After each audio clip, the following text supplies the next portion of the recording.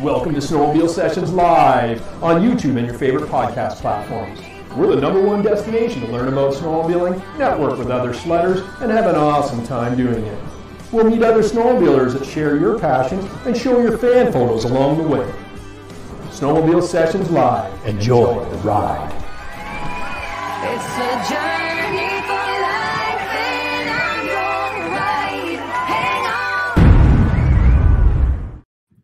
This episode of Snowmobile Sessions Live is brought to you by Energy Power Sports. They're Oakville's full line BRP dealer with sales and service to all BRP models and so much more. Make sure you go over on YouTube after the broadcast. Just search up Energy Power Sports, find their channel, hit that like button, hit that subscribe button, tell all your friends that channel is growing, and so are they. It's going to be awesome. Anyway, it's also brought to you by the fans. Last year, last week, year, already too many ballistic brews in me.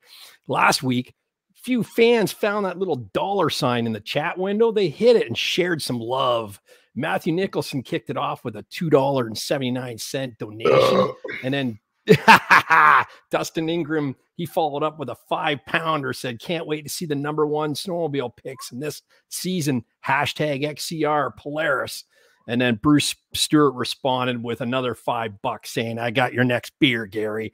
Corey Brock, he topped the mountain with great to be back and get ramped up for cheers. Yeah, so that's that. And don't forget, the fan photos are brought to you by Fast Track Snowmobile Traction Products. We got an exclusive offer for snowmobile session fans only. If you uh, fill your shopping cart with studs and backers and you click on the free toolkit, add it to the cart, use the coupon code SNOW, and you'll get the uh, free toolkit, no charge, with that purchase. Fasttrack.co. I'll tell you more when we get to the fan photos. There we go, Rich. How's it going, buddy? Good, bud. How are you? Good to be here. Good, good. Yeah. Yeah. I gotta see if this is. It will be. There you Sure, go. That's for all my boys out there. Um, yeah. So uh, we'll uh, we'll get right into it. I got the, the there's some buzz going on in the chat about ballistic brew. We talked about it a bit last year, and uh, it's a barmy blonde um, brew. And Corey Brock popped by on the weekend, and he's he's got a few that he's uh, um, pounding back tonight. We'll see, Nice. see if it's him a bit barmy as well.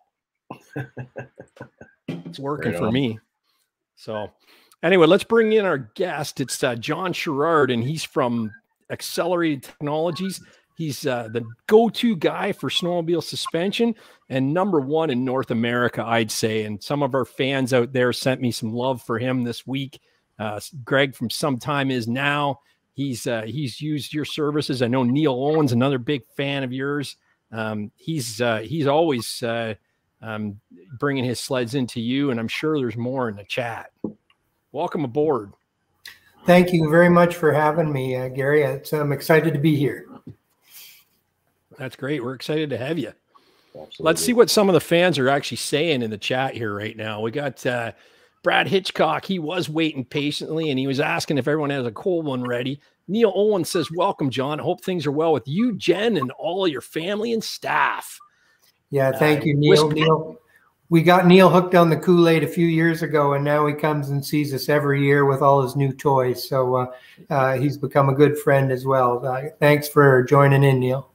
That's awesome. He's the reason you're here too. He's uh, he was instrumental in hooking this up. Um, Corey says he's in there. He's got a cold Mudbrats ballistic barmy blonde ale going. He likes to take a barmy blonde home. That's what I heard. Um, and uh, sometime is now All of Garden Gnome. Hello, all. We got uh, Brad Hitchcock, uh, Bruce Stewart. What's up, guys? Jumpman Jay's in the house. Of course he is. Hey, fella, he's on a night on nights all month, but I'll be trying to tune in and keep up. And uh, what else we got? Michigan. Hold it. I won't even talk about them yet. But uh, who else we got in there? Can you a few more cats? Who else have I missed here? Sled Addicts. Bruce Stewart. Sled Addicts, of course. Yep. Awesome. Maritime Snow Riders. And the Michigan Outlaws. It's important to have the sound effects tonight because we got some awesome fan photos from from the fans and uh, uh, BKD six ninety four. I'll find out what what I can do to make my spe- suspension better for me. Of course, you. Absolutely. Got the best Yeah. guy in the So- house. Yeah. So give us a a, a five second tour of uh, a, a, a summary of what you do, John, and and then uh, we'll have a look at some fan photos and get the show Well, going. I um I think what we're best probably known for is is is a relationship with the customer after the dealer. Uh, the dealer will do a great job, you know, selling them uh, their machine and the equipment and some oil and uh, you know dealer support that kind of thing. But uh, I find the dealers really aren't uh, don't have the exposure or the experience to really help them set the machines up for each individual rider and that's where we've gotten uh, a good reputation in our understanding of how the the chassis work and um, and and mating them mating them to the customer. We really try to listen to each individual uh, complain or concern and uh, and listen to their riding style and what they're using the sled for, how much gear they take, what kind of um, snow they ride on, where they ride, and then we set up the machine uh, for that. But that's just a kind of tip of the iceberg. I think the real value is when we take the, the hour or so at the end of the uh, setup to, to kind of train the rider, be it a, a guy or girl, on on how to adjust uh, each individual component on the machine, and you really see the light bulb go off when they start to understand. Oh, you know what does rebound do? And nobody's ever explained to me what the coupling blocks do, and in, in detail. And why is there six holes in my limiter strap and I'm always in hole number one?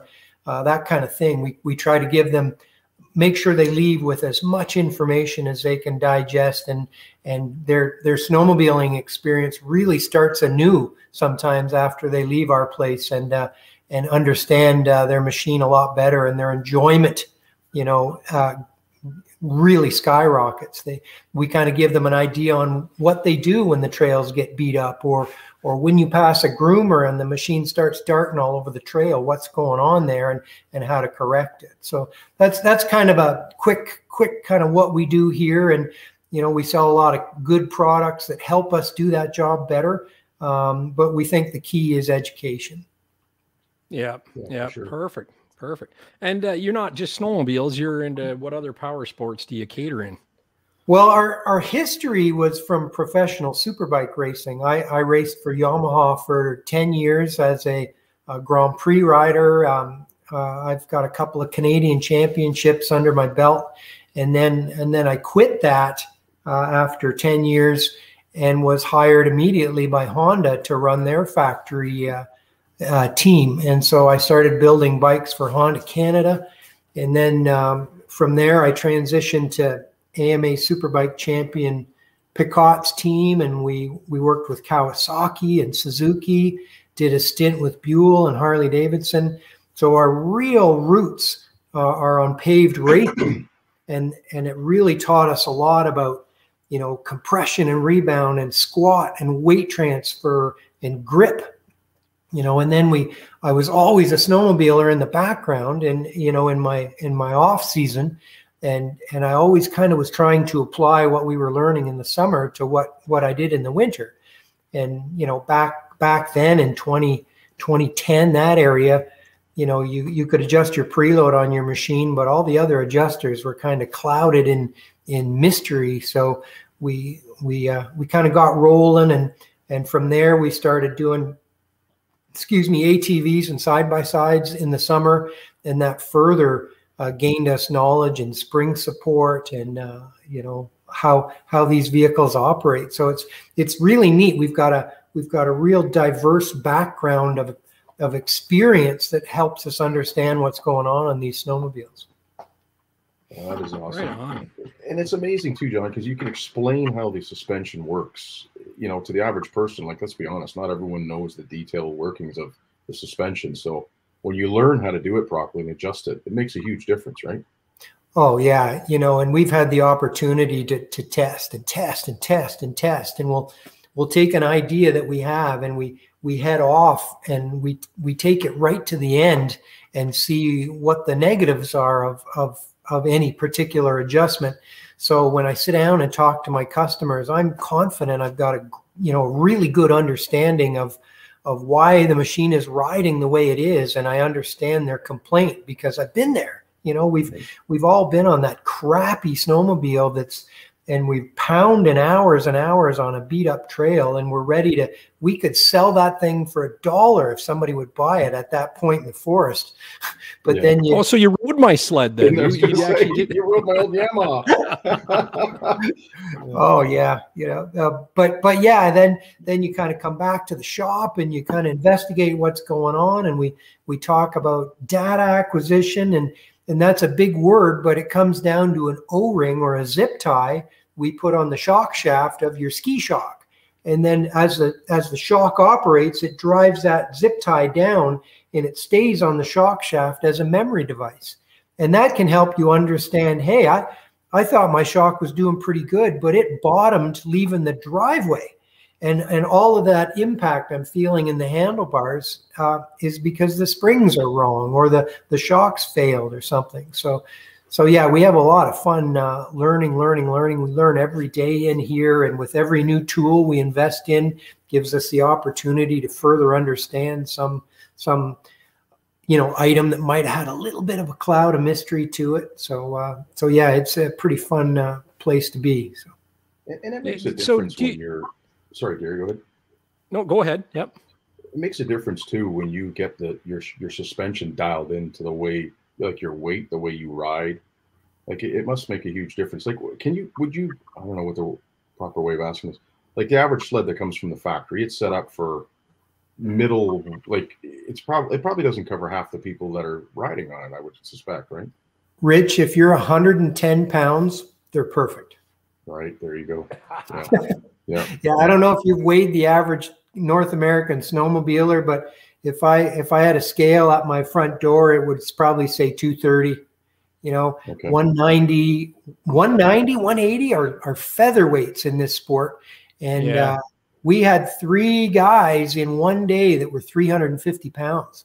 And and they you know the one guy was big but the other two were just perfectly proportioned big dudes. And and uh, they get on their uh, you know their renegade and and they bought 12 inches of travel at the dealer and they're using seven of it sitting on it and they're one inch from the coupler blocks. And it's bang bang bang bang bang bang bang going down the trail and they're ready to sell the thing. They they hate it and you know for 200 bucks we can put in the right torsion springs and they look at me like i'm a superhero and it's just like we just put the right springs in it you know we wish the dealer was a little bit well we do and we don't it ke- keeps us going but but uh, you know we we'd all we've all also uh, offered to train some dealers on just baseline setup you know that kind of thing Yeah. Yeah. I, what I was going to ask is that uh, um, do you have to be in person to deal with you? Like, obviously, I, I know some of the people that reach out to me are south of the border. So I, I take it, can you just do off of, hey, I weigh 230 pounds and, and, you know, this is a sled I'm riding. Can you, can you tune it that way or do you have to be in person? No, that's what our phone is for. Um, we have so many great customers in the U.S.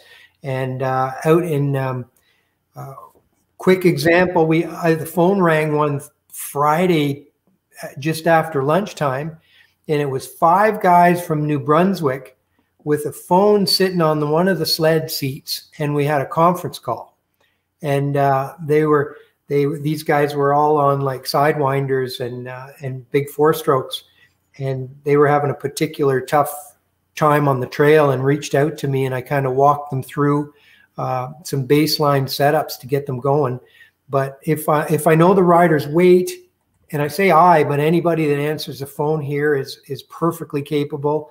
Uh, jen my wife erica our admin is has been awesome. Matt my my tech uh, is very good. But uh, if we know the rider's weight, what machine they're on, and what skid generation they're on, because the RTX and the LTX uh, uh, Procross chassis from Arctic Cat and uh, Yamaha will take different springs. The the Skidoo uh, R Motion, R Motion X take very different springs. Um, so once we know the the chassis it's in, Renegade, MXZ, uh, you know, Assault, you know, whatever that chassis is, the length of the skid, the rider's weight, uh, and what kind of gear they carry, whether they two up at all or they carry a passenger or fuel caddy, then we can we can make a great recommendation and guide them on how to set that machine up remotely. Question for you, John. Nice. These new smart shocks coming out. If you can explain to actually even myself and, and everyone in the chat watching the show, how does that work? Like, is that going to help a lot of tunability, or are you still going to be able to obviously have to fine tune that system? I would imagine you would, right? Well, yeah, you you would. What what the Smart Shock platform is doing is it's it's looking after the damping. You know, the uh, a shock is the damper inside with a spring over top to be to be accurate.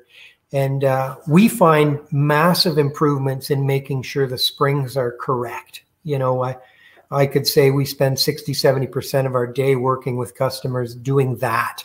And I've I have yet to roll a, a mock a new mock set or a uh, a renegade with the smart shocks platform in the shop i've got my dealer anxiously looking at looking for one for me but we're keen to see what uh, brp put on it for torsion springs and ski springs Okay. because uh, man the, i love the skidoo product but sometimes they're a ways away from the bullseye in terms of of getting the springs in there to best suit what the rider's trying to accomplish um, so we i kind of hesitantly think that that's going to continue i expect we can make a big gain in the customer's happiness with the machine by getting the right springs in it Right. but but to segue back to your question, the smart shocks, eh, the ECU in the in the snowmobile is is reading several parameters.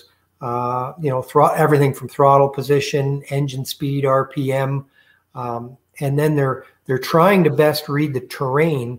And I don't know how successful uh, Skidoo has. Um, my my my histories with superbike racing, where we have telemetry data on the front and rear suspension, and the and the computer can watch how quickly the forks and the shock are moving, and with a with a kind of a fairly straightforward matrix of operations, they can hypothesize and estimate, you know, what they should do with the damping. Like if the if the shocks all suddenly open right up, you know, it doesn't take a rocket scientist to know that sled's in the air, right? Right. And they can turn the damping up to maximum, anticipating that gravity's going to bring that thing back down. Yeah. Um, and then if the suspension is moving very gently, it says, "Hey, you're in Quebec." And we're gonna we're gonna open the compression and rebound to give you tremendous comfort. But then, as soon as they see that uh, that one shock start to react quickly, they can anticipate a bump coming and adjust the damping to to prevent bottoming. Basically, is the is a lot of the theory, um, as well as as left to right. Um, you know, transfer and squat and pitch and roll, they'll try to limit that with the smart shock technology. And so I, I hope that it, it, it goes well for them. Uh, I anticipate helping a little bit in terms of spring support. Um, and then I, my fingers are crossed that, you know, historically ice and electrical wiring has not been kind to each other. So um, Yeah. I don't I don't know in a year or in two years uh, Yamaha struggled a little bit with the Sidewinder, with the Smart Shocks. Uh, a lot of the dealers around the area here had a few of them in uh, in service bays uh, for parts of last winter, with with those things locked up solid when they when they failed. So I hope that uh, it works. Yeah, that was my question with the the Arctic Cat and Yamaha system. It, it's IACT, I believe, right? Interactive. Yeah, it's Yeah, IAC. yeah. Yeah. Yeah, so it's similar to the BRP one. This just the BRP one's just a little bit more advanced, I would think, right? Yeah, this the BRP one is closed loop. It's Yeah. it's watching the shocks and Mhm. changing them. Where the uh, the IACT Fox technology is, uh, it gives you beautiful rider control on the on the on the dashboard or on the on the handset to allow you to pick soft, medium, and firm. Uh, so it's just kind of lazy lazy man's way of of of adjusting the shocks from the from the handlebars. Where the Skidoo system is actually uh, Constantly closed monitoring it. Yeah. Okay. Yeah, that's nice. Yeah. Hey, we got a house cleaning to do, Rich, and I love this one. I, I should Yeah. almost get you to read it. How can Gary put a video of Rich outdoors, but Rich can't? Still like you, Dustin Rich. Like to Ingram, see that five- beautiful Polaris. Yeah. Yeah. How can Gary put a video of Rich outdoors, but Rich can't still laugh out loud? Still like a Rich, but I'd like to see that beautiful Polaris. Yeah, well. We and I were we- it talking was- about that. I never did talk about people telling how much horrible luck I've had with that GoPro, but anyways, that's another story. Yeah, but we're yeah, we he didn't shoot any video that day. It ended up flying through my door and landing on my couch and and Right. uh, but I tell you, man, like uh he's referring to a video I put up last night with the incident on it. And uh and I like I, I cut a lot of that footage out. You can see how choppy it is, but I, I gotta tell you, like to have you there that day was really important because I don't think it would have been as smoothly uh, dealt with as far as the handling goes, as you know, to help him feel better. You know, Oh yeah. as he's laying they- on the ground and stuff. And and there there's one comment on the video is Gary, you were laughing too much at him, you know, and I'm not like we were laughing after. Like Yeah. it was pretty serious when we when we pulled up and it was a yard sale on the trail. and uh and and once we helped him out and realized, hey, he's okay. He's worried about his phone if it's broke. And uh and then you and I just just made light of it, which was really good. So Oh yeah. no, and that's the thing. And I and I alluded to it last year, saying that uh, people are going, "What's Rich like?" You know, in the chat after that. And I'm like, super nice guy, man. Like he's genuinely a nice guy. And it's like, and that's what I was referring to. So people, people see it on the video now. It's it was awesome. Yeah, So thank the you. The only thing is I gotta there, apologize. I, I I did drop the f bomb a little bit too much because some you, you forget that you're recording, and after I watched it, Yeah. I thought, oh my lord, it's like because when I'm Yeah, recording, I'm I'm obviously sensible to it, right? And I'm sensitive that I'm not dropped. But anyways, Yeah, Yeah. But, but you don't realize when, like, I when I record and not right. Like that's the thing. Yeah. yeah, I, yeah. I'm not very selective. So, and I could have cut it out, but it made for a better video, I think. That's so what Je- I Jess cut a saying. He goes, no, that's that's good. You got to leave it like that. So, yeah, anyway. I, I left a lot of it in, so yeah. it's uh, for a reason, but I cut a lot of it out too. So yeah. I tend to take mine out more this year. Yeah, uh, oh, absolutely, and we'll get you out there with Corey and stuff. Oh yeah, and, for sure. and it'll be a blast. So yeah, Yeah, but it'll be good thank you very much, Dustin. That's awesome. So yeah, that's good. Thank that's you. that's our that's our fans, John. That's our fans. Yeah, it's cool. I'm just uh, my first time on the show, and and uh, Gary gave me the walkthrough on how it's working, and it's uh, it's so cool to see everybody out there and chiming in and chatting. It's uh, it gives us that sledder community before we get a chance to get out on the snow. Yeah, it's a yeah, yeah, it's it, it is. It's a really good group, and it's it shows you how small a world the snowmobile world is. When um, there's actually another one here that said that they he you actually did his Arctic Cat. Um, can't remember where it is. I love Papa Watts's comment though. Though he went from 195 pounds to 170 pounds, the best snowmobile mod this season. He says. oh, Greg Seaman. He said, "Hey John, great job on my Altegra a couple years back. Thanks. Will you be at Sledorama in November?" Uh, yeah, apparently it's that show is a go. Uh, Gary, you can probably confirm that, eh? Yeah, uh, I haven't heard anything that's canceled yet. So, and it's outdoors, so Yeah, I'm they pretty cashed sure. my that- check, so yeah, good, good. So, What Yeah, show is that's this, guys? Good. uh, in Sledorama in Peterborough. Oh, the one in Peterborough. I love that one. I went. Yeah, I actually. Yeah, the wife and I went to Yeah. that one last year. Yeah, yeah. Yeah, we uh, we've been going to Sledorama and the uh, Big Toronto Show for years and years and years. And Sledorama is kind of fun and cool because it it it jams it into one day, and a lot of the key core vendors are there, and the, the customers are there, and and uh, you know the the cost to attend the show is a fraction. You can sleep at home, and you're not. You don't have the big bar bills. I mean the hotel bills and stuff. So, uh, so yeah, no, it's it's a nice, uh, it's a really nice grassroots show. yeah, and that, it's November 21st is the date, correct, John? I believe so. Yeah. Yeah, Yeah. it's, it's Yeah, somewhere is like November, Peterborough, Ontario, S- Sledorama 2021.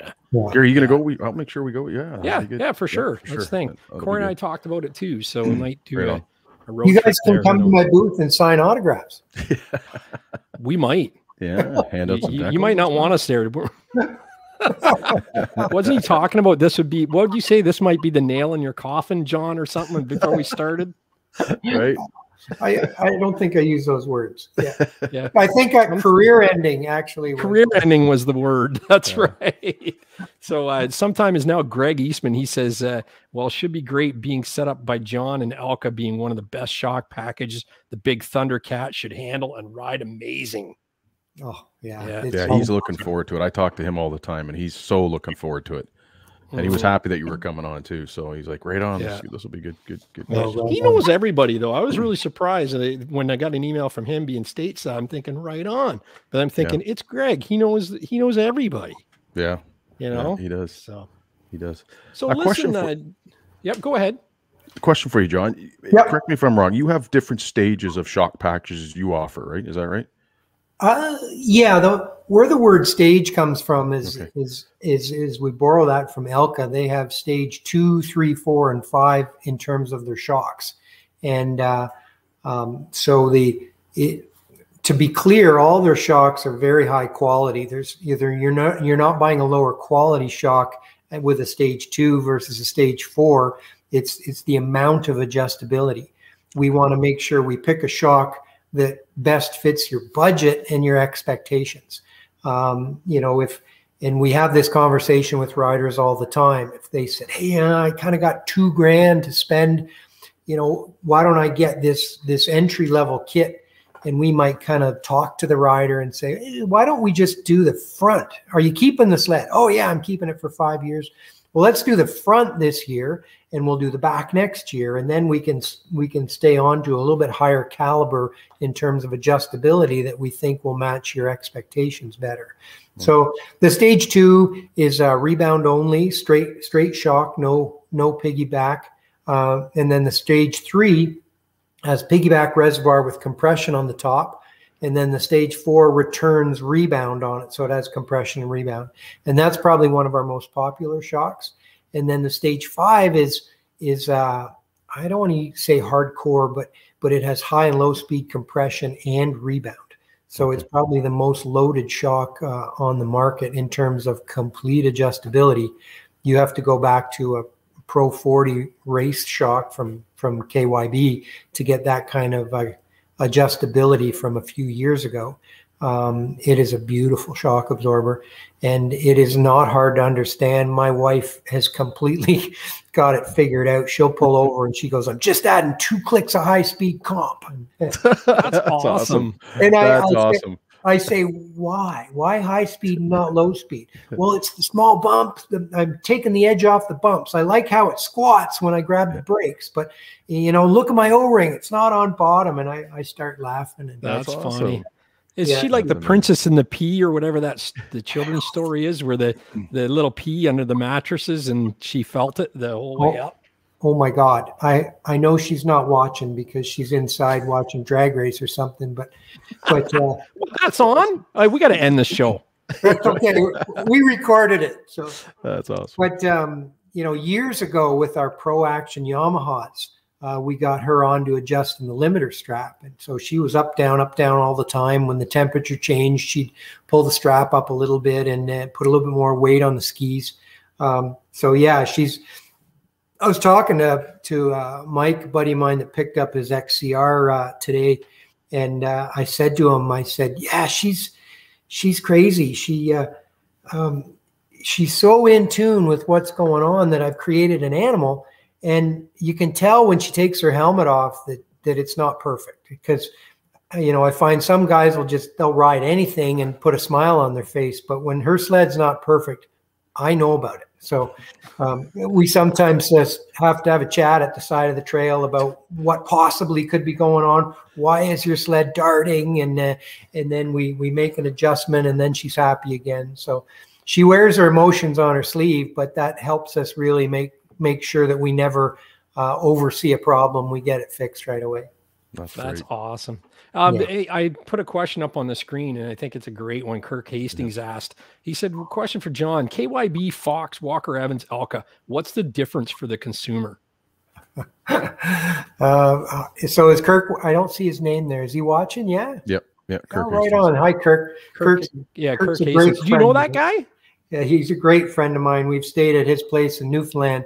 Uh, Kirk and Penny own uh, Snow Escapes, uh, um, um, a touring company that's out of uh, out of uh, Meadows near Nice. Corner Brook in in Nice. Newfoundland. And if you ever get a chance to go out and see them after COVID, uh, do it. They've they've got a wonderful program out there in Newfoundland. So, Uh, no, it's Um, not wonderful. It's best kind. uh, yeah. Best kind. What are you at there, buddy? You should have told me. Um, okay, so a, a quick rundown is we find all the manufacturers have got slightly different nuances in the way they design the shock, and a lot of it is ideas. Um, Walker Evans has their needle system, and uh, what it is is it's a it's a needle pointing down in the head of the shock, and when the piston comes up on it and approaches that needle as it nears bottom, uh, the piston comes up, approaches on the needle, and the damping goes up dramatically. So that's their little uh, gimmick gizmo that works really well um, in terms of a shock. It, it makes the, whenever we can keep a shock from bottoming yet keep it soft and compliant, the, the window, we say the window of operation is very big for that shock. So that gimmick works good with the Walker Evans and gives them a tremendously soft shock that doesn't bottom, but that needle goes exactly where we put a rebound system. So whenever you see a Walker Evans needle shock, it will not have rebound. So uh, that that is uh, and rebound to me is a deal breaker. One, once you know it and understand it and accept it, it's like, oh yeah, I got to have that. You know, uh, there's so many times I could have fixed a problem with a rebound adjuster. Either the bump frequency in the trail is very high and the ski is not getting back down to the ground quick enough and it's packing up. That's a rebound deal. So, so that's that's kind of Walker Evans. Uh, KYB have been making brilliant shocks for years and years and years. They're a very, very good shock. Uh, we find that um, uh, the manufacturers that use KYB are probably putting them under some um, some pressure to keep the cost of the shock down, uh, so that the end use, the end snowmobile is not upwards of thirty thousand dollars as it could be. so we we we find that uh, each year uh, one of the manufacturers, not mentioning any names, um, slowly uh, will take another adjuster off the shock. And last year uh, in 21, it was Rebound. The their their premium XRS package lost rebound adjustment on the Pro 36 skis ski shocks. So that's kind of an unfortunate decision. That's not the fault KYB. I think it just uh, uh, in the marketing decisions to to watch the ceiling and the margin on the snowmobile, they lose some of that adjustability. Um, but a very good shock. Um, uh, Fox, Fox, for years had uh, gained tremendous market share with the float shock absorber, which is not one of my favorite products. Uh, it has very high uh, breakaway friction, and uh, we did from our motocross and enduro cross background. There, uh, a lot of these motorcycles have air forks, and we find that the um, they are very, very, very progressive. So uh, they'll start off with a certain spring rate, equivalent spring rate, and as the shock or the fork gets near bottom, the air pressure rise is so exponential that the effective spring rate is explosive, and uh, the the fork or shock just wants to explode back open again. And those those of you that have tried to play around with getting a float set up properly, uh, you know they made evol chambers on evol chambers and small jets to try to to delay the inevitable rise in, in air pressure, but you end up trying to to get that air pressure low enough to get the ride height down and not make the shock stiff, but uh, without bottoming. So it's it's kind of all, and then they're, the temperature will throw those things out, um, and then they're prone to sticky. You know, they've got a lot of of, of surface area. The Fox floats do um, a typical shock uh, about the size of a, your wedding ring um, that is the seal and the wiper on the shaft that looks after a lot of the, the, friction of the damper. And on a float, it's more like four bands the size of a wristwatch.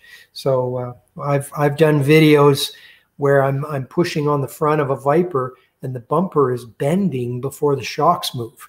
Um, so that's that equivalent equivalates to a very very rough ride when in terms of you think how big of a bump do you have to hit to Mhm. actually move that shock absorber Um, and that circles us back to Elka, which is probably our favorite shock absorber. Uh, they're made here in Canada. They're an excellent product. Um, we have a great relationship with their engineering department. I can pick up the phone or my cell phone and and have custom parts made in a few days uh, to test, and and they work very closely with us. We have a great relationship with them. Uh, last year, we took over the design here at Accelerated Technologies for Elka's uh, Renegade and MXZ platform product. We we design their shocks here in house uh, and send them the bill of materials, and we have our own custom shock that churns out of there uh, and comes out. So, um, unfortunately, the COVID has hit them pretty hard in terms of getting staff and materials, and and so their lead time is pretty big right now. If you were to pick up the phone, you'd find that you're three months plus right now if you were to place an order for a snowmobile shock. Ooh. And uh, so we kind of saw that writing on the wall and uh, ordered. We ordered almost 200 shock absorbers um, in August for our snowmobile customers, just so when they Right call on. us Good right thinking. around right around now, you know, when the leaves are changing color and the nights are getting cool and people start to remember they have fifteen thousand dollar snowmobiles.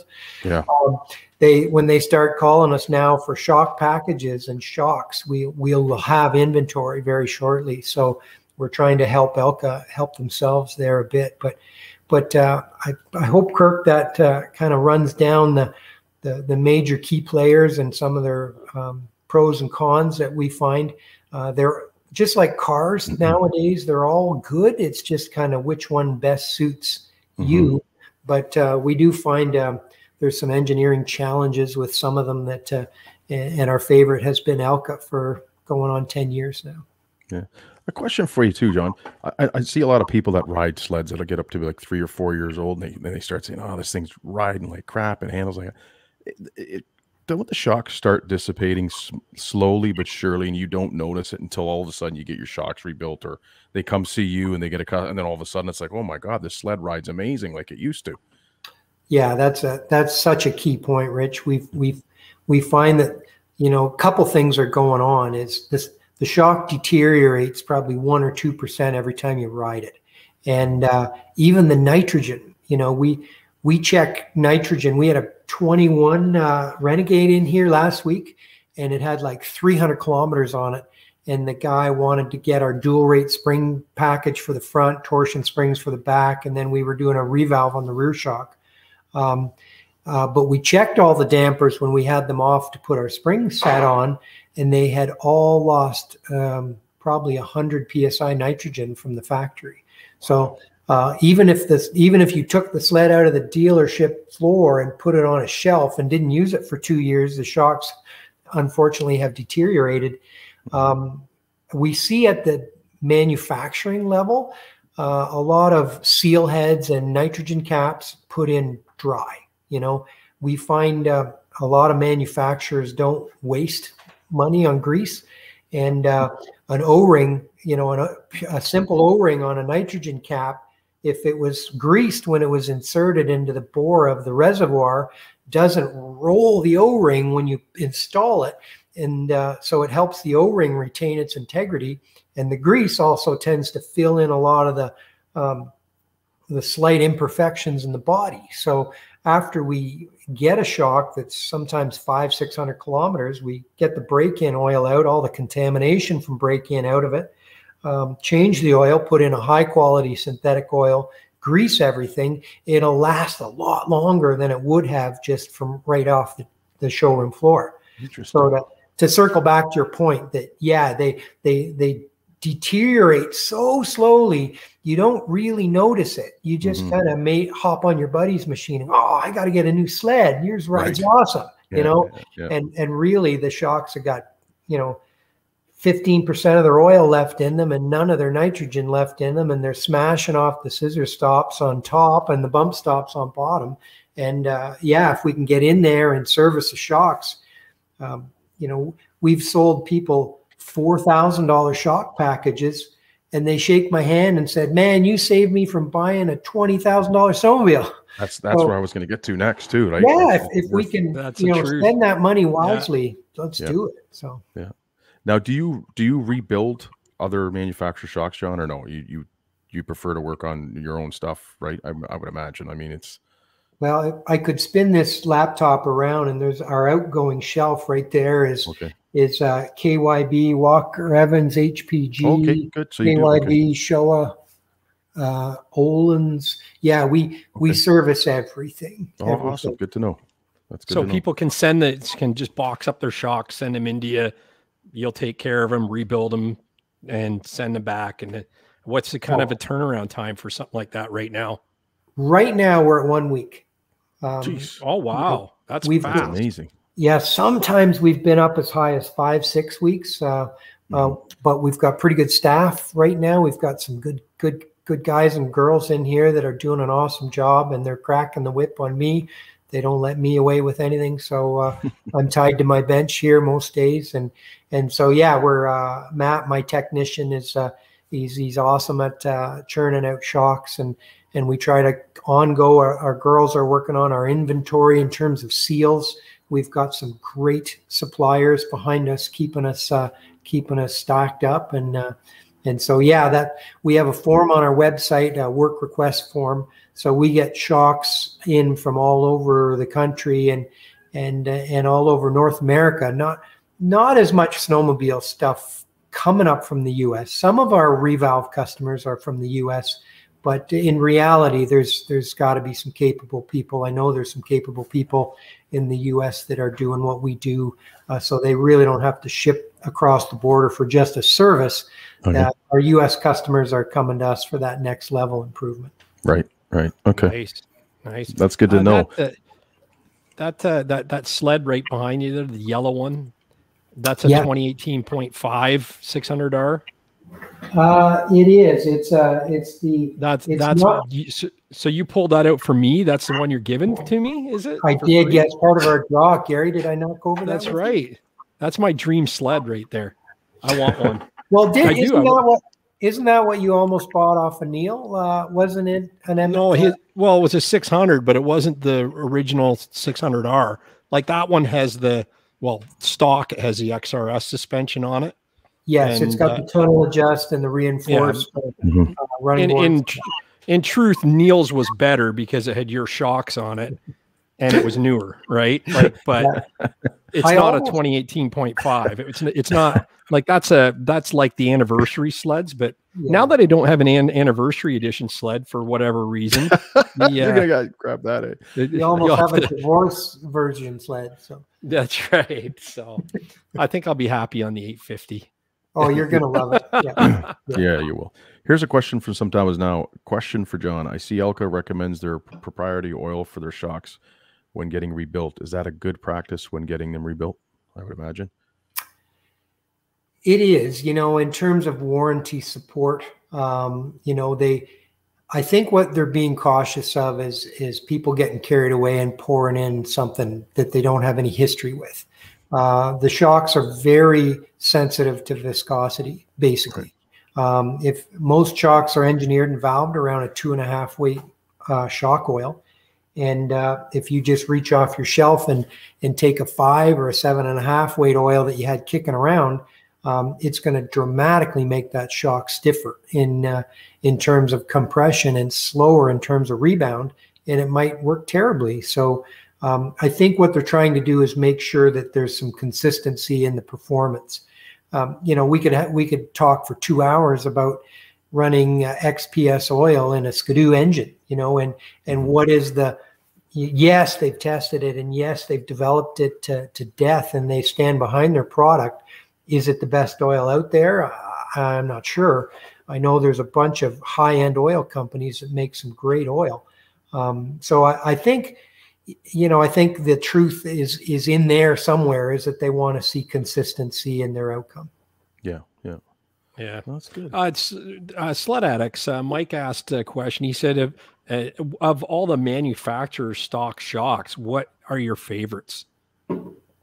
Uh, that's a great question. The the Walker Evans on the Polarises are very good shocks.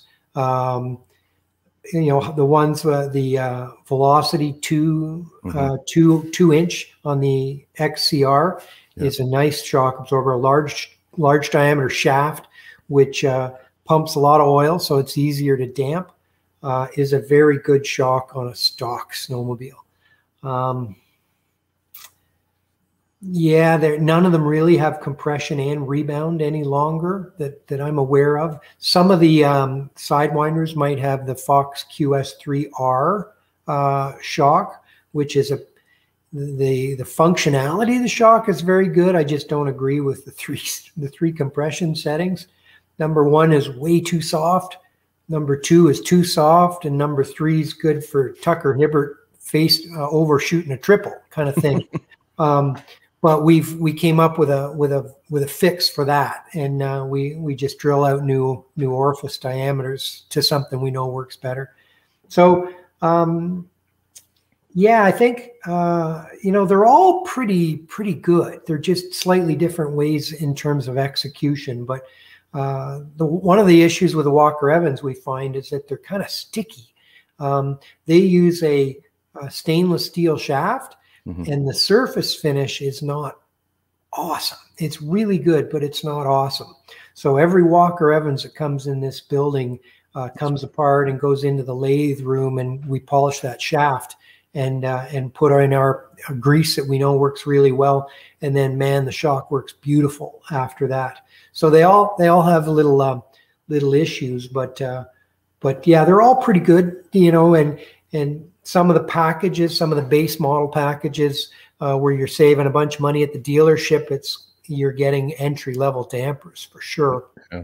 But that's kind of one of the things that we try to educate our customers with is, you know, we get XRSs in here by the dozen every week, and uh, you know, sometimes the answer is, hey, buy an X package, save two grand, and let's talk about a shock package that'll leapfrog that package. You know, that's really going to make you happy. So There uh, you go. yeah, there's Yeah, nice, Uh, nice. we enjoy that relationship with a lot of our returning customers and and we're so lucky we've got amazing customers and, and i want to shout out to everyone that's that's watching that's been in here thank you very much but but uh, we have i think we've got 15 appointments now from returning customers that don't have their sled yet Right. yeah, yeah. So the- They- they're they're like- pushing it back. Yeah, They're like, when I get my sled, uh, I want a spot. I want to bring it in and and make sure you set it up. And So does a million other people. yeah, So, what do you think of the new Lynx shock package and the PPS uh, rear suspension? Um, what do you have for advice? Because I know a few guys on on our group have ordered the Lynx, and uh, and are probably looking forward to seeing what they can do with it. the Lynx system is probably one of the best systems uh, in the world in a snowmobile, in my in my impression, from what I've what I've seen and what I've heard. Nice. Um, it's uh, the simplicity and uh, the lack of friction, the way it executes uh, seems to be very, very good. Um, uh, Liam, a buddy of mine, owns Gateway, local snowmobile dealer that we're pretty tight with, uh, has has ridden it and says, "You you got to have the hammer down to make that thing work. Uh, you got to ride it hard. If you're just, you know, looking at the cottages, enjoying the scenery, it is a stiff, stiff snowmobile. But when the cards are down and, and so is the throttle, uh, it is a supremely capable snowmobile. So, um, yeah, we're, uh, I got a phone call today that we're getting one in in a couple of weeks to get set up uh, from a, from a, one of our great returning customers in Harcourt. Um, so yeah, it, uh, it, uh, I think it's a, a really good snowmobile. It's got its limitations. It's definitely aimed at, at big bump off trail crowd.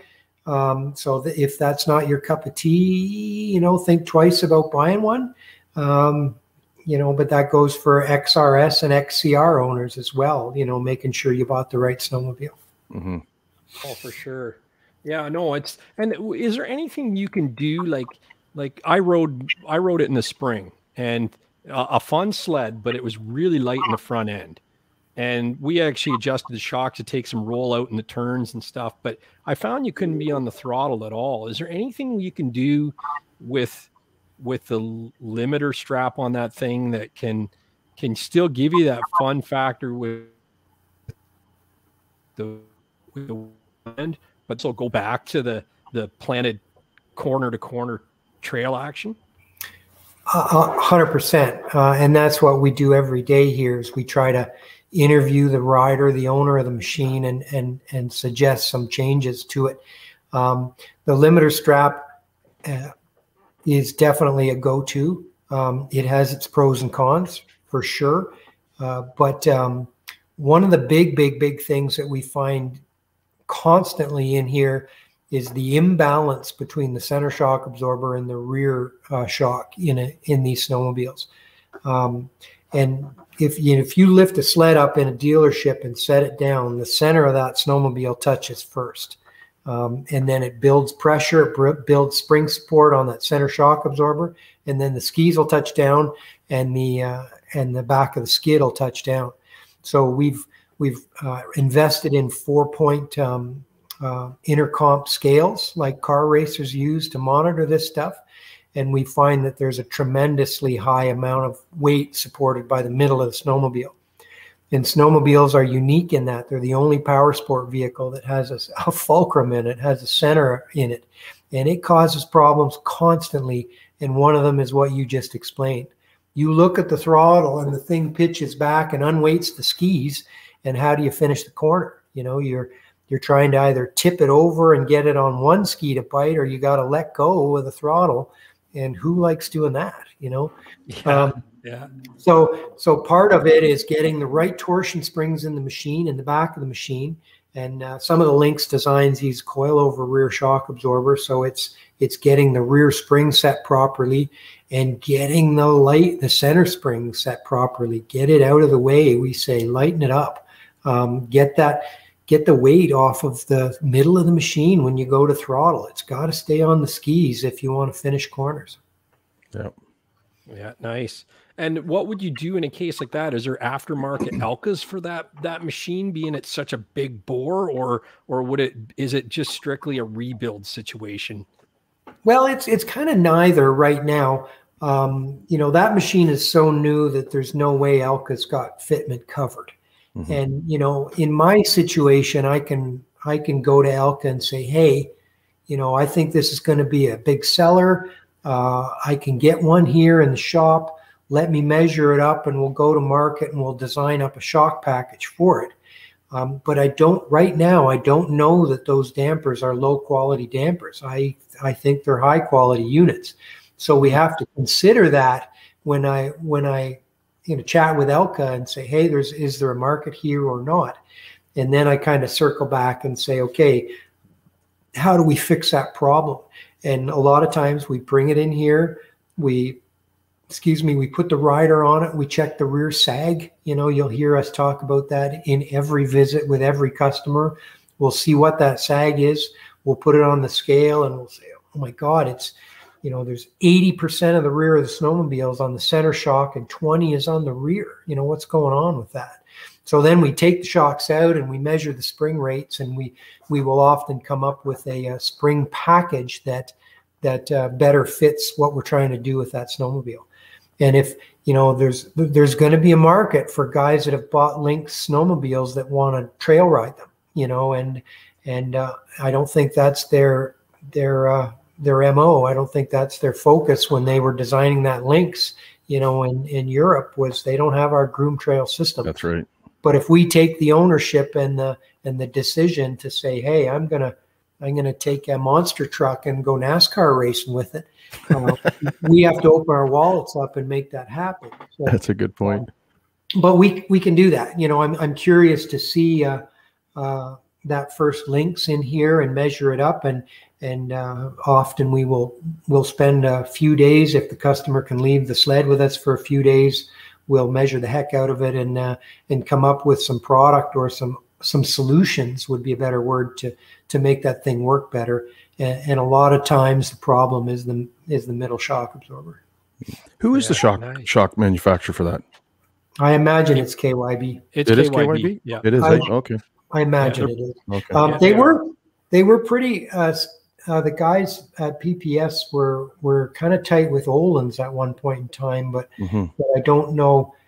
uh, you know how friendly Öhlins is to OEM applications. They've they've done some. We've seen Öhlins get into With bed with Yamaha. Yamaha in the past on some of their uh, on some of their uh, higher end Apex packages uh, back in the day, but um, but it's not very common. Yeah. They're they're No, shocks. I had them on my my uh, SRX. They were amazing. The Öhlins. They were a good Yeah. shock. Yeah, they're a very very high quality shock absorber. yeah. We sell a ton of them here for in the summer. Yeah, and Uh, they use them on their motorcycles too a lot. Yamaha, right?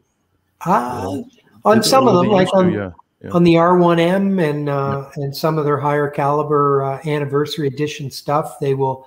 Yeah, at one point in time, Yamaha owned fifty-one percent of Öhlins, Of Öhlins, that's what I that's and, what I thought. Wow. and, uh, so they enjoy a very good relationship at the MotoGP level. Mhm. Uh, so yeah, it, uh, they're they're they're still very tight, uh, Yamaha and, and Öhlins. Yeah. Right on. Yeah. That's awesome. Listen, we got to get to the fan photos.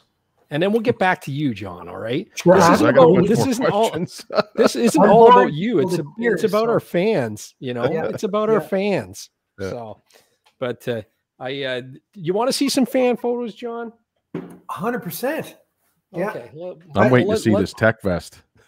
Gary's been Oh teasing yeah. me all day. I heard about that. Uh, yeah. Oh my goodness. So just hold on a second here, and uh, and we'll get going. But I just want to say, I would just want to say something that that this the uh, fan photos are brought to you by Fast Track Snowmobile Traction. So they have an exclusive offer right now for snowmobile session fans only, and it's a free install tools with the purchase of a stud kit.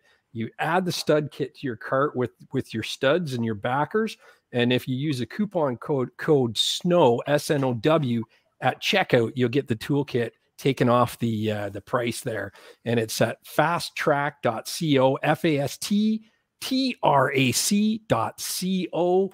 Make sure you check them out online. So I've actually yeah, my studs arrived today actually, and Oh, uh. I, I got I got Rich's backers here. So for my but, um, XCR, they'll look yeah. good on my black XCR. But you know, you look at this, and I'm used to a Woody's, and here I'm trying to find the camera here, and uh, it's quite a bit different. Like it's got a really thin uh, back plate on it, Mhm. um, so I think that, like he was saying last week, that buries down in the track nice.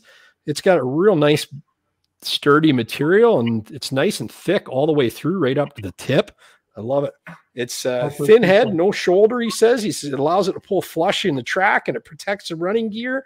The backer design is easier on the track than aluminum. It's lighter and allows you to run a shorter nut, saving lots of weight. The studs are stainless steel and heat treated to a grade eight bolt for strength. And uh, the, the kit's rust free if you upgrade to the stainless steel or aluminum nut. The backers are polymer. They're perfected with a proprietary blend over 20 years ago. And Nice. uh, each, and he comes with templates and the whole shebang. So that's pretty cool. So let's get right on into the fan photos and, uh, and away we go.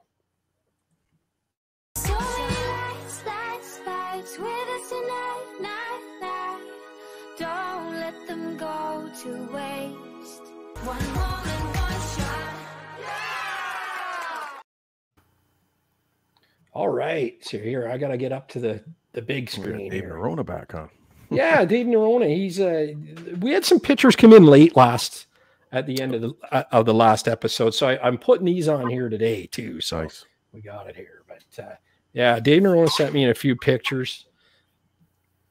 Just got to see how to advance this here, if I can. Look at Oh, that shot wow. in the sunset. You know, my Mhm. microphone floating there. Let me move that out of the way. Can you still hear me now? Yeah, yeah, you sound like you're in a tin can, but that's okay, buddy. It's good. Just less, it's better. Yes, that's right. So I love it. the, the, the Uh. next shot is Dave Nerona to a T, man. If you're Oh, yeah. riding, you got to do this. Isn't that wild? That's awesome. That's that's my Sharona right there. I'm telling you. That's hilarious. And there's his feet kicking her back. You know, love it. Isn't that awesome? Like that is the way to do it. Yeah, that would be wild. Go for a ride. I would have Sit in the hot spring. I would have loved to known where that was. So, but uh anyway, is Olive Garden Gnome in the chat? He sent me this. He sent me this. He said the That's team at- at. Tech Rider was was great to work with. So he said this is the front view and back view of his uh his Garden. Gnome. Grateful Dead inspired tech vest. That's awesome. And and uh, he actually did something special on the inside.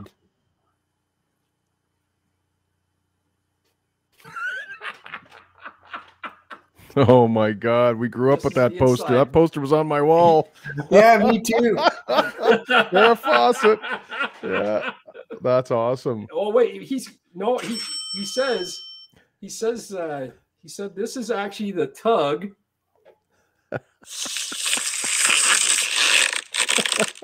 Hill he said this is the Tug Hill version of the of the tech vest right there. That's hilarious. man. The tug that's one of a kind. Tug Hill version of the TekVest right there. Oh, I heard you. He said the Yeah. he said the poster was on the door of a refrigerator in my parents' basement throughout my childhood. When Oh, you yeah. mentioned it during the show show or tour, I fell out of my chair laughing and the inspiration began. The outcome was an homage of the America's greatest exports, the Grateful Dead and Farrah Fawcett. Oh, Thanks for all the content and laughs, guys. I wish everyone has a safe and snow-filled season. Garden Gnome. Isn't that awesome. awesome? That's That's awesome. awesome. Every kid in the I- 70s had that poster on their wall, man. we had a dartboard in the garage and that was hanging there. It was awesome. Mhm. So John would affect this game. TekRider was on the show last year and he was talking about full color sublimation and and trying to explain it to people. I said, you can get pictures on there. Like, uh, can I get a picture of Farrah Fawcett on there? And Oh, yeah. this guy picked up and ran with it. So when I opened my email with the fan photos, I was laughing. I I I was That's just awesome. dying for this moment to show it. But That's awesome. that, But I, I love that it's on the inside of the TekVest, not the outside. Right. I would I would have put it on the back on the outside if it was. Oh, me, yeah. And watch people crash. that's right. That's awesome. Right. Exactly. so many people riding by. Hey, I had that poster. Isn't Oh, that man, that's wild though? That is just that just is just that made my my whole day, man. It makes it all worthwhile. You know, See, Tech Fest, TekVest should work on a reversible TekVest. There you go. There you go. yeah. Right? The, Depending they- on the they mood might, you're in, right? Yeah, they might You're riding with the wife it. and kids or with the boys? That's it. The boys' weekend. You, you flip it around. Yeah, yeah. You That's get your awesome. favorite porn star on it. The uh, you know, Oh, but uh, he says this is his 19. This is still from Carl. Olive Garden Gnome in the chat if he's there. Olive Garden. He said this is his Awesome. 29 yeah, 2019 Renegade X600R. He said fingers crossed that the 2022 Enduro he ordered shows up complete. The front uh yeah, so that's it. He's uh he said this is um Island Pond, Vermont in 2019. And the next one is uh, Copper Harbor, Minnesota uh, in the UP and Eagle Harbor, Minnesota in the UP is the next pitchers. Oh, I guess I didn't put them in. Oh, I guess that's those two pitchers right there. Right Eagle there, yeah. Harbor's on the right. Yeah, Yeah, so- nice. I Nice. did put them in. So, yeah, yeah. I'm just so taken aback by Farrah Fawcett. It's uh, it's awesome. so this is from our buddy Jumpman, Rich. Nice. This Oh, is yeah, his new sled. ship. He's Yeah, Yeah. Jump ship. Jump man, jump ship. he came over to the good side. Yeah. He said he's he's got a nice Ski-Doo free ride. It's the the the light blue and the lime green one, the famous color scheme. He said he's so excited to be back at it for another season of snowmobile sessions. He absolutely missed it and chatting with you all. We had a great summer, spent many hours on the boat fishing and enjoying the local lakes and rivers. It's time they all freeze up so we can get out riding. Brap on. Well, I sold the 2018 Polaris Switchback Assault and went over to Ski-Doo. It's been many years since I've owned a Doo, but I'm certainly glad. Oh, where did he go? I'm certainly glad. Uh, certainly looking forward to. Ah, I'm way back here. Where is it here? um. Anyway, he's certainly Nice looking sled. forward to the experience. That's what he says. The experience of the Doo. Here's a few shots of the day we picked up this beauty. More photos to come after I get all the stickers off and add my own touch. It's Nice. a 2017 Ski-Doo Freeride 146. He found this sweet ride with only 1,300 kilometers on it. Cheers, So we had a Jumpman. 2019. He bought a 2017. Nice. Nice. Yeah, but That's a nice the, color. so he had a switchback assault, Rich. Like what? uh Oh, the switchback. Yeah, yeah. Yeah, yeah. So, like, wh- what would be the advantage of of going to the Freeride? Is it more of a bump a bump capable sled or or what? Well, that switchback had that weird suspension in the back, right? Right. Yeah, it did. It had The yeah, the Polaris big had. frame. So I, I don't know Yeah. uh, how. The, hey, John, I, I I gotta ask John that we're still doing the photos about that. That rear suspension that Polaris had. I don't know. Was that a, a failure in some sort of like? Visually, yeah. no, I like I I took uh, no like all kidding aside, I, I looked at it and I'm sitting there. I was trying to figure out. Obviously, there's engineers a hell of a lot smarter than I am, but I was trying to figure out how that worked. Well, if you, if you, and I spent a lot of time, you know, with that skid and looking at that skid, and the design of it is pretty cool. You know, Okay. it, the the way they've got their link arms mounted, and then they put the shock above the tunnel. Uh, they were able to come away with a nice rising rate, and uh, and it was it was it had potential. It was very good, but Mhm. I think it was one of those things where you know did the negatives offset the positives or or vice versa Right. um, and there was so much loss of of uh, you know gear carrying capability on the top of the tunnel that I Mhm. don't think any any improvements in the design mixed with you know I don't um, maybe not finished calibration because every year that thing got better and better and better eh? Okay. and, and then we started to hear rumblings of, of Polaris walking away from that design. Um, but just, you know, listening to some of the customers say, yeah, you know, I love the sled. It was a fun sled. One of the things that Polaris has, has been very successful at is, is rider positioning on the running board and how that affects how the snowmobile works. And, you know, if you lean forward on the handlebars and, and stay up front, front, the skis will stay down. And if you pull back like a motorcycle, it'll lift up. Mhm. So they've got to, you know, with an uncoupled design, they can they can they can make that work if it's really if it's really set up properly.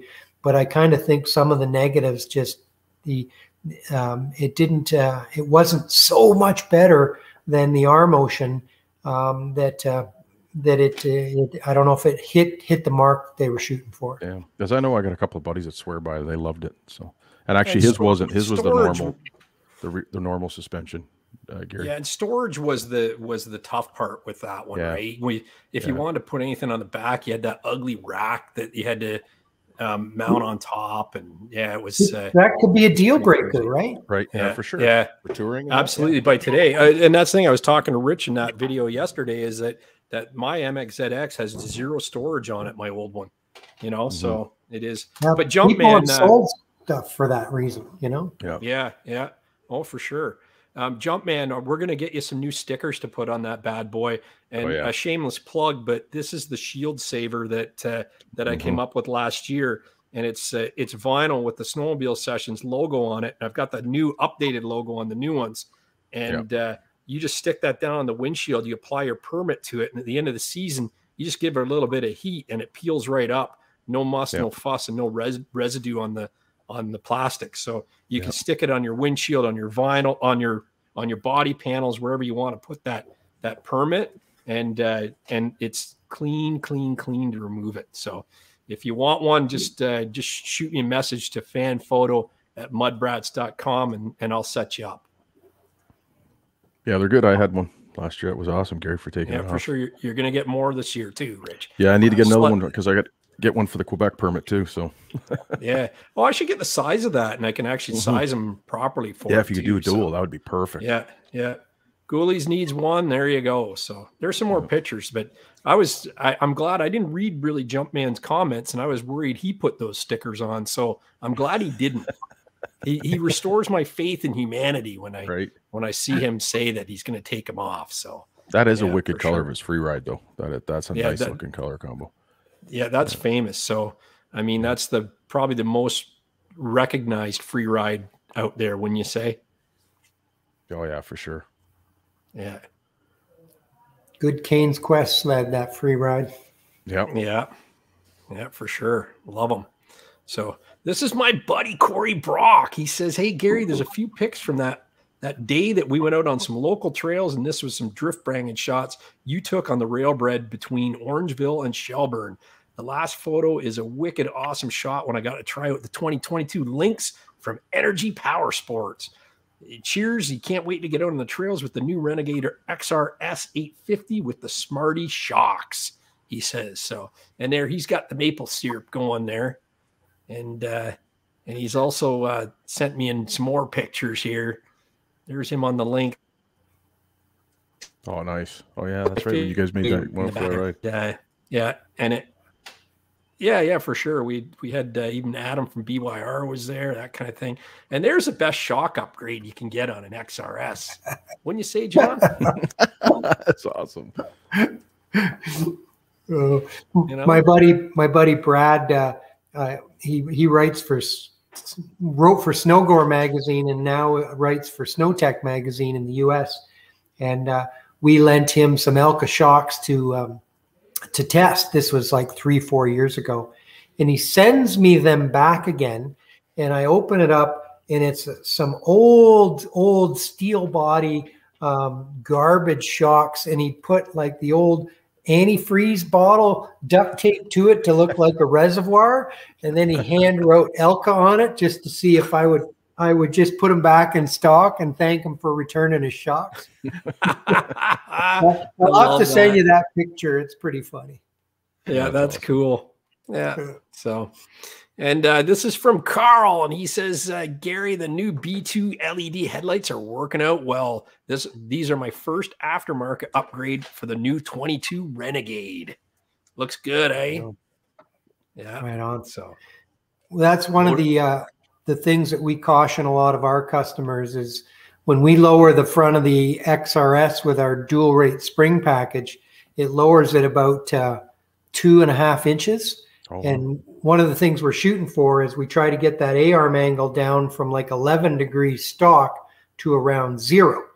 And uh, when we do that, and then we put the right torsion springs in the back, it lifts it up slightly. And I tell people, hey, uh, adjust your headlights. You know, they're going to yeah, be right. Good point. Good point. And and the other thing is, is the setup now is going to be so safe that you're going to be out riding your headlights at night if you ride at night. So, uh, so yeah, we advocate uh, good good LED headlights. So, if anybody's got some good recommendations on some LEDs, uh, uh, let us know. Yes, motojungle.ca. oh, you have perfect. to go there. Yeah. Yes, what kind of lumens I, are they? You know, uh, twelve thousand like lumen for the pair. Yeah, yeah, six thousand. Not yeah, six thousand each. They're not. It's not in the lumens per se. It's the way that they're engineered, and and that because they're going in a stock reflector, you have to make sure that that LED chip is in the exact spot of where the halogen bulbs are, or else the reflector will just scatter the light. Where where both okay. the two series I sell, which is the LED Eagle and the B2 series, they mm-hmm. actually have the engineered exactly the same. And nice either or you can't go wrong the difference to me is is the warranty's better on the led eagle but i've never had any issues with them and but the the b2 series is a cleaner install because it's got a new technology in the igniter and it's built right into the bulb so you don't need nice. a, an inline box so um, if there ever is a question about the led eagles it's because someone jesse didn't tighten the the uh, the the the rectifier on the line and it vibrated loose and and uh, came off, so you lose a headlight. But the, you just plug it back in and it works. But yeah, so they make a huge difference, though, Gary. I, have ridden with oh, a couple totally. of guys that got the bulbs from you, and they make a huge difference. Yeah, yeah, but, for sure. Actually, Nuns is in the house. Some. Yeah, I'll send What's you that? a link, John, yeah. after the show. So. Yeah, yeah, do that. I need to to to get a few sets of them. Nuns is sure. in the no, in the chat here, and he's like, "Thanks, John, for looking after my brother Ross's new to him XCR, aka my old XCR, Nunzio." So. Oh yeah, we were nice. happy to Nuns. Thank you yeah. very much. I'm yeah. glad he came in. Yeah, yeah that's, that's awesome. So he's a great guy too. Yeah, rode with him last year. Yeah, I rode his sled last year. It was awesome. That's right. Yeah, yeah, we both got to ride. It, yeah, yeah. No, yeah. or was it Karen's sled? oh yeah, yeah. we'll let him right, answer that one. But, yeah. oh, that's a beauty sled. I love the seating position, man. I, I really do. It's such a great yeah. sled. He's got an XCR um, coming as well, so that'll be good. Guess where these pictures were taken, Rich? Ooh, jeez. Sweden. No way. Oh, they're these, starting to get are, snow. I know. SG Flashy says these are my photos of the first snow in Sweden. The last one isn't really of snow, but it's a he let it slide because it's a beautiful morning of frost and fog in the distance with the mountains in the background. Hope you Canadians have snow in a few weeks too. Have a great day. Isn't Jesus, that that's awesome? a hell of a that that looks like snow on the roof, does it not? That's yeah, it does, doesn't it?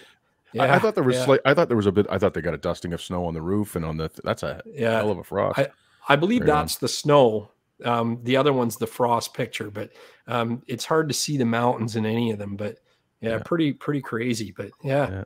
but thanks for sending those in from Sweden. We love that. That's That's awesome. That's awesome to show the reach of this this podcast. that's Beautiful. awesome. Yeah, it's it's great.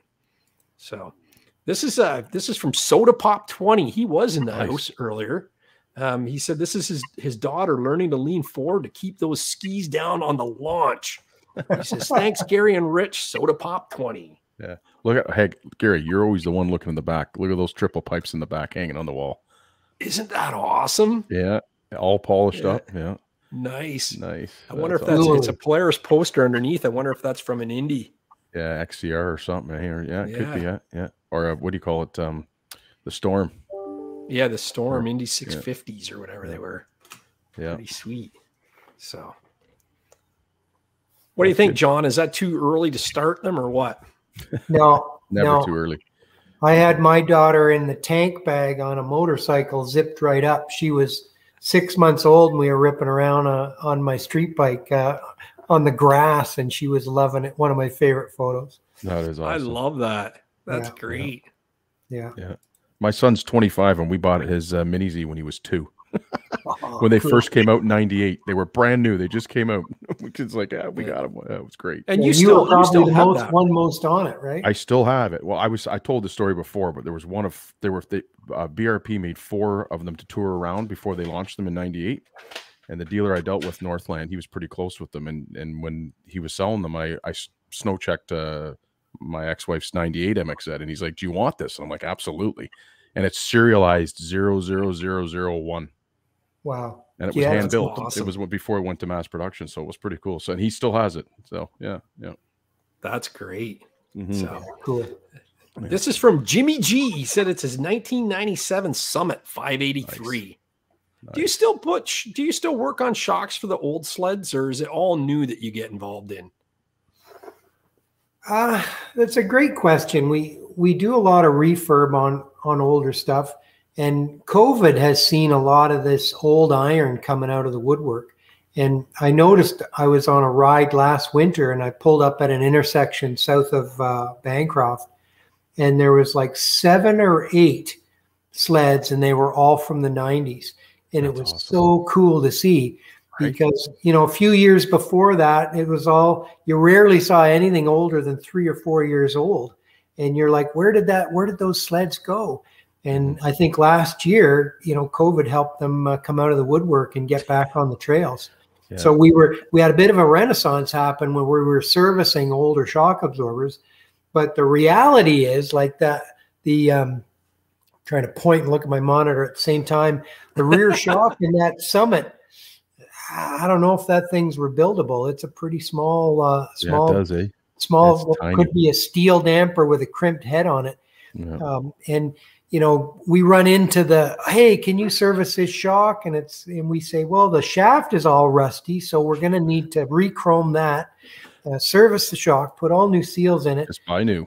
Yeah, now the the service is getting leaning on two hundred and fifty bucks, Yeah. and and then they say, oh, the sled's only worth five hundred. Why would I do that? And you know, we Yeah. could uh, we could shoot holes in that argument all day long, but yeah. but uh, Yeah. you know, we we we don't do a lot of really old stuff, but primarily it's because it they, it can't come apart. You know, some of those old dampers were were not pressure gas filled dampers. They were they were throwaway. Throwaways. Yeah. Yeah. I remember Yeah. those. Yeah. Yeah. Yeah. It's funny you say that you see a lot of the old sleds coming back on the trails. Like this one was worth nine grand last year, last winter. Yeah, I know. It's crazy. It's I- I crazy was- the prices of sleds. Holy crap. It- It's funny. I saw a post and you probably seen it too. You you both might have seen it. It was in uh, the Facebook Marketplace, and it was a mini Z, and the guy's like fifteen thousand or best offer. I'm not taking a penny less. Yeah, that's right. I mean, it's just crazy the prices, right? It's I know. but it's funny. I think know. after all this is over, you're going to end up seeing a lot of good pricing. I think it's going to come back down, right? Correct. But who knows? Maybe there's a lot of enough people get back into the sport. It'll keep keep raising it up, right? So I think as long as the manufacturers keep cranking the prices up, the the, Yeah. the used market's going to go up to follow, right? Well, the You know? Snowmobile Manufacturers Association said that s- overall prices, because they never, none of the manufacturers tell you what they sell. It kind of bothers me, but I, I guess I kind of get it. But uh, yeah, the, the Manufacturers Association for snowmobiles were saying that sales increased by 26%. That's a that's huge. Wow. Like for a market to increase crazy? by 26%, that is huge. Yeah, yeah. now for is that sure. new? Was that new sled sales? That was new sled sales. Now, the but how much could it have gone up because they were selling everything that they could get. So uh, exactly. Good point, John. Yeah. it good made point. it doubled that had there been uh, demand, the supply, right? Yeah, it's true. That's a good point. Yep. Yeah. Yeah, yeah. Well, Odie the sled and car guy's in the house, Rich. Oh no way! way. Yeah. When's his sled? awesome. Yeah, Yeah, I don't think he's told anybody yet. not yet, eh? No, Odie, have you told anybody yet? Right? No, he'll have to answer that. So this is from Rev, Rev Dude 800. He says, Hey guys, wanted to start by saying that I've been enjoying your videos. Just started watching your channel this fall. Found you through watching the Sled Addicts channel. The Oh, podcasts are great to put on. Yeah, isn't that awesome? Well, wrenching Mm-hmm. in the garage. Thought I would start with a token photo at the shelter. I know some Yeah. guys that did some token at that shelter. Oh, that shelter's famous, huh? This is the Algonquin shelter in uh, Yep. up in the middle of nowhere. I think it's awesome. Love it. So this is at Lake of Bays on the way Oh, there, right? Maybe we'll get rich token in that shelter this, this Nah. winter. Just kidding. Don't token and ride. No, no, you don't do that. You There wait until after. Yeah. So, and then the Rev Dude 800, he says, my local club trails in Alliston and District Snowmobile Club. That Oh, nice sign looks Viper. familiar. I've been by there. Yep. I know it. Yeah, that is a nice Viper, isn't it? That is a nice color. And They're a good got the- looking snowmobile. Yeah, they are. You've got the, the 900 Ace Turbo there in Yeah. the lime green. Love that. All four strokes. Yeah. Yeah. Great sleds in Quebec too. right? Yeah. Uh, that might be an 850 in the back there, Rich. I don't know if it's got the hood. Is it? I Yeah, can see the let's detail more on mine, but Yeah. you know, he says Oh, he's look a at the ribbon laid down there. Yeah, he- Isn't that says nice a when you come around the corner and you see that? It's like, Oh. yes. Yeah. It's like, it's like what I love. What uh, what the um, uh, snow snow tracks guys said is that uh, it's like stirring a jar of peanut butter. You know, when you first open it up, First and open it up, no- and you're like, it hasn't yeah, had the first yeah, one in. I, yeah, that's the only thing I agree on. yeah. I'm only kidding. They're great guys. Yeah. Um, yeah, so he's he's a groomer operator for that that uh, that club district. Nice. So Where's Where's he like from? Gary, did he say? Did he say where he's from? he's well, he said that was the Alliston and District Snowmobile Okay. Club Trails. So okay. must be up in that very area. Yeah. yeah. And he says sometimes he even has a volunteer join him on the trails. Oh, right on. She, she looks awesome. happy. She looks like Yeah. she's she wants to be there. His Yeah. daughter standing beside the groomer, big skid on the back. Nice. Yeah. Yeah. He said he'd try and watch the stream tonight. He's Rev Dude 800 on YouTube. Keep up the good work, guys. His name's Ryan. So, yeah. Slowby says, fresh ribbon, boys. There's nothing Yeah. better than when you come across that in Quebec. We came across that last year when, when we were out, and we all took turns enjoying it. Right? It's like, no, let me go, let me go. You on a nice, yeah, a nice song on your communicator, and oh, that's nothing better. yeah, nothing better. yeah. So now we're on to uh, that was it for the fan photos. So thank you very much. And those fan photos were brought to you by Fast Track Traction Products. Fast Track with no K dot co and enter snow in your shopping cart and get that free toolkit. And then let me know how you made it out. So Nice. uh, made out Thanks, with a Fast purchase, not made out, made out. But yeah, Fast Track's awesome. Yeah. So Anyway, these are the the these are John's photos here now. Oh, right on. Yeah. So what are we looking at at the here? size of buddy? that shock. I know. Um, so before I jump into there, I just saw that Donnie wrote in and asked what's turnaround on shocks rebuilt. Um, so I answered that a little bit earlier, but we're about one one and a half weeks right now, so we're we're doing pretty good. Yeah. But awesome. um, those those Honda Talons, we did one uh, in the middle of summer, and then we had a rush on them. The guys that we did them for were just so happy. We found so many engineering problems with the with the the shocks that uh, it was easy to make dramatic improvements with those things. really, Um, and I don't know why that happens. People ask me that all the time. You know, they they buy these thirty thousand dollars side by sides and then they ride terribly. And they, you know, we we do our thing, and you know, the bill might come to fifteen hundred or two k if we need to service all four of them, revalve them, uh, respring them, take them in and out, test them, that kind of thing but then they get them back and they go, "Oh my God, it's so much better." Why? Why? Why? Why is it so far off of the mark? But in, in these talons, for example, uh, the top the top tender spring um, was completely crushed when when the machine's just under its own weight. So it was out of the equation. It was super stiff. The rebound was was incredibly slow. So the, the there's no way the wheel could recover after a bump to get ready for the next bump uh, north of like 15 kilometers an hour. So they were pretty easy to to make some dramatic improvements with, and it was it was a fun project. We've we've got a test track on our our property that um, we we go through a calibration process to evaluate how they are stock, so that we can then uh, quantify the improvement when we're done. So it was a it was a neat uh, neat project. Those talons. That's pretty amazing, though, John. When you see stuff like that, when someone goes and spends that amount of money, and they don't know any better, they're driving and riding it around, and it's like how terrible it is, and and you know, and then they bring it to you, and like that's unreal. That's that's mind blowing. But I get it. I, I mean, like you said, when I asked you when we first started the show, like when you get a snowmobile, what's it set up for? And your answer is a guy that's 110 pounds, like. So you think of how many people are out there riding, and they, you know, brand new sled. You think you're happy with it, but it can do so much better if it was set up properly. Like it, it's mind blowing. Yeah, I don't, I don't, I don't, I don't get it. Uh, Yeah. You know, I, I've got to assume that the the guy or team or girl or engineer that's in charge of suspension calibration is probably also looking after decals, uh, you know, tire selection, ski color, um, you know, so many different hats that they can't, you know, they can't, they don't have the ability or the time to do a great job.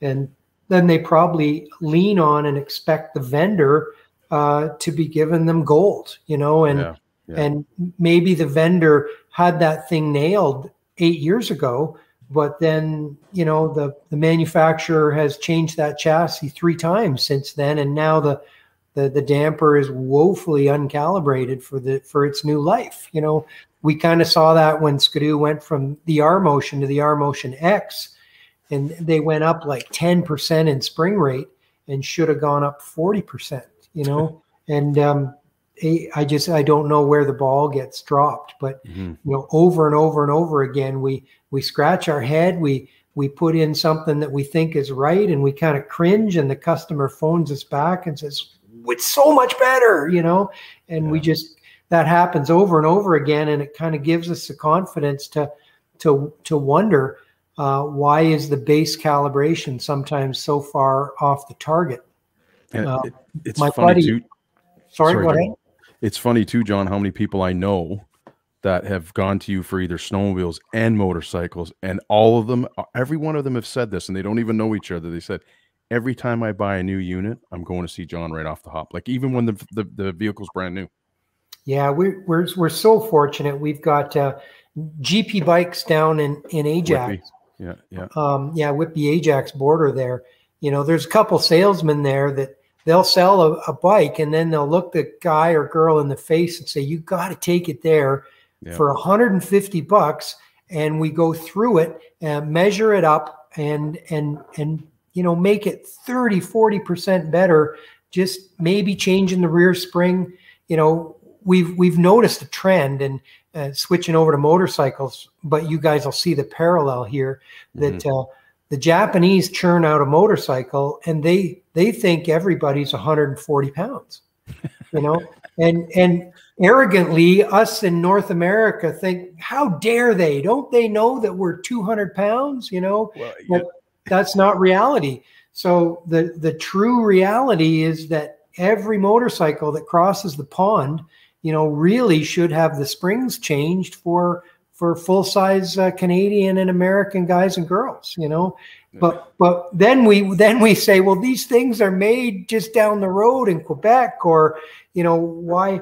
What's going on? And uh, I, I don't really have a great answer for that, other than you know we apply the same rules of power sport physics in terms of sag.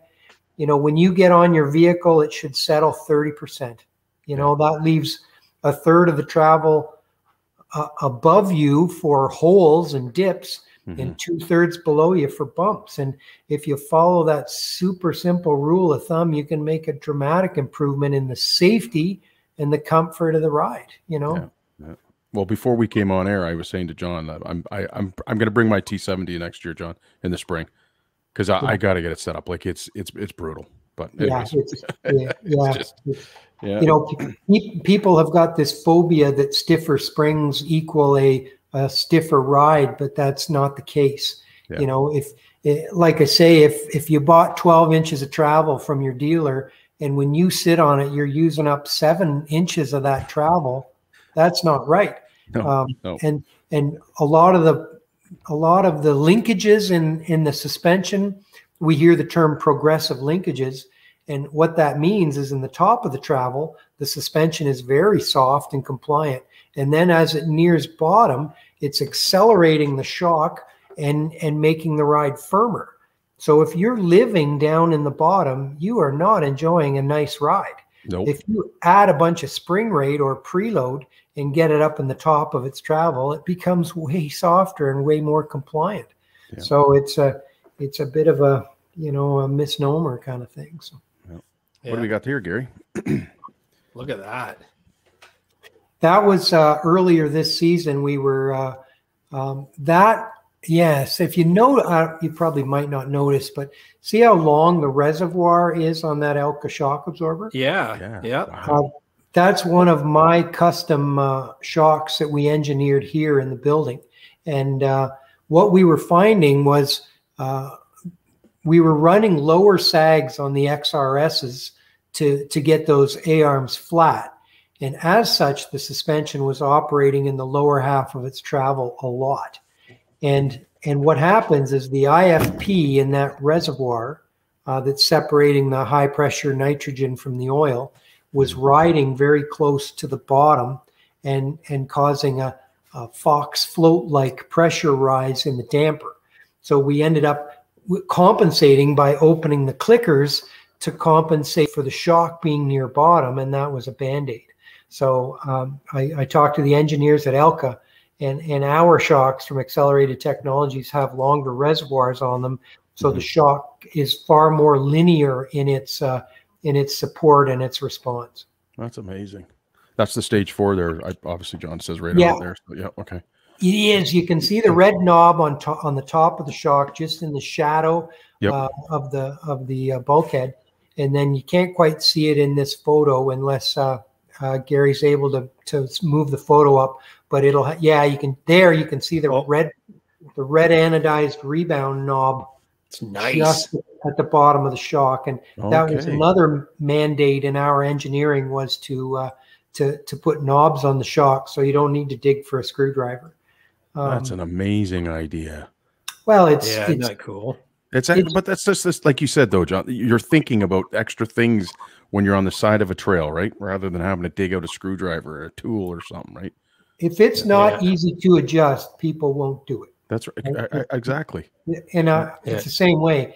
And we, you know, we we sell hundreds of adjustable limiter straps for that exact reason. You know, I've been on the side of the trail and and knowing a sled needs a shorter limiter strap to control squat and ski lift, and you know it's 25 below zero, and the skid is packed with ice. Your hands can't feel your fingers, and uh, and you want to pull a bolt out, crush the skid, bend a frozen strap, and put it in a new hole. And it's like Yeah, I'm just not gonna, happening. I'm gonna just slow down, right? And happening. Good point. who likes Yeah. doing that? So Yeah. so the adjustable strap we have, and I think I've got one here uh, within reach. But uh, this is a TrackLink product, and you can see the strap. It bolts top and bottom, and right here is the adjuster bolt. It's 13 millimeter or half inch for our American friends, and uh, you it takes. Can you make them bigger, Gary? Sorry, sorry, John. I didn't mean to interrupt you. Yeah, Can oh, make yeah, for bigger, sure. Gary? Sorry, I just Absolutely. wanted to see that. Sorry, John. Yeah, no, no, don't apologize. Thank you. Yeah. So Okay. this is a track uh, TrackLink product. Uh, we Nice. sell we sell a pile of them, but uh, try to get the glare off of that nut. But yeah, you can see that nut, half inch nut. It draws the strap into the into the horseshoe, Oh, awesome. and this strap will span about four four and a half holes of an OEM strap, which is Wow. Huge That's huge, huge, adjustment huge ability. and it's it's infinite. You know, you can you can you you need to turn that bolt four times to equivalent one equivalent to the equivalent of one hole, one limiter strap hole. Okay. So you've got all that.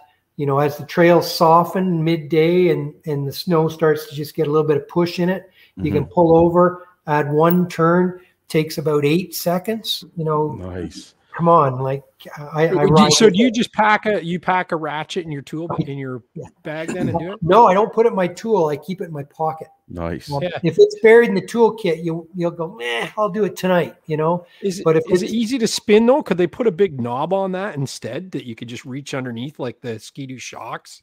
Um, it's it's easy to spin. I use a stubby ratcheting wrench, uh, a gear wrench, ratcheting Yeah, wrench. with the yeah the box with the box with the ratchet in it. Exactly. And then Yeah. what what we do is we color a little sharpie line in the middle of that that hex, so you can kind of uh, watch it as you make a Ah. turn. And um, it's it. And yeah, I, I I often wear a TekVest and I keep it in the pocket of my uh, my tech Nice. vest. And uh, and then I don't have any excuses. I'll pull over to the side of the trail and and give it a turn. I don't think I would see a, a knob on it because it's it's too close to the s- to the center spring where it sits, and uh, it's you know it uh, it would True. bang around in there a bit too much when the strap is loose. Now, Sure. is that universal for all manufacturers, John? Like you can get it for every manufacturer. It's not just Yeah. for Ski-Doo or Polaris. Okay, awesome. The awesome. one the one strap we've put on uh, Polaris, Arctic Cat, Yamaha, and Ski-Doo, and That's it's um, to to bring it back here. We keep this in stock these straps, but you can see all the holes. So we we put the one strap goes around the top arm, and then there's Ah, options yeah. options there where how you want to mount it, and then the bottom strap goes down around the bottom arm, and then the horseshoe points back beside the center shock absorber. So I, I you reach down under the sled, you put your finger on it and rotate it out, make your change and let go of it, and hop back on your sled. It's That's it's, awesome. it's literally a 10 second change. So How long have you had That's that for, John?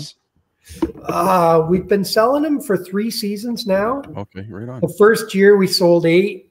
Uh, the second year we sold 150, and, Nice. and we ordered 300 of them this year. So Right on. What's the what's the retail price point of that? I'd like one for Roscoe. uh, 149 Canadian. Oh, that's Amazing. great. That's Yeah, well, it's- awesome. It's one of the easiest checks to write, man. You use that That's thing awesome. once, and and now you can because I tell people, you know, often when they when they, when they leave when their sled leaves our shop, you know, we say this is going to hopefully be the best snowmobile you've ever had, um, but it's not going to be perfect um, because I hope that you adjust that strap up or down until you find where perfect is. Perfect as yeah. you know because Yeah, even yeah. even two people that were physical clones might want something slightly different, in terms of response you know maybe super super light bar effort and and and you know they drone along at 40 kilometers an hour or i want to you know stretch that a little bit to 50 kilometers an hour and uh and Yep. you know, do what i do so that's uh that's an invaluable tool that thing That is awesome. Awesome. I didn't for even know showing that existed. That's awesome. Yeah. Right on. Every, every, every snowmobile should have one of those and the right torsion springs. If I had a if I had a Christmas wish, it would be that. So Yeah. Look at That's sometimes awesome. now. We're get out I the know, cash hold on, register. hold on. I gotta get. I gotta Holy- get out the. That's a. That's the Mountain Madman. Yeah. He's he's Jesus. he's Greg, putting thank it you, out buddy. there. Yeah, hold on a second here. We got to put you on screen first. I got too many mices going on here, and he's the.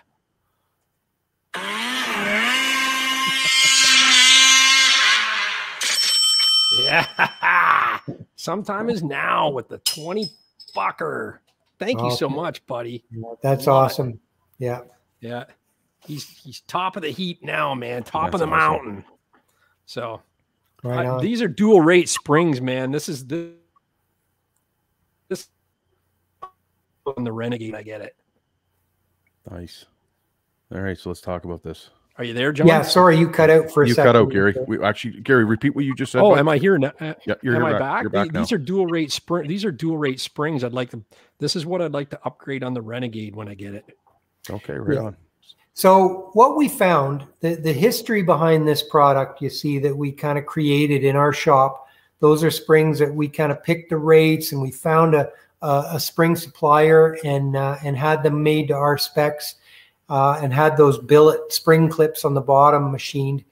But that is was for the XRS because uh, we see so many of those every winter, and the XRS owners uh, are under the impression that they own a good quality shock absorber, and um, and now they've unfortunately lost rebound. But but when you've got a shock, when you bought a shock, when you opened your wallet and bought a shock with piggyback shocks, uh, or you bought a sled piggyback shocks with compression and rebound, um, you're not probably going to be shopping for Elkits right away.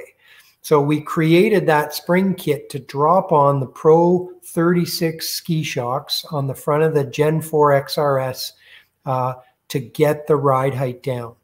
Um, there's a if you look at your XRS ski shocks, there's a little circlip Ski-Doo uh, and KYB put on there because they lost the lock rings. I don't know seven eight years ago for for cost or weight or complexity or whatever. But um, there's a little lock ring that locks that shock at 10 mils of preload, and that gives that XRS the 11 degree A arm angle. And uh, Gary, one of the photos I sent you was a black and a yellow uh, Ski-Doo viewed from the front. And one is stock and one has got dual rate or actually triple rate springs on it. And you can see rate. that, yeah, you can see the dramatic difference in ride height and, uh, and, and how flat the A arms are. But uh, you can We'll shoot to that in a minute. Yeah. Um, but what I, if anybody needs some help getting to sleep one night, I did a 17 minute video on dual rate springs explained. It's called on on YouTube, and uh, what it is is it talks about uh, you know the theory and the reasoning and the explanation behind dual rate springs. And to quickly go over it without boring you, is if you take two um, two two kilogram springs and you put one on top of the other and you measure them in a rate tester, what do you think they would measure at? And what's the what's the original height of them? The, the, the, the rate of the two springs in this example is two kilograms per millimeter, which is relevant because that's the spring rate on the XRS ski shocks. They're, they're Yep. two kilogram springs, and you put one on top of the other and you measure the rate of them. What do you think they would measure at? I'm not even going to guess because Yeah. I'm, I- I know I'm probably Yeah, going to be it's- way too high. It's, it, it's it's funny because I've heard oh, four, and I've Four is what you should think it would be, right? you'd Like think- or you'd think what, what Well, was it it? should- One and a half. it's one. It's No one. Yes. way. The answer's one. What? So Good lord. And lord. here's here's another example, Rich. If you take a two kilogram spring Yeah. and you take your hacksaw and you cut it in half, you now own two four kilogram springs. Is that right? Yes. Wow. The, the, the rate of the spring is a function of the diameter of the steel and the length. Right? Ah, okay. So if if I cut a spring in half, I doubled the rate of it. I doubled the remaining rate of the Uh, spring. yeah, yeah. And conversely, if I put two of them on top of each other, they get softer because the same diameter of steel is now longer and has more steel to share the load and it'll deflect more. Interesting. So That's cool. when you un- understand that theory and and my my video talks about it and we put the Doubles. springs in the rate tester and then we prove it it's kind of cool Hmm. but a dual rate spring basically starts softer and then after the, see that white collar there when Yeah. that Yeah. white collar bottoms out it uh it From um, the top part there. yeah. yeah. when it hits the preload adjust ring, it we say it locks out the top tender spring, and then now the rate is whatever that bottom spring is.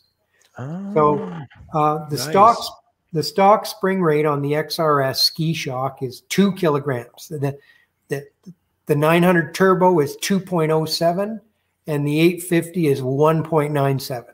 So for for the exam for the sake of example, they're both two kilogram, right? And so that spring kit uh, starts at a 1.6, which is 30% softer, way softer, and it goes to a 2.6. So Wow. the benefits are when I put that spring kit in a sled and I take the jack out, whew, the, the A arms come down and they sit flat. You've, what you you've want. You've changed it from a motocross bike to an F1 car that Nice. fast, right? Yeah. There Yeah. you go. And- There you And then a lot of people think, oh my God, it's going to bottom like crazy. Well, no, it's not because an inch below sag, I've created the height of that crossover, designed it to bottom out and go to a 2.6, which is 30% stronger than stock. So it doesn't crash into bottom. So you're getting So- the best of both worlds. Yes, we made the Yes. window window of that uh, way, way, way, way bigger. It uh, it's more comfortable. The bar effort is lighter, and you can ride it harder, and it doesn't bottom. It, and it handles better. It's It, it's it, like it blows my mind, John, that the manufacturers are so far off. Like it really is. Like I, yeah, I know. Yeah. Yeah, it's totally. Yeah, That's it. Totally. That's Yeah. it.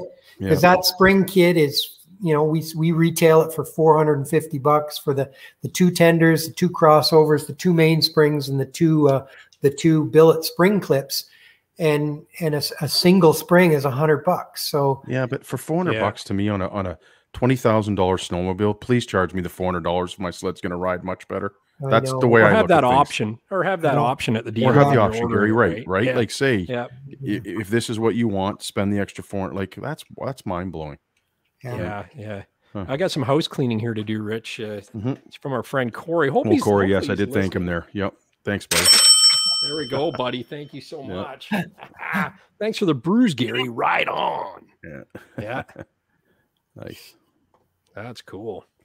No, that's Yeah, great. Uh, wild. my friend Adam just got dual rate springs for his MXZ, uh, six his MXZX 600R that he bought. So the uh, I'm looking forward to seeing the difference that makes. He swears by him. So yeah, Right on. Yeah, it's gonna be good. I just want to. I was just reading a question from uh, Michigan Outlaws there about the limiter strap. Yes, Oh shit, did I miss it? Sorry about that. How does that strap wear in? It looks like if you're to leave it in the same spot, it might wear through the strap a little bit. Uh, we haven't seen that. Um, uh, we're we're usually adjusting the strap up and down a little bit.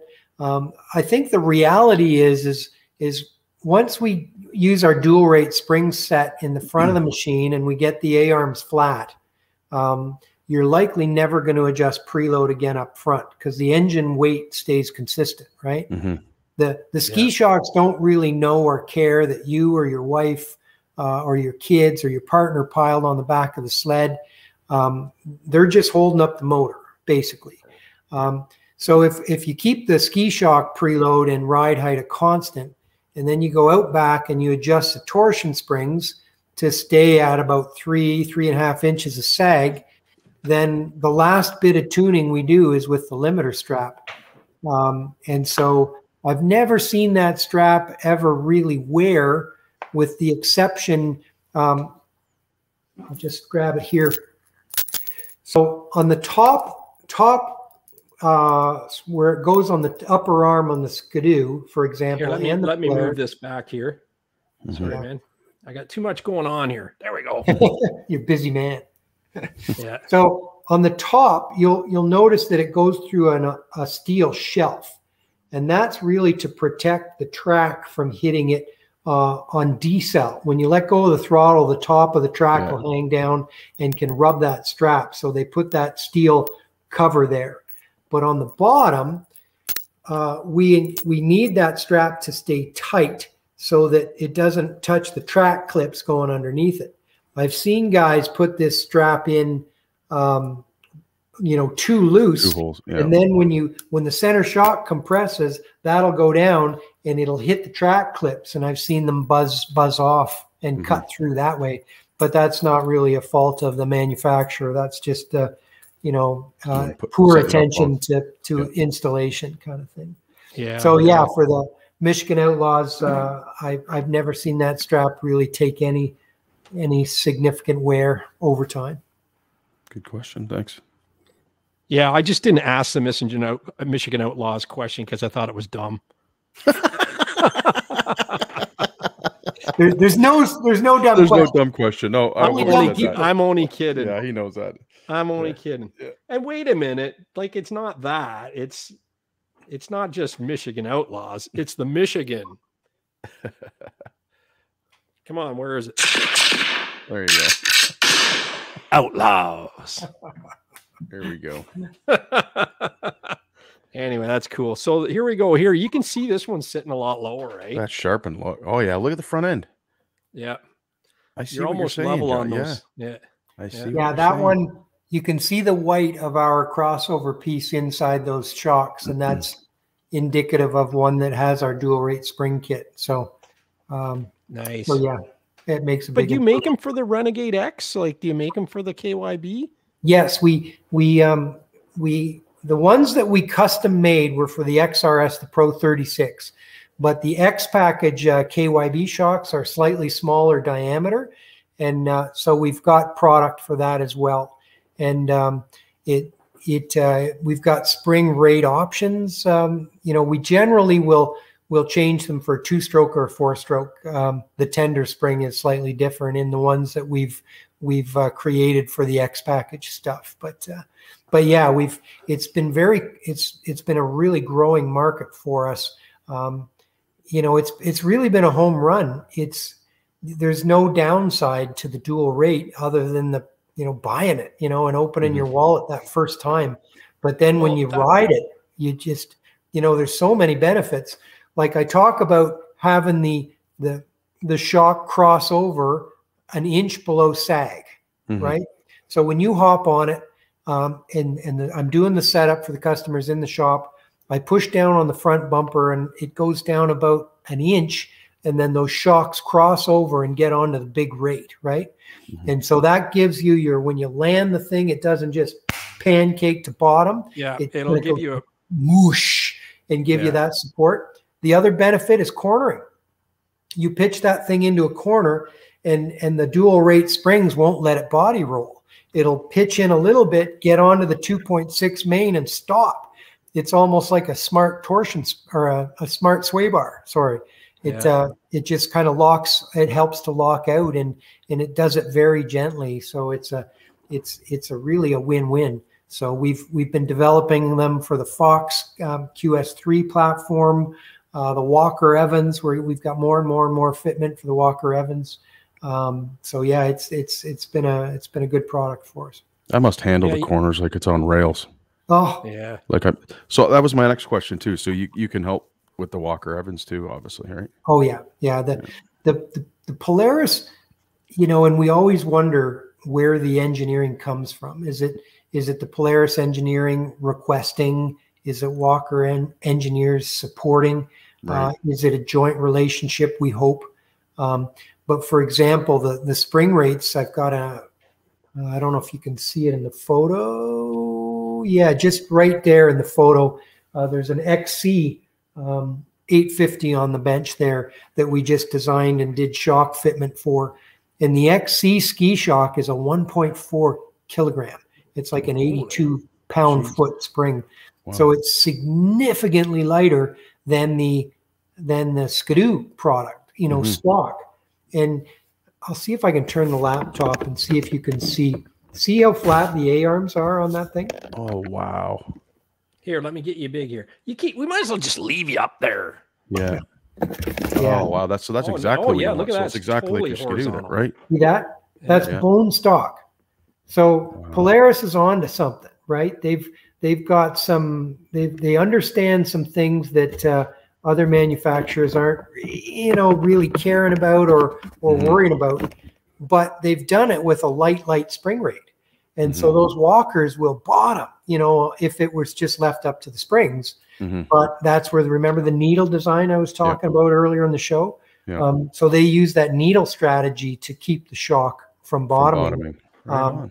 But we we kind of like to assist that with a with a rising rate spring, because when you use the needle design to keep from bottoming, it does it by ramping the compression up like 250 percent. Yeah, then which the does not- terrible, right? Does Yeah. not equal comfort, right? rebound. Yeah. So the shock is soft in the top, goes and Yeah. goes, you know, it goes super strong in the bottom. So uh, the Walker Evans uh, have been responding really well to our dual rate spring system. You know, Okay, there's some, awesome. Some of my uh, my cohorts out in uh, um, uh, Newfoundland. Uh, uh, one of my one of my friends out in Newfoundland. I was talking to him at the snowmobile show, and he says, "Yes, bye. I got a bucket full of them Walker Evans needles."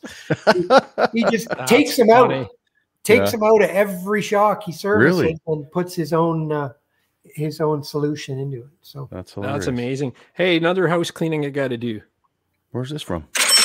This is from email. It's uh, ten dollars and Oh, he said sixty nine. He said, "This is for John for setting up my Can-Am six x six. I jump daily and thrash it. Feels better than my Raptor." That's, That's from awesome. Scott Phillips. Thank you, Scott Nice. Phillips. that's Yeah, awesome, he- Scott. He went down in the description and went to the PayPal donation link and fired one Attaboy. off. Oh, you so nice. much. I was going to Nice. say, John, is this is this a customer or is this your wife? That's my wife. That's my sweetheart. Now, is she checking your sag here, or what is she doing? Good thing it wasn't a video. Rich, I love you, man. I love you. That was that wasn't funny. in Tug Hill. That wasn't in Tug Hill. Checking his sag. So Yeah. what we're doing here, Gary, and and there's probably a, a photo in behind this with one more person on that machine, is uh, we finally it took us about a year, but we came up with a, a solution for torsion springs for the R Motion X. Um, and like like I mentioned, that those arms and that R Motion X are a lot longer than the R Motion, so the the, the possibility for comfort and shock control is a lot better. But they uh, they don't do not have the support that uh, big guys need uh, for for springs. Um, we had uh, the sled in um, in the back corner there is uh, is a great uh, good new customer of ours, um, and he he's about 300 pounds. Mhm. And so when we put him on the machine, it was like six and a half inches of sag. And so he was this far from the coupler blocks and had no ride comfort in that machine whatsoever. So we, Jen and I here on that, in that photo are, are mimicking a two, three, 340, 350. yeah, you better be pound careful if she's watching. being very careful. Drag race is going to be over soon. Uh, yeah. Well, Ship Well, yeah, we're- in. the two of us are probably 350 in in all honesty and uh, so that's a that's you know that's not far off a big a big lad with a fuel caddy on the back and uh, and a case of your beer there gary sorry no, Yeah, no, you can't take ballistics on the trail. Sorry. no they freeze If I ever if I ever found a ballistic on the trail, I'd be mad at the person that left it there. Right. Yeah. oh that drives me up the wall so Yeah. I know it does. save too. it save it for when you get home Right. Uh, Brad Yeah. Brad Hitchcock was asking, uh, just confirming the price, and I think you said they're around four hundred bucks for a pair of the front springs. They're uh, rates? 450 for the complete set for the xrs Mhm. Um, and then we have a bit of a special for 650. We do the center shock as well. So it's a bit of a reduced price. And uh, again, we've touched on it in the pa- in earlier in the show, and we could talk about it for two hours. But uh, we find tremendous benefit in in in handling from the apex out uh, with with light, light, light springs on the center shock absorber. Okay. So uh, that's that's also included in the 650 price uh, Canadian for our, our US friends. Um, we include the center shock dual rate setup because we find a lot of those uh, tender springs on the Ski-Doo center shock will break um, two three years in, and I know a lot of our customers have found that. Um, the top they have the Ski-Doo center shock OEM has a dual spring system, but it's not as pretty as ours. It it coil binds that top spring, and that's how it gets the rate to shift. And uh, springs don't like to coil bind; they they will break after you know ten thousand cycles or so. Mhm. And um, so our system uses that same white plastic crossover to control to guide the two springs and keep them true and low friction, and to control the crossover point. So Now, John, and the at price- 650 bucks Canadian, that's that, that's like only like 300 bucks it's American. like 150 US, I think. right? yeah, exactly. And I haven't, and Rich, you can attest to this because I Right. haven't said this in a while. It's frugal, dude. frugal doer approved. Yeah, for sure. Uh, John, question for you. That that's a cheap. would you be able to set up my XCR for the same price? Like, or is it different? Sorry to Um, put you on the spot like that, but I'm I'm just for my Polaris, uh, my two Polaris fans out there. Fans. Just uh, well, no, my hat's off to Polaris. In the last few years, they've been making some awesome snowmobiles, and it's great to see. I haven't yet had a chance to ride one for long enough. Mhm. Uh, I, Jeff Steenbacher hopped on my sled once when we were doing a photo shoot and then our video shoot for Snowmobiler TV and wouldn't give it back. So I had to seen that. I ride. remember that video. I remember that video. Yeah, I had to ride his uh, Polaris for a little bit, and and I was just feeling it out, kind of falling in love, and and he left me for dead on my sled. Uh, um, but uh, but yeah, to to to circle back there, um, the we had an XCR go out today at twenty one eight fifty, and um, basically it's torsion springs. You know, I don't know a sled out there that's got the right torsion springs in them, Yep. and uh, torsion springs. I actually drilled some more holes. Yeah, that was a machine. Is that it? I was going to say, yeah. Yeah, drilled some holes in his limiter strap and uh, put a set of torsion springs in it and adjusted the preload on the ski shocks to get that flat A arm angle. Okay. And and he's going to start there and and ride that. Um, yes, dual rate springs on the skis would have made a dramatic improvement, Mhm. but uh, he kind of he he was kind of watching his budget Mhm. and had just bought this beautiful machine and wanted didn't want to go whole hog. He kind of wanted to evaluate it, how it was, and I'm I'm all for that. So yeah. But what, when when is my it- sled what is comes in and I want to see you and I want to go whole hog, what are we talking? I want to, I want to just if I'm you just- have to I'm ask. Rich, there's a saying: No. if you have to ask, Well, yeah. Well, I- the like It's I don't mean to put you on the spot. I just because I you know what I would I'm I'm actually very interested in trying it to see see how it is. So well, you know, you you want to you want to see how good is it stock, you know, and Right. before you open your wallet, I'm the same way. I want to, you know, I want to know what you know. I don't want to spend money if I don't have to. So Mm-hmm. I, I'd like to ride the thing and then say, oh man, this thing. It's great until I ride it at 80% or above. And then the thing comes unglued. I can't keep the inside ski on the ground and it Mhm. bottoms all the time. Yeah. And then when I add compression to the shocks, it it helps, but it gets harsh. Mhm. And and then you can come into me and and and we can have a conversation and, and then and- work and then figure out what to adjust. Yeah. yeah, okay. exactly. But Yeah. you know, limiter uh, dual rate springs uh, on the ski shock. The Polaris, uh, what we find is the center shock spring is too long, Okay. and and we can only go up about equivalent of two limiter strap holes, and then they, when you're, you're unthreading the preload as you go, so that you keep a minimal amount of support on that fulcrum of the center of the machine and and then all, all of a sudden if you were to go to a third limiter strap hole if it existed there wasn't on this xcr Okay. i had to get out my uh, my my hole drill from Drill. stud and tracks Yeah. and knock a couple more in there and uh and then and uh once once i got down to like limiter strap hole number three now i could no longer back the spring off and i was adding preload and you never never want to do that so Mhm. uh so i would do a shorter spring on the center uh, put the right torsion springs and then go um, Okay. and try that. And so you'd be, uh, what would it be? 56, 50, you know, you're into seven ish for Mhm. parts and maybe call it a thousand um, out the door. Mhm. Um, but it would be an amazing thousand you spent on that thing, you know? Mhm. Oh, right on. Yeah. Good man. Good to know. Yeah. Hey, what is, what is this sitting on here? What does this do? Is it does it does it Wait. vibrate? Um, what what those are is they're they're kind of disguised because we've cut plywood and put them on top to protect the aluminum, but though that's an intercomp set of uh, of racing scales. hmm And what we're doing in this photo is we're measuring the OEM balance of the snowmobile, and and it was terrible stock. The uh, yeah, if we the skis left to right were off about forty pounds in terms of support, and then if we just if we ignore the front half of the snowmobile and we look at these that's the rear half, the center was supporting about eighty percent of the weight of the back of the snowmobile.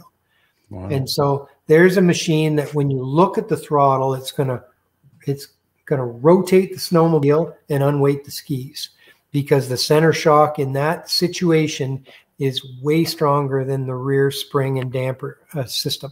Hmm. So part of our setup is to is to reverse that is to get the center sh- shock out of the equation we say and get the back supporting.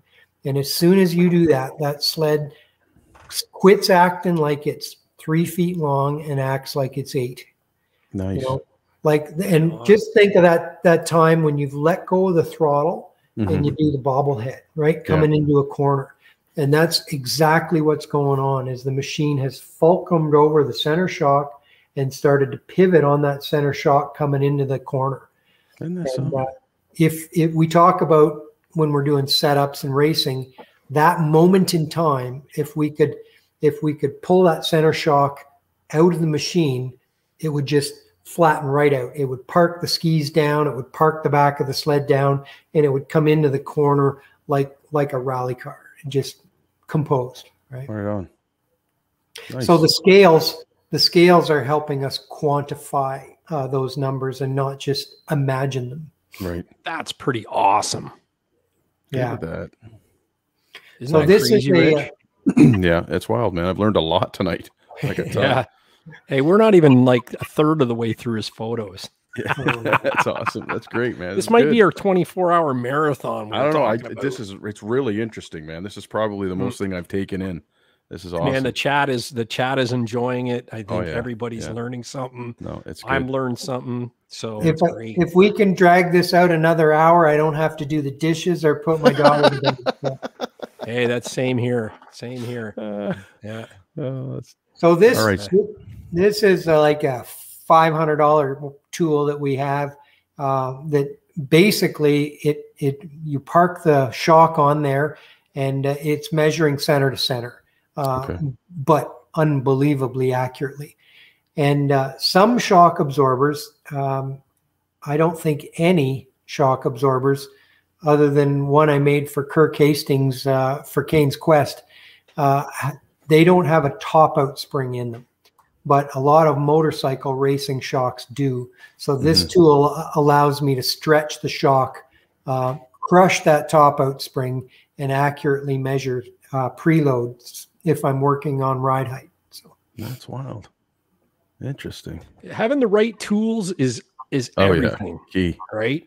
Right. Like I know a lot of guys that just rebuild shocks, but in their garage and filling them with fluid and stuff. But it isn't this. That's for sure. That's for damn Yeah. sure. yeah, you know, this is amazing. Oh, he went with some. Ah, so he took the Walker Evans out. Nice. Stage four He went with the Yeah. stage four. Nice. so I'll, I'll correct you here. oh, um, sorry. that- Took it no, you're, you're right, but he's not buying these shocks. Oh, okay. Um, that was me doing fitment. oh, okay. Oh, okay. I've, I've got a couple of really great customers that said, I want to buy Elkas for my new XCR. And so I put the word out on Facebook, and, and a great customer, Mike, uh, chimed in, brought me a sled, left it with me for two weeks, and, and I measured the hell out of it and uh, designed. Well, I checked, I didn't design, I, I checked fitment basically on some existing uh, shock absorbers.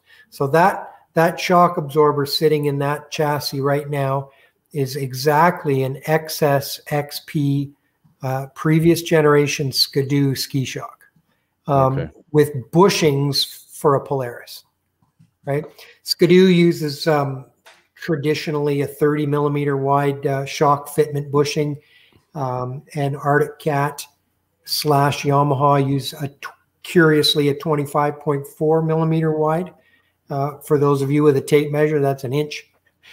Um, so and and Polaris is is they run a little bit special uh, fitment that's a little smaller than Ski-Doo, but but in this case now I can go into my inventory, grab a Ski-Doo uh, MXZ 600 shock from you know pre pre 2017 and change the bushings and drop it into a Polaris. And uh, change the springs, of course, because of that spring uh, um, difference that Polaris engine has engineered around. So Right on. Cool. Nice. So it's nice Yeah, you're yeah. always thinking out of the box too, like like Yeah. thinking ahead. I've got an XCR in here. Let's measure it up for fitment, right? Oh yeah, we you know, and here if you notice the difference to to a couple photos previous, uh, we now have got the scales on qual qual pieces dollies. See that? Okay. Yeah, I see that Yeah. right there. So the scale is on top of the dolly. So it didn't it didn't change the zero point. I didn't have to re-zero the scale. Um, but now it allows scrub front to back between the skis and the track and left to right between the skis. So we get a very friction-free uh, number. It's very accurate. Um, and one of the things it's it is not rocket science, but you can appreciate it. Is we drop this thing now. This is post setup, so now this has got the right torsion springs in it, a little bit shorter limiter strap, Mhm. um, zero preload on the center shock, that kind of thing. and how Um, much did it change by? It it changed. It the two numbers switched almost completely Isn't in terms of center to rear. But what we've what we you so that gives you a number, right? You've got a Mhm. let's say, well, I could grab my phone and give you the numbers, but let's say um, the center shock absorber is is holding up now 60 pounds and the rear is holding up 180 to Mhm. pick a couple of numbers. What does it do when you sit on it? And that is is where the magic happens Mhm. is um, you know if, if the springs are are the same support you know it shouldn't change it Right. shouldn't change at all Should but if it, right? it should stay yeah, Yeah, and yeah. that's what we shoot for is, Mhm. is in our race sleds i i call them our race sleds i, I shouldn't they're trail sleds but in our fully developed sleds when you get on they the front end goes up and down the front and the back go up and down the same, when you get on. Same. Yeah. And I challenge any of our viewers to do that to their sled. Mhm. You get on 95% of the snowmobile It's and doing one or the other. the front Right. bumper, Rich, Yeah. goes up. Yep. Yep. You can measure it with a tape measure. What the Yeah. hell is that? You know, Yeah. that's that's an upside that you're riding a teeter totter, right? Yep. And you got on one end of the teeter totter. And that's Yeah. not how a power sports vehicle should operate. Yeah. No, that's a good That's point. Wow. Yeah. Man, got a lot. But- of Look at these springs.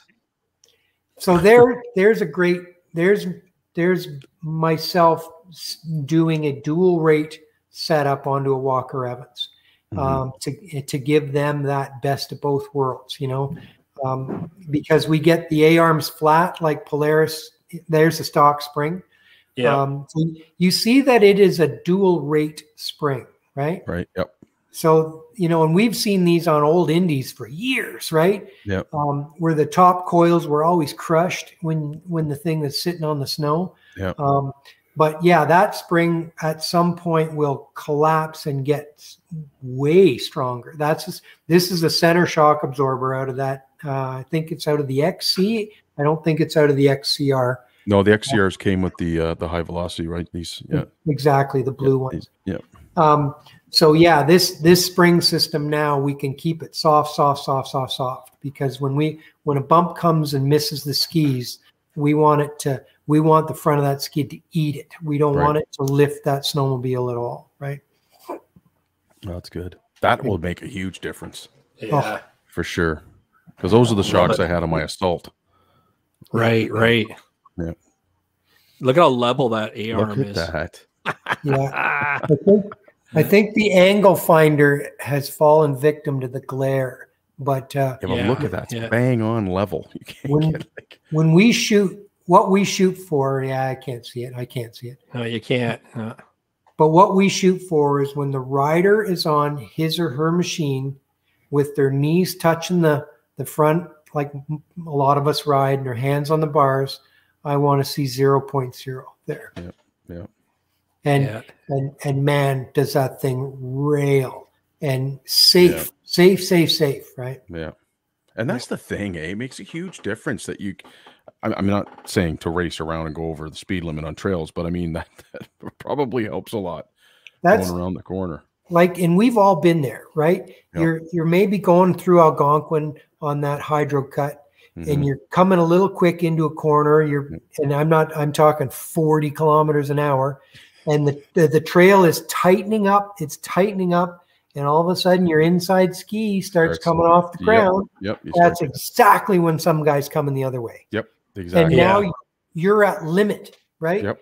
You Yep. can't you can't crank the bars and tighten it up, or you'll Yep. roll that snowmobile. That's right. So you either got to mash the brake or the gas, Yep. and to try and get that inside ski down.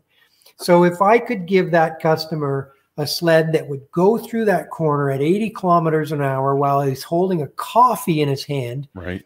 it is going to be so safe at the speed limit, and Yeah. that's that's what we shoot for. Yeah. That's awesome. Yeah.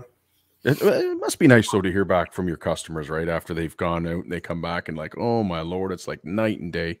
Uh, I, I, yeah. we encourage that with every one of them, and I, I try to tell them that hey, there's, we hope it's going to be way better, Yeah. but there's no way it's perfect. You know, uh, we so we want you to play with that limiter strap. We want you to keep an eye on the rear preload and adjust it as snow accumulates in the tunnel, um, or your kid gets on, or you put the fuel caddy on. If you keep that back end in the sag zone, then we have good confidence in in the ride height of the, the front. We call it the rail ride height, the, where we set the limiter strap. And uh, but we say, hey, sh- shorten it up, you know, and Yeah. get it so that it handles. And there's a big misconception that a short limiter strap equals discomfort, and we really shoot holes in that. Uh, Yeah. um, Yeah. You know, there's there's a time and a place when we run a long strap. mm-hmm. it- it's usually off trail or Yeah. when conditions are super bumpy and you want that skid to articulate under the Mhm. snowmobile. Hey, I'm all for a long strap. But when the trail flattens out and you want to get through it, you know, at the speed limit and keep the skis on the ground, um, you know, that's when we that's when there's some improvements to be made. So would you say, John, most times when you're you are turning tuning a, a stock sled, that you are changing the limiter strap most times? Hundred percent. Yeah, and Yeah. now there are there are there are a few of us running some pretty extreme setups that run a long limiter strap, um, Okay. but there is often no center shock in the snowmobile. Okay. Yeah. Wow. I'll let you I'll let you digest that. Yeah, nice. Yeah. Um, hey, uh, William William McClearly, he shouts you out, John. He says, You're the professor of shock. What a terrific speaker, so clear and well informed. Oh, well, thank you, William. We uh, we we try hard and we pay attention. So uh, So I, I got a text uh, message from one of my buddies. He's not in the chats, but he's watching. Um, I'm curious as to what he's got to say about carbides and shimming skis when you do this setup. He's just wondering if that changes everything too as well drastically, or That's a great question. Um, we're proponents of the Bergstrom carbide here. okay, Uh, I ran when on previous on my Yamahas. I wanted to turn the bars. I want that sled to turn right. So Mhm. we we were running sh- like nine inch shaper bars on C&A Pro skis, um, so that that thing would turn when I wanted it to turn. But man, when I got to the hotel at the end of the day, I couldn't. You know, I couldn't lift a beer. You know, it, I was done. hmm Well, we we found there's so much to be gained in other methods of setting up a snowmobile, and and one of them, the we, you know, we we stock them and sell the Bergstroms here, and yes, they've got the beautiful triple point carbide um, that is, you know, extends the life of the carbide and and keeps that third point, you know, on the snow and the ski pitches and turns. But the other thing that they throw in uh, with the purchase is the shims that go in at the back of the saddle under the spindle, Mhm. and it, it lifts the ski tip up. See, and, and sorry, John, to interrupt you. And that's why he's asking because with Polaris, you normally have to change you, you change the shims on the skis Yeah, because they're so they they lean they tend to lean forward on on on the stock ones. So we always buy the the shims for for the skis. Sorry to interrupt you. That's why you no, were no. And remember Yeah. years ago, guys with the Yamahas were turning the shim around Yeah, and putting the fat section to the back. Yep. That was back in the Nytro days when because that thing was super nervous, right? Mhm. Um, so what the, what the theory is is there's the theory is twofold. Um, the the ski when you go across it, you ex- it exacerbates when you cross pavement, and the, you can imagine the front of the skis dragging down, right? So if you look at your carbides when you go to throw them out at the end of their service life, they're always worn more at the front than the back. It's just physics, right? It's like when uh, a brake rotor and a caliper, the leading edges of the brake pads will always wear first, and the pad won't wear evenly, um, just because of the the wear is always in one direction. So the shim tips the front of the ski up, and it the they found the Bergstrom guys found an angle that they settled on that that evens out that wear of the carbide over its life. Mhm. But the real benefit to to putting the pressure point behind um, is when the when the ski droops in front of the spindle. Now the ski will hunt all over the trail, find Buddy's track ahead of you, Yep, And- and- exactly. and now the your poor snowmobile is is chasing the front of the ski. Yep. But if you load the back of the ski and tip the ski tips up, trying to get in the picture here, tip the ski tips up. Now the pressure point is behind the spindle. So now the snowmobile is leading the ski and it goes down the trail dead straight. So, Okay. you know, there are some that's theory and explanation of what's going on and it works. Now you can still have a darting snowmobile if it's set up poorly in, around that center shock absorber, but uh, but basically the Bergstrom, you, you know, you, you hear, oh yeah, I, my sled wouldn't turn. I put C&A pros on it, big improvement. And well, yeah, but you know, um, there's a time and a place for every mousetrap and every solution. And a lot of times we can fix a sled with a proper setup that m- might not have needed that investment. Um, You know, I, I love the C&As. I got a set coming for mine, but my new 22, but I'm not going to put them on every day. They're going to be a fluffy day ski, not a hard Mhm. pack ski kind of thing. Yeah, So, yeah. so again, the Bergstrom is, uh, we love the product. It's, it's worth every cent. And they've got some clever ideas that really ha- have a, have a tangible improvement. Yeah. Yeah, it make like we're I'm going to the gripper ski, which is the wider ski that Polaris sells. They're usually on the the out west sleds Yeah. that they come on them. So, but uh, it's it's valid. It's amazing that you said that because last year, like all my Polaris buddies, they usually change the shims on the skis, and I didn't. And when I was in Quebec, eh, that darting was just brutal because it was leaning. So, f- like, it totally makes sense what you're saying, right? So, Oh yeah, it's uh, the yeah. ski tip is in control, and then Yep. you're just trying to you're bobbleheading behind it, right? Yeah. Yeah. Yeah. Yeah. Wow. Was good Yeah, question, we- Steve. Thank you. That was my buddy Steve asking that. That's so. great. Yeah, we we Yeah. sell we sell the Bergstroms complete, and we also sell just the shim kit for Okay. it's ridiculous, like thirteen dollars or something like that. Yeah. And you pop your ski rubber out, and you you jam the shim in, and you put it back in, and boom, you know, big improvement. So Right. Nice. Nice. Awesome. Thanks. this for looks like a deuce. question. This looks like a Doo skid. It, it Yeah. is, and and uh, what we were testing here was on the new R Motion X skid. Uh, remember, I mentioned the arms are a lot longer, Mhm. and as such, the pivot for the torsion spring is farther away from the spring clip. So, you know, now there's only one BRP Ski-Doo has one torsion spring option stronger than stock uh, that won't fall out of the spring clips.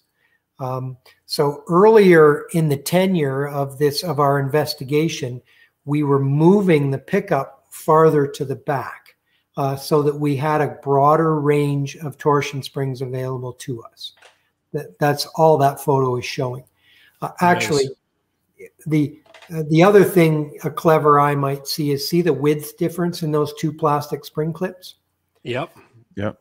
The one on our right is is the new updated one from BRP, which lasts twice as long and has less inherent friction. So Mhm. it's it's an update that we chuck into every sled in here. It's just uh, they're like nine bucks and uh, and they give you a nice a nice free running uh, torsion spring. Nice. Um, so question there. I, I don't. I thought you did answer there, but uh, Donnie's like, so how do you compensate for the left and right imbalance of forty pounds? Oh, um, when we when we swapped the two spring uh, forces around in the back, Yeah. when we when we took all the preload, there was 20 millimeters of preload on the center shock spring. Mhm. Now there's zero, and then we put the right torsion springs in the back. We we put it back on the scales, and the two ski shocks were miraculously within two two point two pounds of each other. Wow, Yeah. that's It- great. It fixed itself when we took the center shock out.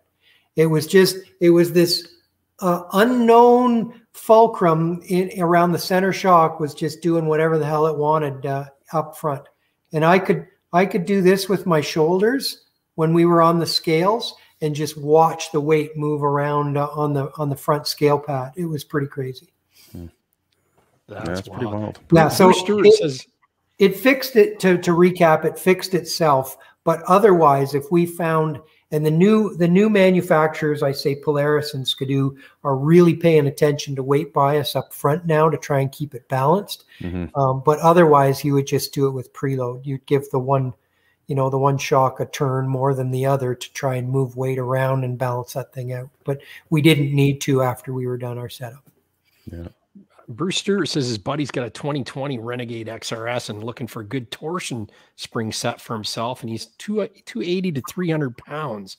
What would you suggest for the spring? Uh, for that rate on a 2020 uh, is the 2.3 slash 100 torsion spring. It's uh, uh, just, I know I'm sorry, I'm throwing numbers around. The stock torsion spring uh, on the on the R motions for years and years and years and years was a 1.35 slash 80.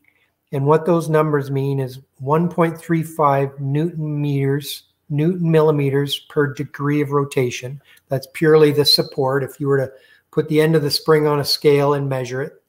And then the second number, the slash 80 number, and all this is on our website too.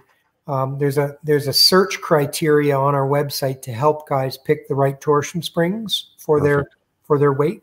Uh, the second number is the degrees of preload. Mhm. Um, like, can you hang on a sec? I'll grab yeah, it. absolutely, absolutely. Oh, absolutely.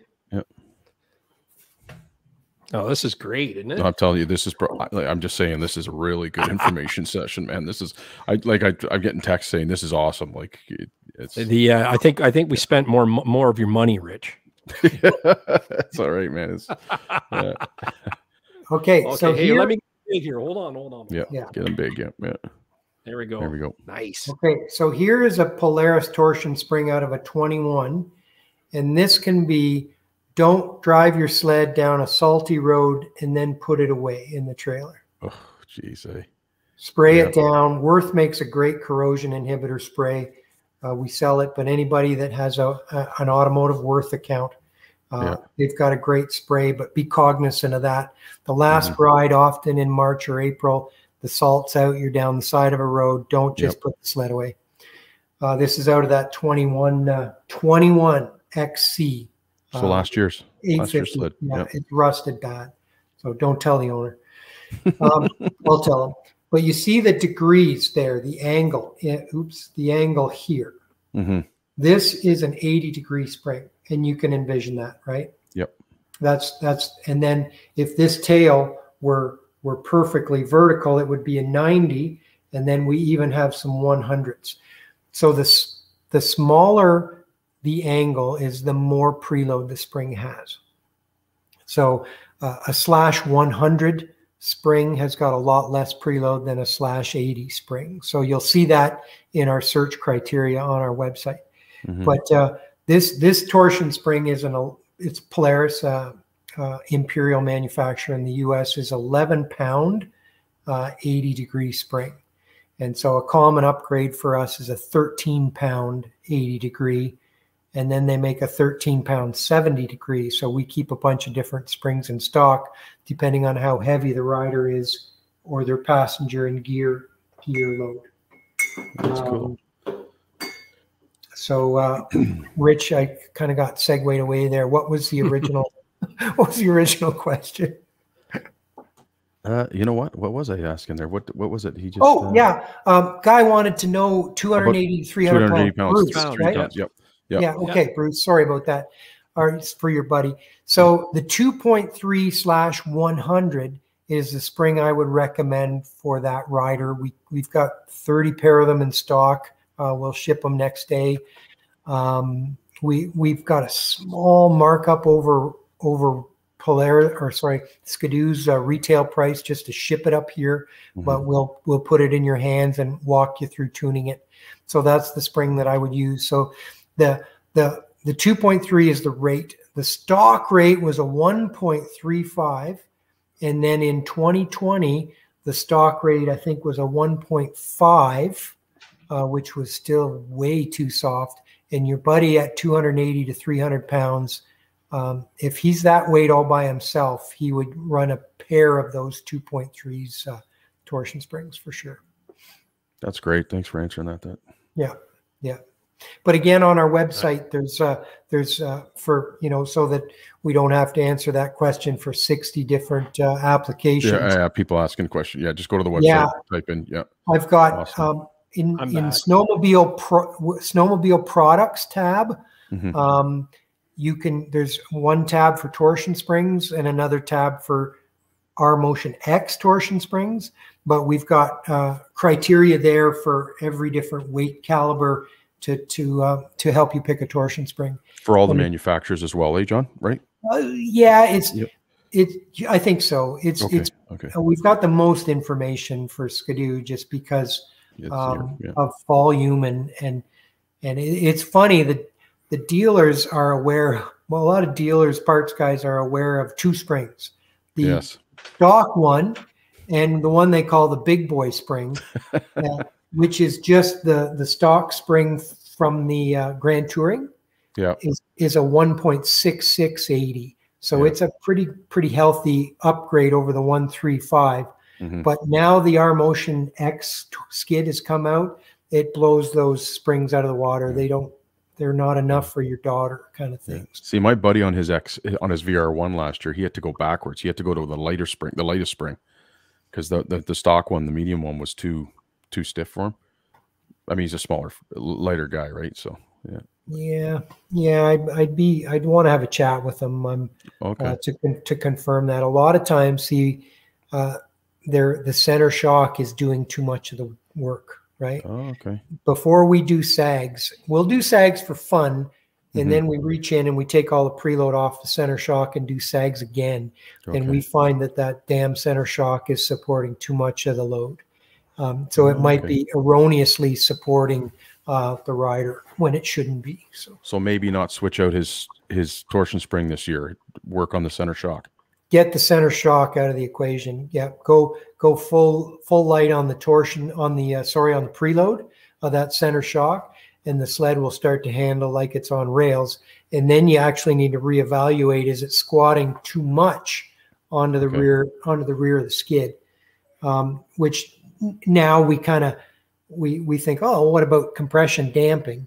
Um, and so now we can divide that up into is it squatting too much or is it squatting too quickly? Mhm. And that's you know one is the springs and the other one is the shock, right? Yeah. Now, will that make a difference, John? So he he, he was on the VR one last year, which was kind of the trail sled, and now he's going to the XCR this year. Like I said, he's not a heavy guy; he's at like a buck sixty five.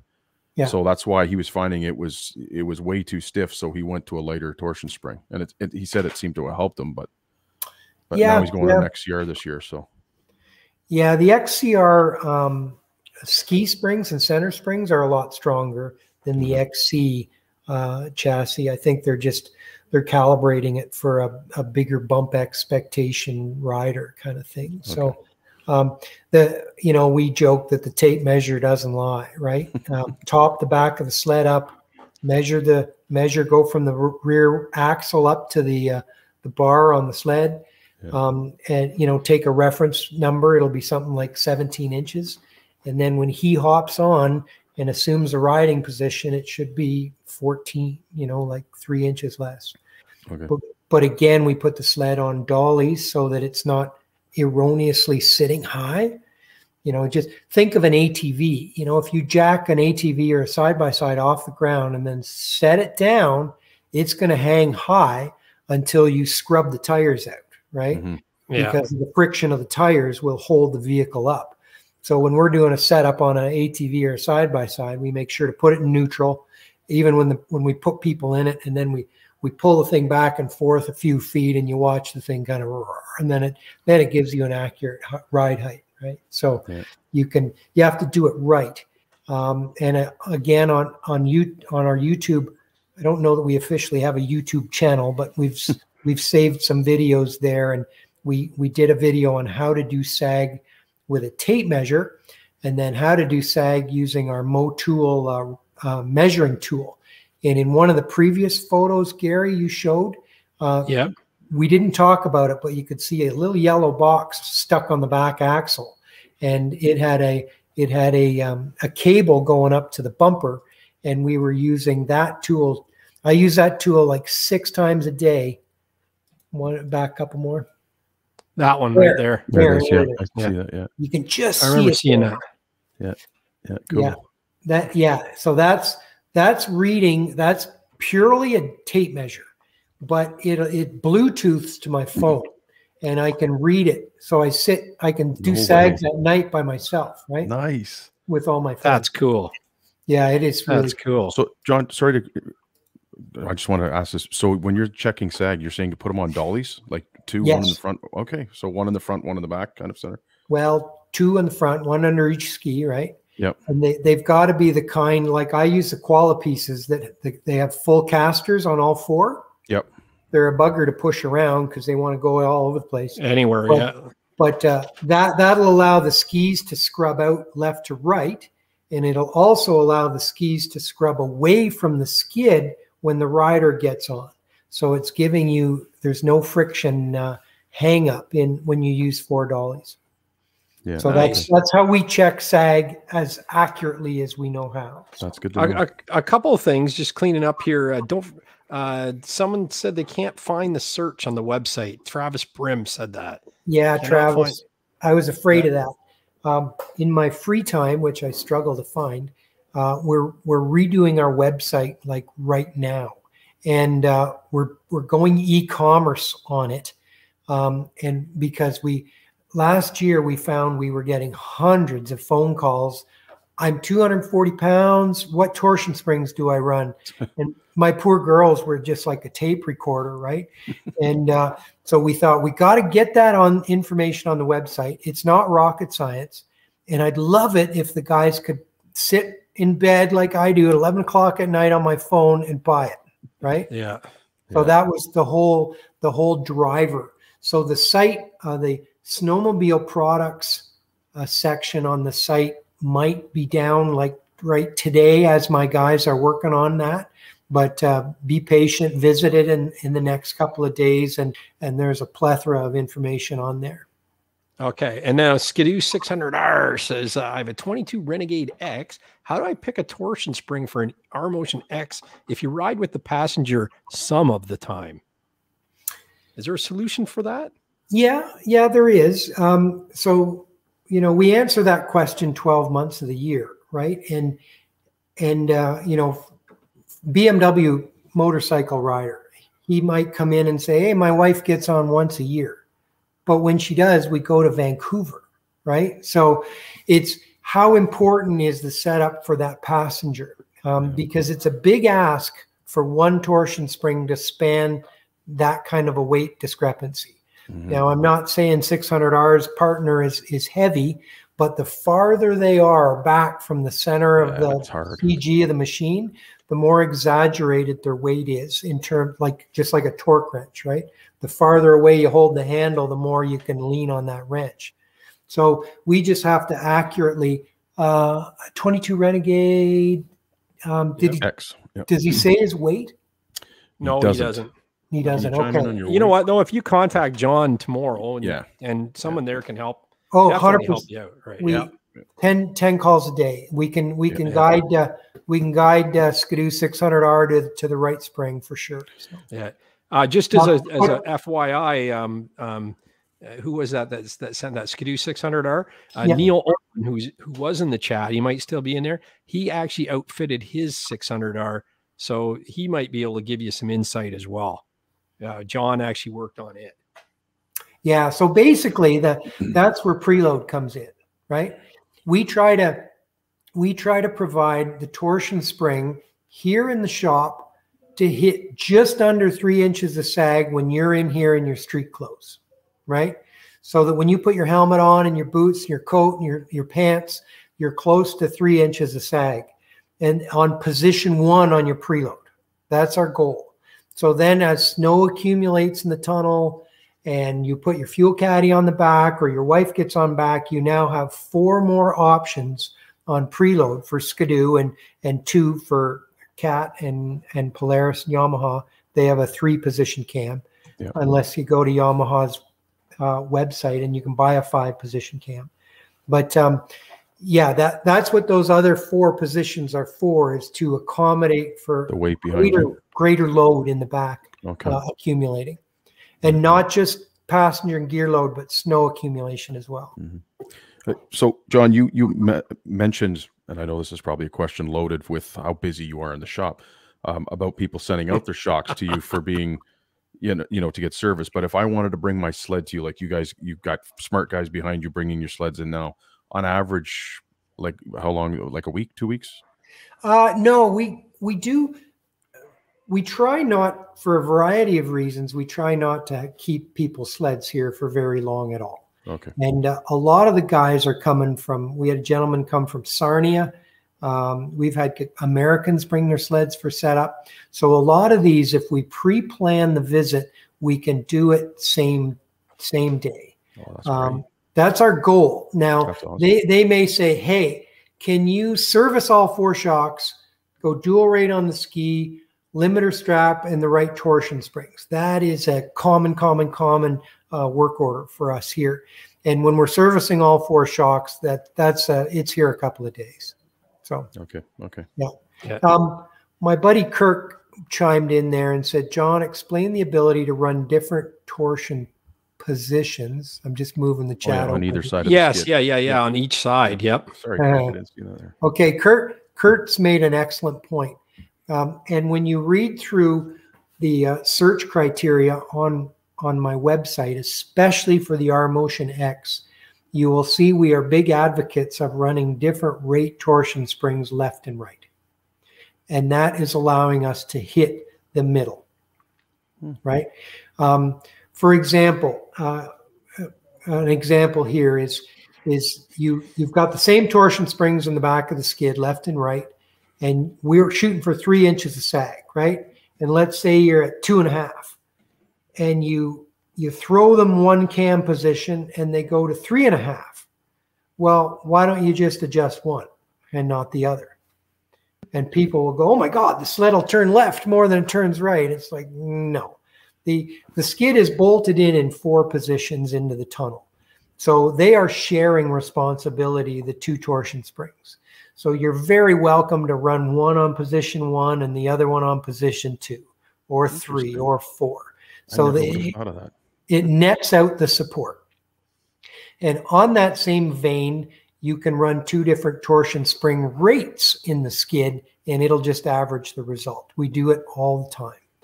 And for the people that get their backs up, it's like, oh, yeah, motocross bikes. There's a spring in one fork, and there's no spring in the other fork.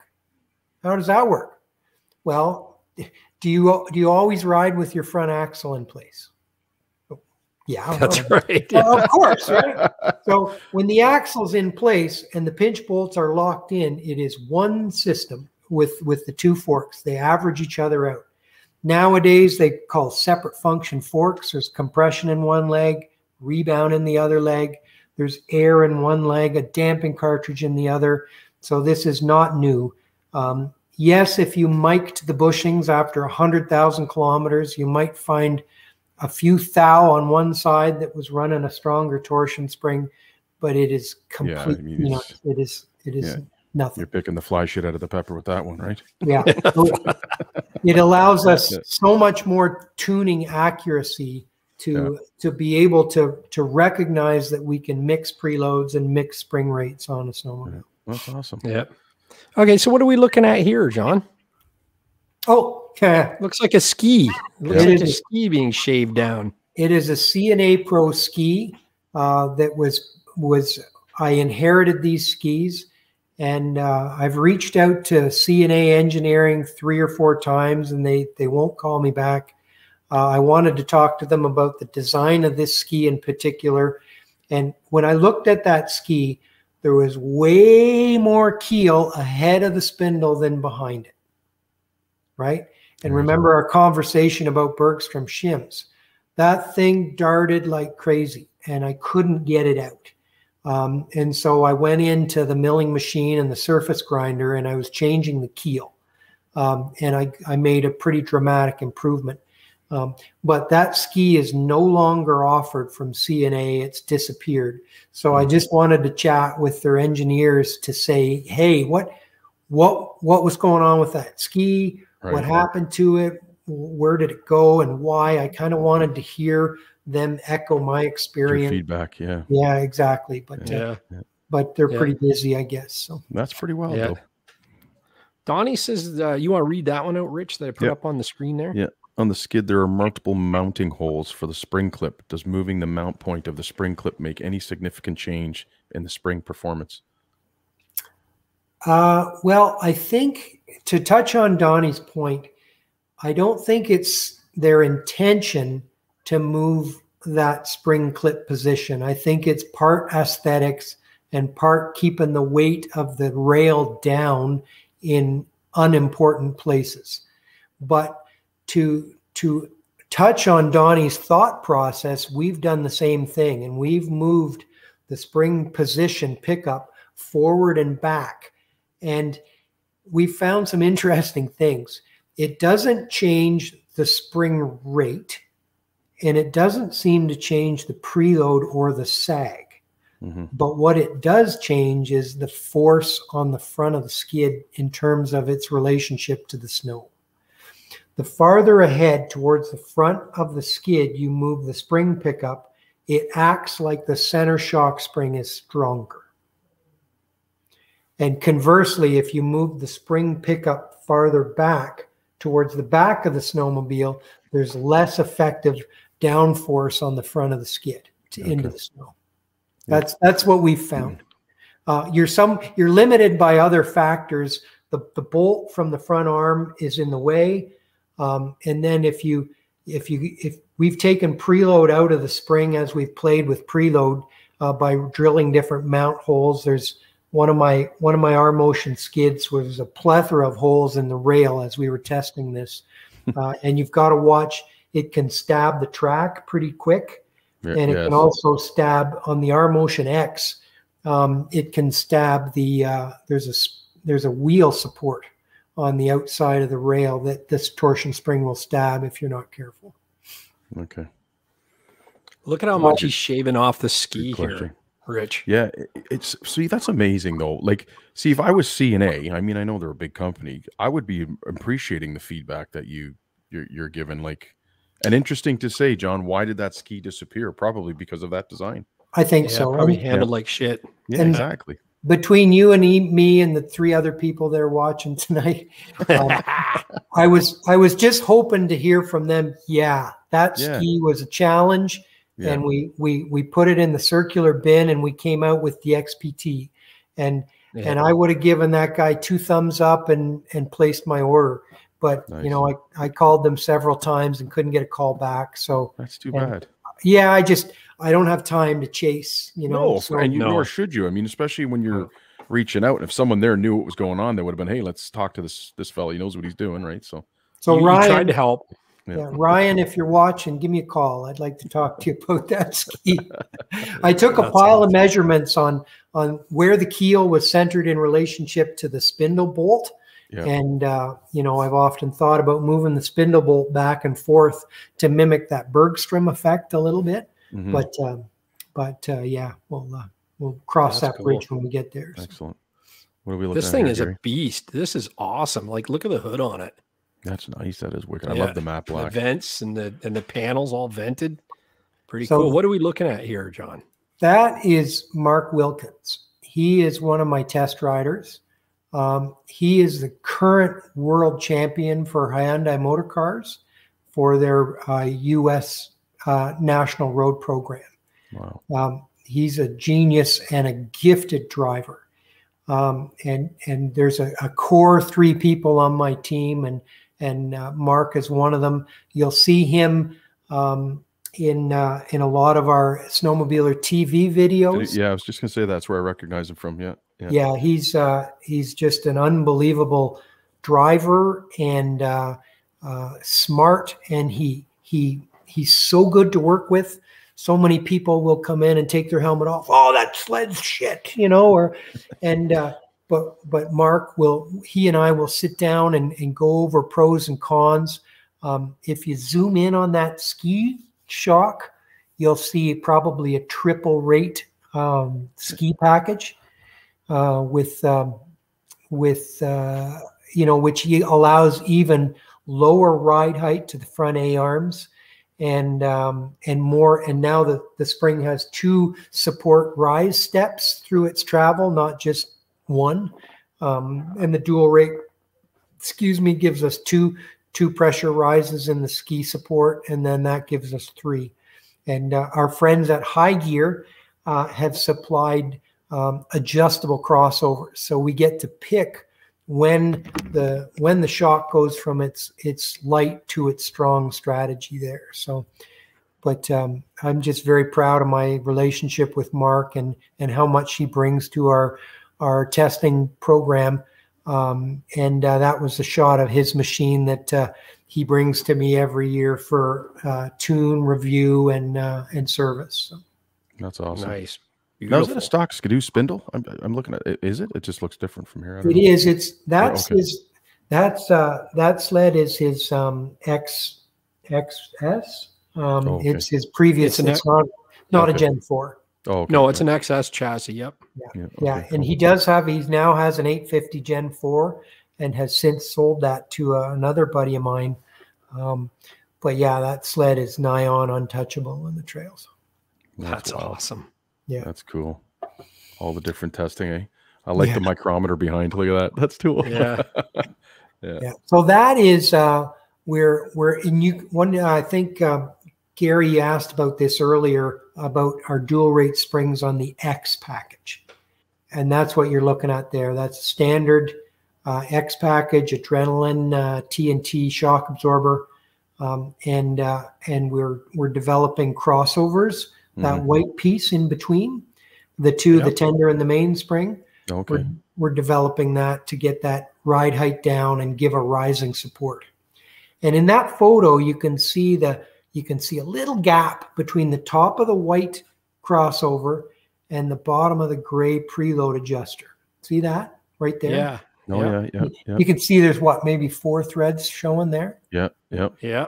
So if you were to imagine me pushing down on the front bumper, that white crossover would would in about an inch worth of suspension travel um, bottom out or ski Right there. travel, not yeah, it would bottom out Yeah. and get stronger. Nice. Yeah. That's, That's cool. wild. That actually Yeah. looks like a TNT shock, not even an X package shock. Pro- probably is, yeah. Yeah, Yeah. yeah. Yeah. And you see see the fat w- w- the the reason for the fat white material between the tender and the mainspring. Yeah. What what I'm doing there is making up for length and and hitting a target length. Because when you wind the preload on those shocks up to zero, hmm right, and they stop, they lock, they hit a lock, there's still 10 millimeters of preload on that spring. And we don't want that. That that sled is still sitting up too high. So I've I've chosen a pair of Elka springs. See the numbers there, 2.5 x 200. Yeah. Yeah. Yep. 2.5 is the rate hmm in in kilograms per millimeter, and 200 is the length. And then see the spring above, it looks like a five, 5.4 Yeah. by 52 or by 40, I think it is. 45, it says, yeah. yeah. 45. Yep. So that's the rate of the tender spring and the length. So now when I put those two together, I've I've calculated the thickness of that white crossover so that I can go to zero preload, right? So now when the when the owner goes to full minimum, it Mhm. now doesn't have 10 mils of preload on it. It's got zero. Front bumper comes down, handling Mhm, improves, roll center reduces, Yeah. right? Yeah, those are X package shocks right there. Those are the Yeah. X package KYBs. Yeah, And then nice job, John. That's Yeah. awesome. You Those spring our- sleeves, John, are they just PVC? Is that They are- is it special plastics? We've or- tested um, we've tested a few materials, Mhm. and those were a combination of cold temperature, low friction, Mhm. and easiest to machine. Oh, nice. So uh, Which- for adjusting for you when you're when you're trying out your different settings, right? Yeah. Yeah, Yeah, yeah. yeah. Well, yes, because we mach- we take that spring uh, crossover, and I I take one millimeter out of the inside bore for a uh, Walker Evans. Okay. Um, so I'm I'm machining those to do Walker Evans, but but my supplier at the time we were testing several materials in terms of friction, and uh, and that was the easiest for him to machine uh, from raw material. So un, unfor- well not unfortunately it was still my favorite pick in terms of friction. Um, and it was his favorite pick in terms of being able to machine it to the tight tolerances that I wanted. So okay. That's pretty wild. Nice. Really and you can see beside it the uh, the Oh. Elka the the or the center shock. Um, Yeah, that's- we've done the same thing. Yeah. Yeah. and you see how that crossover is black. Yes. Yep. That's that's a, a leftover Elka um, material, Mhm. um, but I've since replaced that with one of my own as well. So Frankenstein in them. yeah, tested. This these are like a thing of There's beauty fox. here. You, it would Yeah. be shame to put them on a snowmobile. Yeah. Yeah, those are um, those are a set of obviously QS3. I I think they're just QS3s. I don't see rebound on the bottom behind your shoulder there, Gary. Um, The mountain guys love these There it shocks. Hey, John. it is QS3R. Yeah. Yeah, so that's a beautiful. That's a really good shock at the end of the day. Yeah, Um, yeah. The mountain guys swear by them. They love them. yeah. They all order them. Yeah, They're a, they're a nice shock absorber. Yeah. Again, we we tune the um, we tune the uh, the three settings. Mhm. Um, we don't love the ones that Fox settled on, but we, with our experience, we we modify them and change them, so they work really really good. That's awesome. We got a lot of it. this has been the most I think this out of all the shows so far, Gary, this has been the most active. It's awesome. Well, that's good. I'm I'm Yeah. hope we're hel- I'm hope it's we're really helping good. out.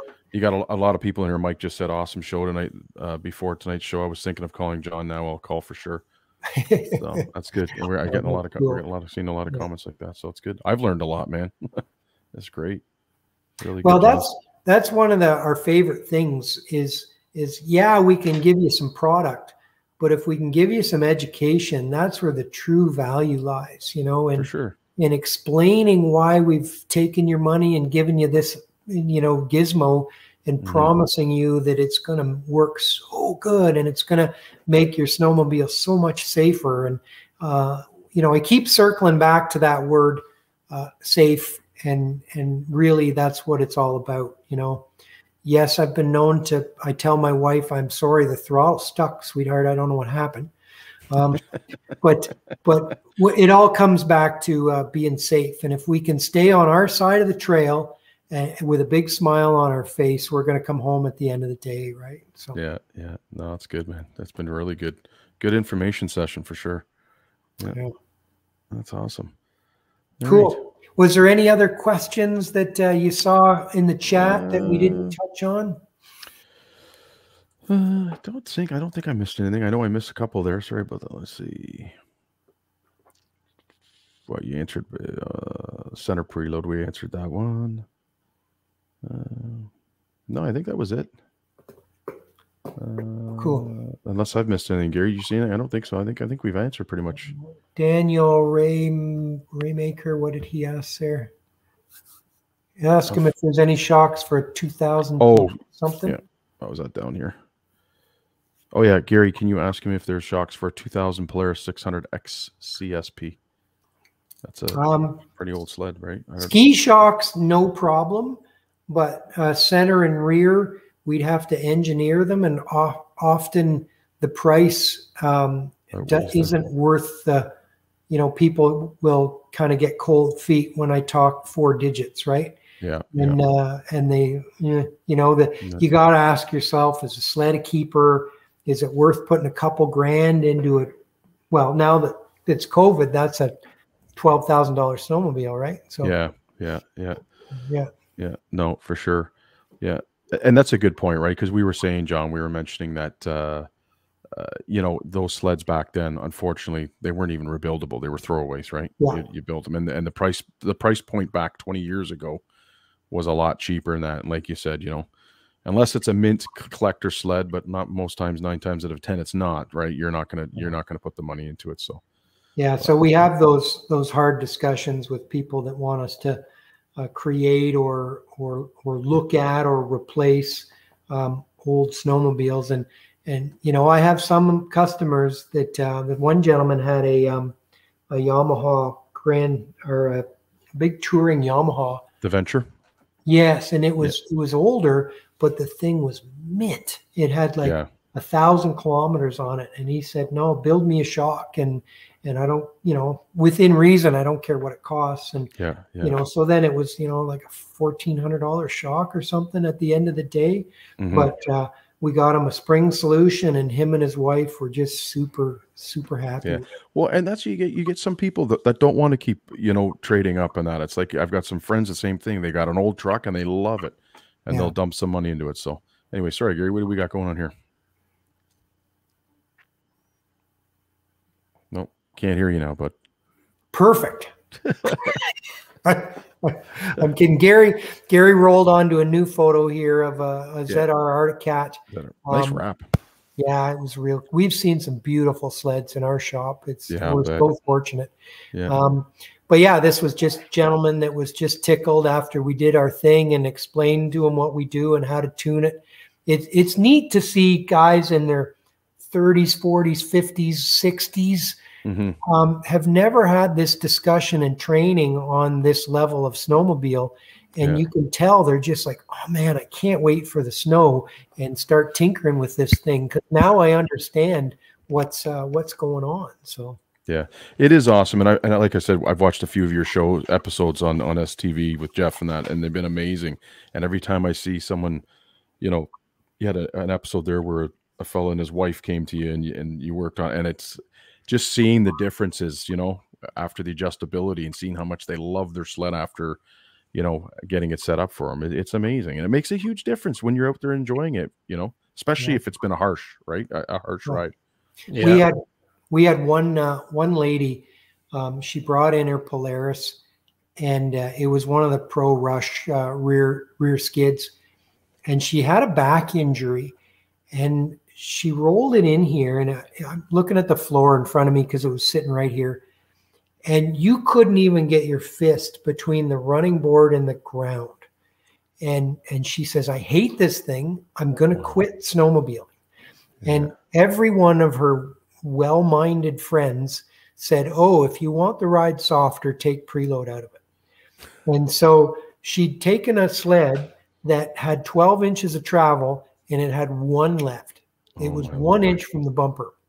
And the poor girl would go a- over anything bigger than a twig and it would bottom and just ram her spine. Ugh. Yeah. So they they put in softer springs and they'd taken all the preload out of it and they'd open the compression damping on the shock so that it bottomed constantly. By the way, Jeez. and uh, so yeah, we we said, did you keep the stock spring because she was 140 pounds and the stock spring was right, right. and we put it back in and we lifted it up like 10 inches and and the thing we took the back well not the bumper because you can't push on the back bumper those sled but you push on the seat and it was just a pillow and we revalved the shock to quicken the rebound and gave it back to her and she was just about in tears she was so happy That's awesome. and and this was in november she knew it was going to work right? That's awesome. That's awesome. awesome. So it's so a- neat when we save somebody's day like that. Right? And, Yeah. You, Yeah. you wish that that could pay the bill and you didn't have to charge them, you know. yeah. uh, Yeah. Yeah. Yeah. Um, th- that's the thing. If you watch in the summer sessions episode, Andy's uh, pr- his sons are uh, going pro in motocross this year. He's he was touching the pro circuit a little bit this season, and he said the very first upgrade you do is a suspension before you touch the motor, Yeah. because he goes you have to be able to handle the the bike that has to handle the the hard bumps and stuff before you can go fast on them. You Oh, know. yeah. Yeah. Some of the some of the hardest core, fastest riders on my on my team, bone stock motor. They Yeah. they won't touch it. They Yep. he said when I'm when I'm 200 kilometers from the nearest town and I got my throttle into it, I don't want that thing to blow up Right. or run lean or be annoying people because of the loud exhaust Mhm. you know stealth mode you know Yep. that there's so so so much to be gained with getting that 160 180 140 horse to the snow before you ask for more uh, that's just worsening the problem Yeah. yeah. we you know we look at super bikes and deal with wheel spin. And when that tire starts to spin uh, it doesn't have a chance of hooking up if it's spinning at 60 kilometers an hour above ground speed. It's when it's spinning at five kilometers an hour better than ground speed is when it's got a chance of hooking up. So Yeah. yeah. you know power isn't isn't everything. Getting it using what you got. You know i say that you know i'm not talking drag. And and sure there's power is is king in a lot of aspects of motorsports but uh, that's not what we're focusing on here Yeah. No, no, that's right. Oh, what are we looking at here? It looks like you've got some ru- slider material, Hyfax material there. So that's a set of Bergstroms, and that's one portion of the Bergstrom carbide install that we didn't talk about.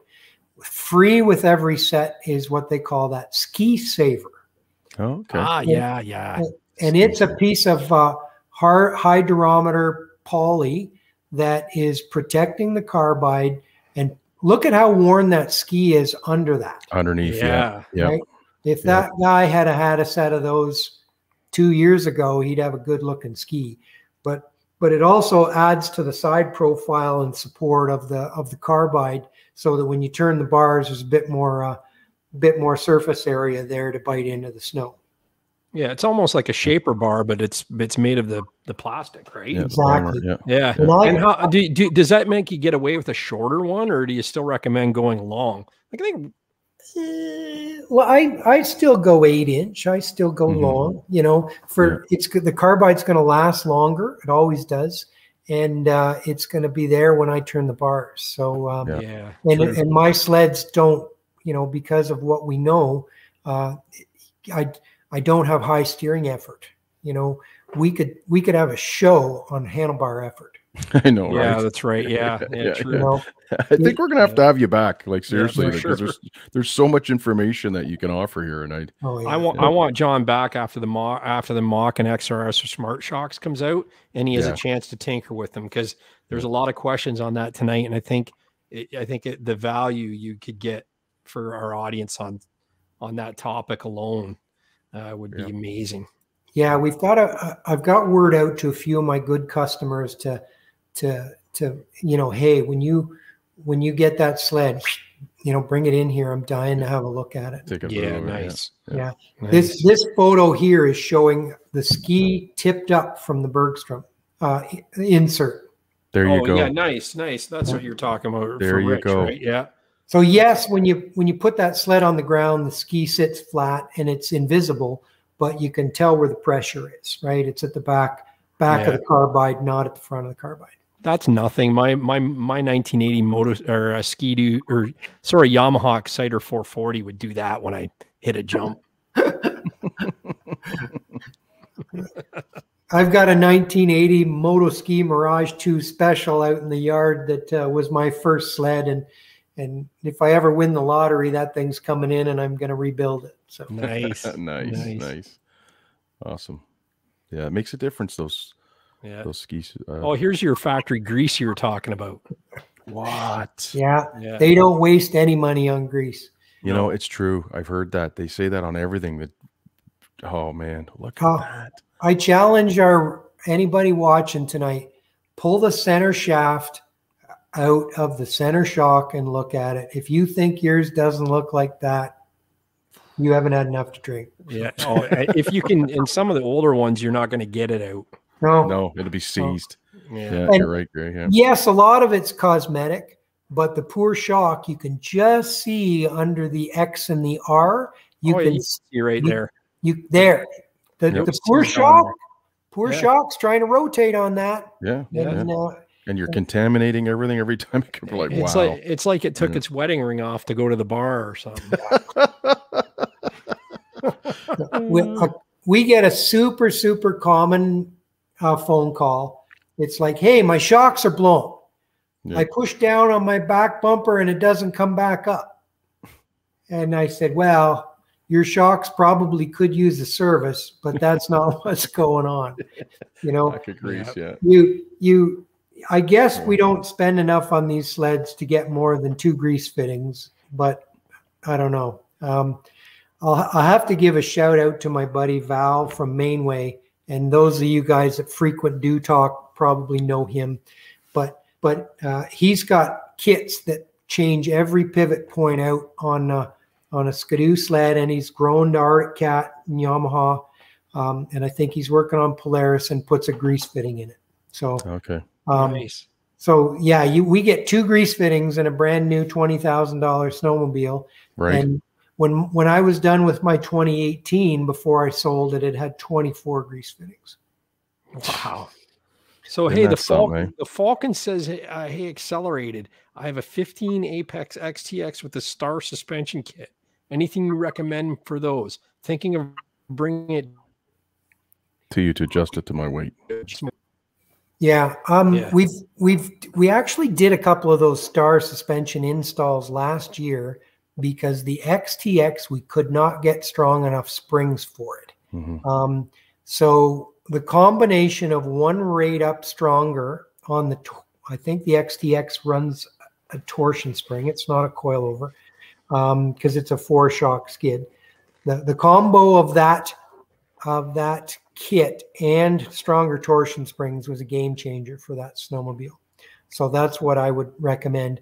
Uh, but we found in the installation of that star kit, it's a beautiful kit, but there's a couple opportunities for interference during the installation. And Matt, my tech that installed them, said, "Oh yeah, I had to take this shaft and go into the lathe and take 10 thou off it, and then it freed right up." So that would be one thing that I want to visit with that uh, customer is just make sure the star suspension is is operating to its potential. Look at Nice, that. nice. Look how dry that is. And yeah, you can see the Like, rust inside the. What, what does it take to put a grease zerk on that? Right? Yeah. Uh, about four bucks, but Like, like Yeah. and that's the thing. Times how many? Like you said, John, you added 25 of them. Charge me the hundred bucks, man. Please just put grease fittings on my yeah. This I looks like just- this looks like my old sled without the idler wheels on it. And and that sled that sled had like 500 kilometers on it. That's ah, crazy. crazy. Yeah. Yeah, Crazy. yeah. The Falcon's going to call you to set up an appointment. That's great. Yeah, I'd love to hear that. Yeah. Tell them that Gary and Rich sent you, Yep. even though he's on the show with us tonight, right? Gary and sent Rich sent me. You might not want to say that though. That might be the, you might get you charged might get more. charged more. Oh, hey, hey, Rich, what's that Plus new 5%. suspension you've got on there? Uh, yeah, I don't know. That's I call it the Falcon. Oh man. So this photo, I think, is just uh, I was just doing an install, uh, putting um, Elka's. We've got you know some great customers like Neil Owen is one of them that uh, we put in Elka's every year. They've they've they've tasted the Kool Aid, they've sniffed the they've sniffed it, and and I apologize because once you've had really really good stuff, you're screwed. You've got to have it for life. Yeah, know, for sure. He it's, said uh, that, right? Neil Neil says that. Yeah.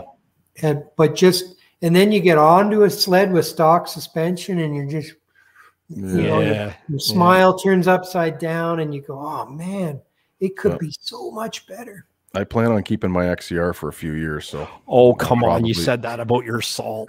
the last two assaults, right? That's his No. story, and he's sticking to it. yeah. So this was uh, my wife Jen. She does all our spring calibration in house, uh, matching the, the the main spring, the tender spring, and the crossover height to uh, to the to the customer. Right. Nice. She'll yell at me uh, all the. uh, She'll ask me all the time. Okay, you know Dave is uh, yell out his weight and and I'll remind her I don't care for ski springs and uh, but then then we talk about the application is you know we joke is is the guy come in with his monster energy cap on sideways or is he an older guy that's uh, that wants some safety or comfort and then we pick the height of the crossover so that we can control when the shock goes from its soft um, strategy to its anti-bottoming strong strategy and uh, Elka, we have four different crossover heights to to to best pick that. So she's uh, she's smiling, but when this shipment of Elkas came in, she knew she had some work ahead of her. So That's cool. And for for us Newfoundlanders watching the show, she does the spring stuff in the summer as well. Yes, bye.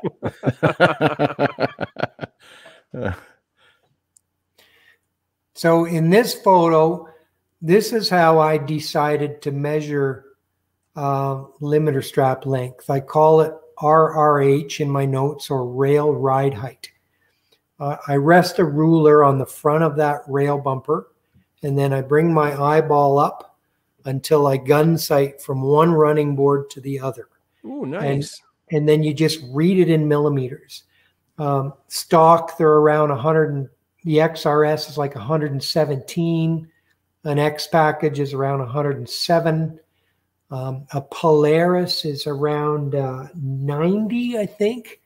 Um, and then as so when we finish a setup, we'll often target a rail ride height, and the adjustable limiter strap uh, again allows us to hit a millimeter. We're not generally most limiter strap holes when you move up they're in 10 millimeter increments. So they're big they're big big steps. And the uh, adjustable strap allows us to uh, to fine tune it. So uh, uh, we talked earlier about setting the rail or sorry the the a arm height. I'm trying to look at my monitor the a arm height so that we get the front preload flat we set the back preload to keep us at three three and a half inches and then we set the uh, the limiter strap up front, and that um, allows us to uh, to to know if the guy's calling me from the UP of Michigan, I, I can tell him how his sled's going to handle by where he sets that uh, limiter strap. Nice. That's awesome. Yeah. Perfect. Ooh, KYB. Yep. I might just get some accelerated stickers to put on. Beckles, shop. put them on. They're expensive, but they help. That's exactly. Yeah. They don't add horsepower, they add travel. right. You know, you have to have the power mod sticker on the hood. And Yeah. that's for your horsepower. And then you, Yeah. you got the Yeah. accelerated for the shocks. Yeah. But right above your microphone in that photo, Gary, you see the torque arm coming out of the coming out of the bolt there on the rear. Oh, right. No, back Well- out a bit. Right there, bud. Well, yeah, up above. Above. Up- yeah, Go up, up, Not and then right there. the right. Yeah, see there the you go. red grease up? Go up the top part of that part, Gary, right above your head. You Right there. Right there. See, we've sprayed red grease. That is a big pivot point for friction. Really, eh? Nobody ever greases that poor thing. Um, Poor thing. you must see a lot of damage, eh, John? Like just like, oh my gosh, it's so overlooked. Rich, Right. one of the worst things I saw happened to a good friend of mine, um, J- Jim. I won't mention his last name, but but president of the uh, one of our local snowmobile club. Um, see right above the fast track, the track, the spring guide there. Yep. Um, through neglect and lack of maintenance, the torsion spring rusts there, right? Because it Mhm. rubs the paint off in about 300 kilometers. Yeah. Yep. and then that's spring steel. It'll rust overnight. Right. And now rusty steel acts as a file, right? Oh, yeah. And it carved and carved and carved away over eight years and no maintenance. Somebody changed his track for him last year, put a brand new track on it. In his first ride out, the spring finished sawing its way through that clip, stabbed the track, and cut it in half. Oh, oh my lord. And You think when you pull the track out, you do all that, right? Like I mean, after Yeah. eight years, but I know I get it. Yeah. that What a buddy, clip right? is- that clip I know because we buy 20, 30 of them at a time from Gateway is nine dollars and Yeah. 99 cents. And that's something. eh? and I think that's after me adding a buck to it. Um, but Jim's poor bill was like fourteen hundred bucks because he needed a he needed a track, Yeah. and then the full skid drive shaft had to come out, Ring, chain everything, case, you know, over a nine a nine dollar spring clip. So Crazy, crazy. That's amazing. anyway, I'm just I'm just shouting off here as I no good point. things though. I catch mean, my eye. But Yeah. But we say after you're done lubricating your grease pivots, uh, wipe the grease off and smear it on the bottom of the torsion spring where it goes into that clip, and the ride quality and comfort will improve dramatically. immensely. Yeah. Um, and uh, and again, if the sled is a keeper, um, visit Mainway's website and order up, and we do it here. Uh, order up some grease fitting um, kits to do all your pivots on your sled, and the thing will ride better than brand new for the life of the machine. Wow. Yeah, right on. Yeah, Yeah. he might be a good guest for you, Gary. Yeah, for sure. Well, let's chat about that. Yeah. Yeah, he's a neat he's a neat guy and uh, is doing something uh, for the sport that uh, that makes a difference. Done. That's He's good. in. We'll book him Yeah. in. Yeah. Done. Yeah. I'll tell him that you committed him to it. Cool. He's got no choice but to. That's it. eh? That's awesome. What are we and then looking at? that's this is another shot of just a Walker Evans with our dual rate spring kit on. Nice. So it must be jacked up right now to have that kind of arm angle, but Angle. I uh, was going to say. yeah, it's done. Yeah. Yeah. That's good though. That's another XCR. um, This is this I motion. think we're yeah, but I Mhm. think I'm probably taking a picture. If you zoom in on the Hyfax, uh, we're probably banging on a set of uh, DuPont vest Vespels. Oh, nice. Yes, Oh, yeah, they are. See the little lines in them? Yep. So are, are they good, John? Because I've ordered them. They're actually they're supposed to be here in November. oh, we got them in stock, Rich. What? Yeah, We ordered them back in. When the heck did he order them? That's actually June? player skid. June or. July? it is. Yeah, Yeah. we Oh, I Um, didn't know you carried those. Yeah my they're on my website when it's up and running. Okay. Um, Just uh, don't try and search for them. Yeah, not right now. Not Yeah. tomorrow. well, that's good to know. So you say, oh, right on. Okay. Yeah, the Vespel. I put them in every one of my sleds. Yeah. Um, they're they're super hard durometer, so the you know yes you yes better fuel economy, yes higher top speed, less rolling resistance. Those are those are good enough reasons. But when I'm going into North Bay and the trail's crap and I'm running down the side of a road for 20 kilometers, I'm not worried. That's it. Yeah. That, If right it's- on. If it's 25 below and I'm on the railway line from Whitney to Barry's Bay, I'm not worried. Yeah. You know, there, you know, it feels like, oh, did I leave my parking brake on? Yeah. No. And, Yeah, and everybody behind you is doing one of these. Yeah. Not, not with those sliders. I heard everyone everyone says it's the best thing you can spend your money on right off the hop for a brand new sled is throw those sliders on. Yeah. Yeah, they. Nice. It, it, it's funny because we see, we see Yamaha, and you know, they they come out with some things, some you know, Yamaha and Camoplast. I think remember they engineered that ripsaw track together. Yep. Uh, years ago, and then they pioneered, I believe, this relationship with Dupont for these sliders um, Okay. because they had some sleds in their fleet that were hard on sliders from from some setup issues. But uh, out of that challenge bore this uh, product, Nice. and man, these things wear like iron. So Yeah, I've heard that. Just to, just to let everybody know, I, I see Neil Owens heading out. So good night, buddy. Uh. We've only got 20 pictures left, so we're, we're Okay. getting there. So just, just Sorry, don't man. think that this is going to drag on for another three hours. It's uh, Yeah. Or, or stick around, guys. It's it's Yeah. still good. We still have a lot of people in the chat, and, Yeah, and good. 65. It went up to 66. So one more Yeah. joined us right now. Right. Um, so yeah, let's let's keep her going. We've only Yeah. got a few pictures left, so um, don't don't bail because you think we're gonna go all night. This is amazing. Yeah. So. And just to update those who just joined us, Rich's new sled is going to be rocking. I can live vicariously through him and his all his upgrades he's getting here. Uh, So this was just a, a fun picture. I was playing. I took a sister photo to this with the uh, Arctic cat in focus and the shock blurry. That's Um, awesome. But this was a cat that came in that we were revalving and uh, and I thought that was part of the shock, Gary. Yeah, that's right. Look at that. Is that a special? There's a s- that's a that's second. Uh, It's a stage five M with microphone. edition. yeah, that's awesome. It's a second it up. reservoir coming out. that's right. So yeah, Phil. we're just servicing that shot. Yeah. Um, there's Our- another our Ski-Doo is shot. a thing of beauty. Like they're, they're just they're just beautiful machines. I'm telling you. and that one's got the uh, Motool uh, suspension tuner. They call it a tuner. It's it's a digital tape measure on the back of the machine, which we do sell here for those uh, customers and those people watching that are um, keen on working on their own torsion springs and they're out in the garage at night and they don't want to drag their their wife or their kids off the couch to help them. This this tool allows you to uh, uh, uh, qu- That is quantify awesome. sags, mimic weights, and see what uh, the weights are uh, from the handlebar. You have those in stock, John? Yes, yeah. Okay, right on. I can't wait for your website to get get up, but I don't know. I don't know if my pocketbook is Hey, Christmas is coming. right. Yeah, Merry Christmas to me.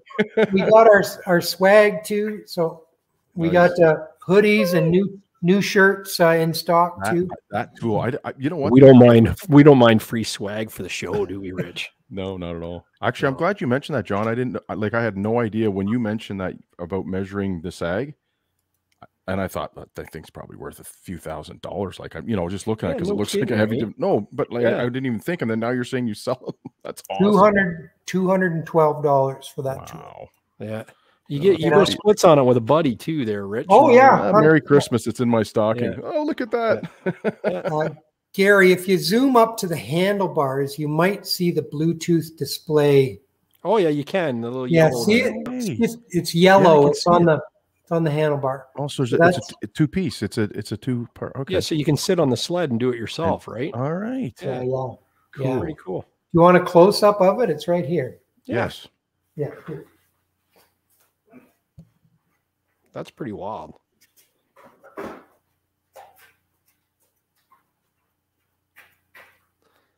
That's funny. Sometimes now it's like, "Hey, Brad Hitchcock, you still out there?" And then he he answers, "Yep." Okay, just checking on you. LOL.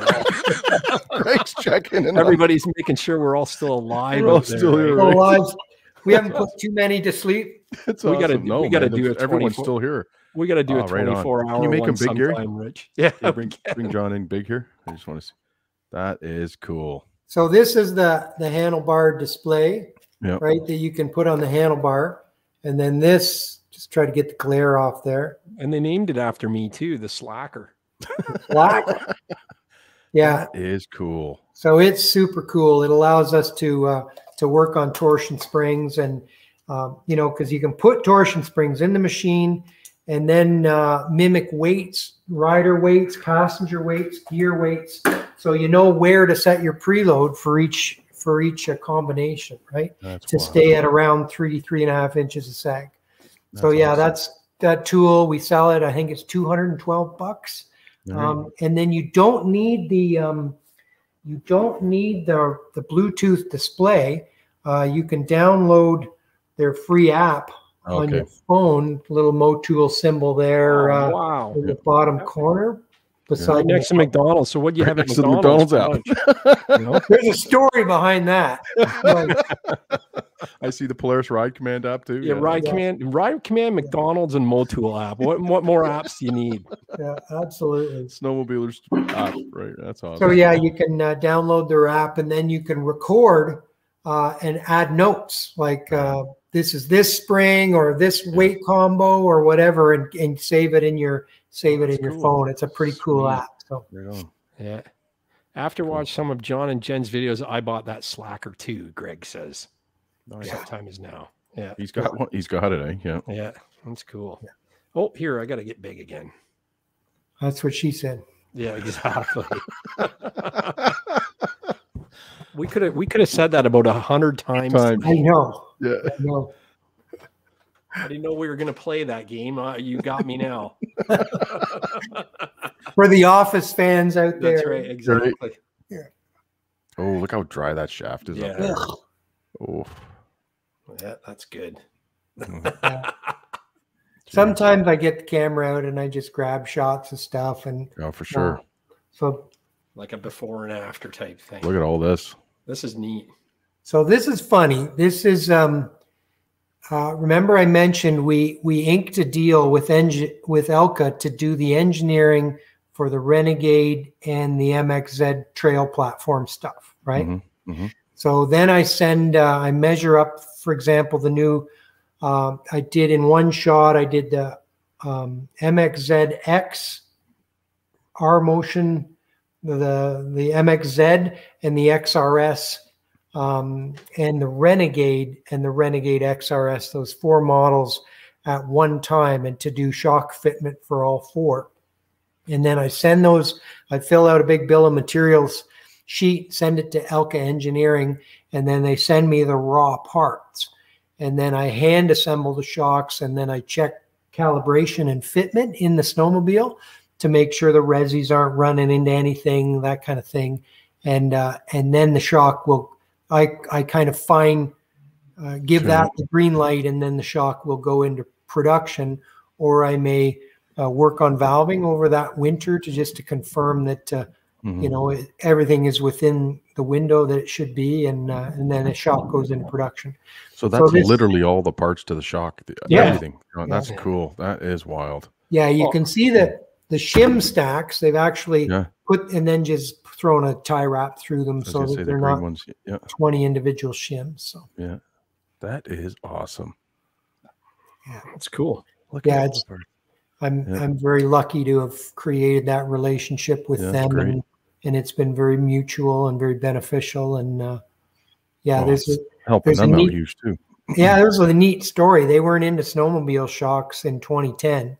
No. And, and I said, why the hell not? It's it's double A arm. It's just like an ATV, and you guys are are global champions in ATV racing, and you don't do snowmobiles. It's just a ski, not a wheel. Yeah. And, and they were like, no, no, no, we don't want to do anything and do it half-ass. We don't want to do a, a poor job and get into something we're not familiar with. And I'm like, yeah, yeah, yeah. Build me a shock 18 and a half inches long Yeah. Yeah. uh, with this spring on it, and and that that's that set of shocks in my 2010 uh, Vector were the Yeah. first, pretty well the first set that they ever built. Wow. Wow, and and look at then it I- now. And then I hand built um, a rear shock after just about uh, going ass over tea kettle because the front end worked so good. I come into a set of stutter bumps and Yeah. bottom the rear so hard. Yeah. Um, so then I made a, uh rear shock uh, out of parts from left over from the road race program. and and I said, guys, we got to do this. This stuff is game changing snowmobiles. And now you own half the company. I Yeah. wish, Yeah. I wish I did. Yeah. Um, but uh, yeah, now they're probably doing three or four million a year in snowmobile sales. good for oh, wow. That's Yeah. awesome. Yeah. Well, they got you to thank for it, so that's good. That's good. John. Yeah, or, That's or curse one or the other. Yeah. Or curse. yeah, yeah, yeah. I doubt they're cursing you. Well, we got Broadway Lane. Thanks, buddy. Oh, wait a minute. I, where'd my sound effect go? There we go. Any Hey, setup pro tips for an old 1998 XCR 440 for vintage cross country racing? John is a legend. Just send right. it, right? Yeah, yeah. Just, Just, you send know, it. is there anything you can do on something like that, or is that Oh, getting yeah. Yeah, right we we actually do a ton of work for the v, the VRRA. John J. Carl goes ibuprofen. Sorry. Team Team Tylenol. Yeah. Yeah. See, go ahead, finish. Sorry. yeah. Um, the VRRA is Vintage Road Race Association, and uh, and we do a lot of work with those guys, and it's it's pretty cool. Um, did Gary forget to charge up his laptop don't know if again? he There? that or is he- he's batted out. I guess Well, he's running my- out of juice. It's Oh, my camera bat. It's my camera. Hang on. You can't blame the son, Gary. He's not No. here playing video games. He's at university, right? No, actually, he's he's still home. Oh, is he home? Right on. Yeah. Yeah, he's he's just finishing off his reading week, so Oh, it'll right come on, back on. Right. Gary's. Uh, Gar- we can still hear Gary. So Yeah, it's it'll it'll come back on. We're good. I'm more of a face for radio anyway. oh, that was my problem. So, John, this is you out testing, uh, I imagine. with It some is. cameras? We, um, Haliburton Forest has been so kind to us over the years when we when we test. You know, they treat us so well. Um, they, you know, they help us out usually with with rental cabin rental uh, with- for our team. And uh, but man, do they have a beautiful facility. Yeah. Um, last winter, uh, this was so much fun because that's a photo of my daughter and my wife, and we were. Uh, they Jen, with my daughter, my my wife was testing her 21 MXZ 850, which we bought for her, hmm and uh, we started off bone stock, like how it came out of the dealer Right. and her and my wife went out for 25 minutes and they switched twice and came back and and she just wrote down her impressions in a notebook. Right. um, she's such a good tester. That's and then my it was funny to hear my daughter echo her impressions.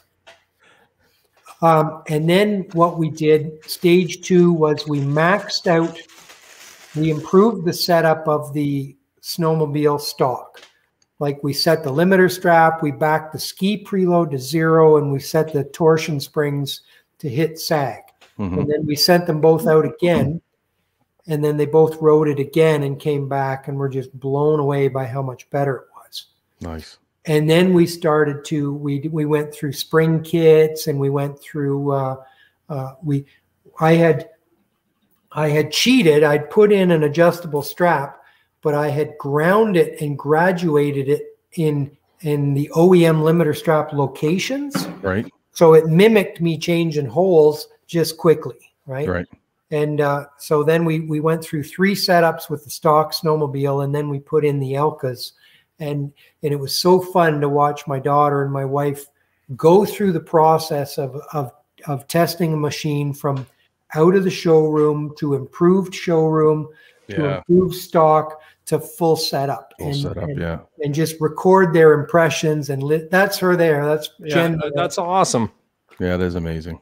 yeah and it's like don't even talk to anybody just Yep. Just go do it and here. fill up the. Don't go, and I tell racers that don't go bench racing with somebody you were Yep. dragging handlebars with. Yep. Get the notes down and debrief with your crew chief Yeah. right away. Or and maybe the crew chief is your dad or your girlfriend or you. You know, um, you just get your impressions down uh, right away, and then and then you can quantify the the changes and the improvements. Right. Yeah, no, for sure. That's awesome. Yeah, and that that is myself and Mark Wilkins. Um, so Jen and Alyssa were testing OEM setups, Mhm. and Mark was on like level thirty-two of our of our uh, out there ideas. You Yeah, know, in nice. terms of uh, um, you know we've we've got stuff that is so good we I won't sell it because um, uh, we're worried how fast you can go on these setups. Um, and and we, we worry, we get off our sleds and we look at each other and say, can you imagine the general public having access, Access to, to this stuff. to this? Yep. It would elevate, you know, if it got into the wrong hands, it would it would elevate speed. Everyone doing a buck 40 on the trails. Oh, yeah. So the Autobahn. Yeah, Oh, man. it's like So the Back we- to the Future DeLorean, man. Like, Right. yeah, you have to destroy it. yeah, Yeah. we've The Avro Arrow. Yeah. Yeah. yeah. but but Mark is always testing. You know, we we this in this um, in this instance we were we were working on different rebound settings inside the shock absorber, Mhm. um, because we were we were finding that you know the time that it was taking for the the sled to recover after a deep bump was too was too slow and it was taking weight off of the skis at too many instances in time right Yeah, and that's what you're doing here. yeah this is the slacker uh, Yeah. reading 130 so for those of us in imperial that is five inches of sag so this yeah. is when when we realized just how soft that our Motion X skid was.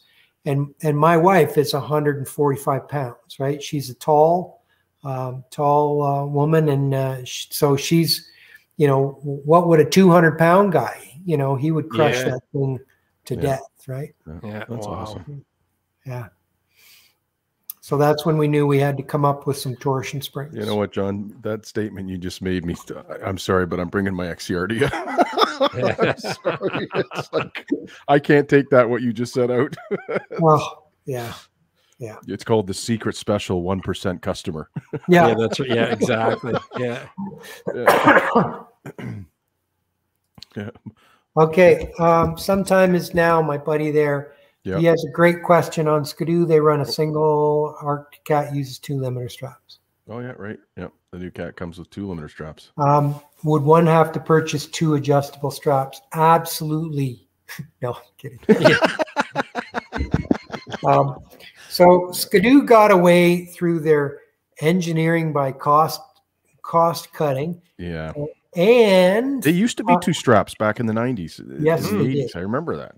But remember my comment about an hour ago about The um, the skid is bolted into the tunnel in four Yes. places. Yep. One strap is fine. Yep. Yeah. What we do on a on a cat or a Yamaha is we'll leave the stock strap in the right hand side um, for redundancy and put the adjustable strap in the left side, so that if the strap ever broke, um, you've got the backup. But if it's set up, if the stocks is set up full long, then it's never it's never in the in the equation. It's just there as a seatbelt, basically. You know. So thi- is this what are you doing here, John? You're is that Oh, a this shirt? this is Mark Wilkins' shock. Oh, okay. We, we had the service trailer in Haliburton Forest um, with the heaters going. And I think if you zoom in on that shock, it's still covered in ice. And Yeah. I've taken it apart and revalved it. Yeah, you got the heat Oh, going is there. That's it. Yeah, you got the heat heat on it. Yeah, it was kind of cool. I'm taking this shock apart and it was still covered nice. So That's uh, awesome. when when I raced Grand Prix bikes, it was funny. I had a transmission in my hand. I was changing internal drive ratios, and it was so hot from being on the track I couldn't hold it, and and yet I had it in my hand. So That's wild. it was kind of neat. Those bikes are designed to be worked on, and you could get the transmission out in like 25 minutes, and it was still hot from the track. So it was That's kind awesome. of a, a reverse there on the in the service trailer. Yeah, Pro Player says the XCR has two straps. Yeah, Yeah, yeah. So it's they're Right. just players. they're just um, yeah, they're just uh, Yep. you know being cautious, I guess. Um, you They know, have LED one lights, works too. fine. How many? How Throw many? that Yeah. in there, How many people? Uh, yeah, the blade's an awesome light. Um, how many people work at your company, John? Oh yeah, good question. Uh, there is there is six of us, five of us. I'm hesitating because my wife and I aren't on the payroll per per you know, it's a sole proprietorship that the two of us own. Mhm. And then we have generally three people on on staff, three full-time Nice. people on staff. Nice. That's good. That's awesome. Because I can You're- tell, but I can tell it's lean by just what we're seeing here, you know, Yep. and Yep. the people involved and everything. That's Yep. really good. Yeah. it's It is it's it's a nice size and um, it's not out of hand. Um, but the biggest thing is training. You know, Mhm. it takes us probably a year before somebody can work without supervision Mhm. um, you know, in, in what we do. Uh, like I've got techs now. Um, Matt, who's been with me probably a year and a half, is now just not bringing me every shock that I've got enough trust in him that that you know he he does work and and and ships it out and I don't check it. You know, but but we we have processes in the building here where when any one of us finishes a customer job, uh, one of the other technicians goes over it Double checks Uh, it. Yeah. and double checks it with a critical eye to see if we've missed greasing a pivot point or we ever catch a loose bolt, you know. Mhm, so we, um, it's not a fast process, but it's, you know, Yeah. Nice. it's a good process. So this was uh, we talked about that day when, and this was stage four or five. You can tell it's in the afternoon now by the sun, but we're now removing the OEM shocks and installing the Elka for Jen to finish testing her day on her new uh, Nice. the new 21 uh, MXZ 850. Nice. Awesome. This one might have a problem with that right shock. Don't have to save some weight there though. Yeah, yeah. So this is uh we've got the angle finder on the tail of a torsion spring. I I think's what's going on. Yeah. Yeah. In the Mhm. in the foreground is me approaching the socket or uh, approaching the preload with an, a ratchet and a socket Okay. to, to make some changes. So we we calibrated that. Uh, yeah, okay, that's that's an old Ski-Doo, right? With the three the th- the three sided plastic um, hmm preload Yeah, adjuster. Yeah. So yeah, we're you know how we talked earlier about torsion spring being rated in um, in rate and degrees of preload. Yep. So that's that preload number 80, 90, or 100 is on the workbench, right? Mhm. And uh, and then I'm remeasuring it in application, and then throwing the preload to see what kind of a change we can expect um, at at the snowmobile, right? Yeah. Right on. And then we we we quantify that and measure what's it doing to sag and and with with all that data we then feel more confident in saying okay gary you need this torsion spring at this preload position to hit this sag number so plug plug it in and you're good to go Nice. Nice. No access. uh, i think i was putting a um, set of Ski-Doo ice scratchers Eight on scratchers poles. on. Yeah, I was looking at that. There they are.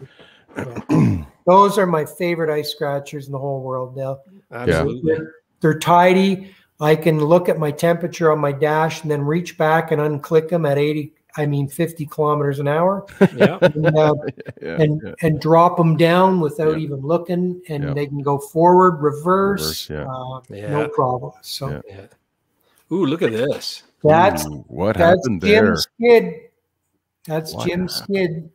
See the preload, zoom in on the preload uh, perch. The- Or sorry, the spring spring perch on the rails there. Yeah, she's Just she's destroyed. foobar. It's cut through, right? Yeah, Yeah. yeah. And then the spring went through, stabbed the track, bent the torsion spring, and ruined the track. Look how dry that is. Yeah. was uh, 12, you know, retired school teacher with a with a 10 year old sled, and I'm billing him like $1,200 Yeah, over Yeah. lack of maintenance. So, yeah. you know, on my Facebook page, we're always trying to throw tips out there. And Yeah. whenever we see something stupid, or uh, I don't mean Jim by any Yeah. means, No, Yep. no, we no. see something preventable, right? Yep. So Yeah, we- true. we- Yeah. we try to give people the heads up. Hey, grease look- that, Look, fix look, that. look at the spring.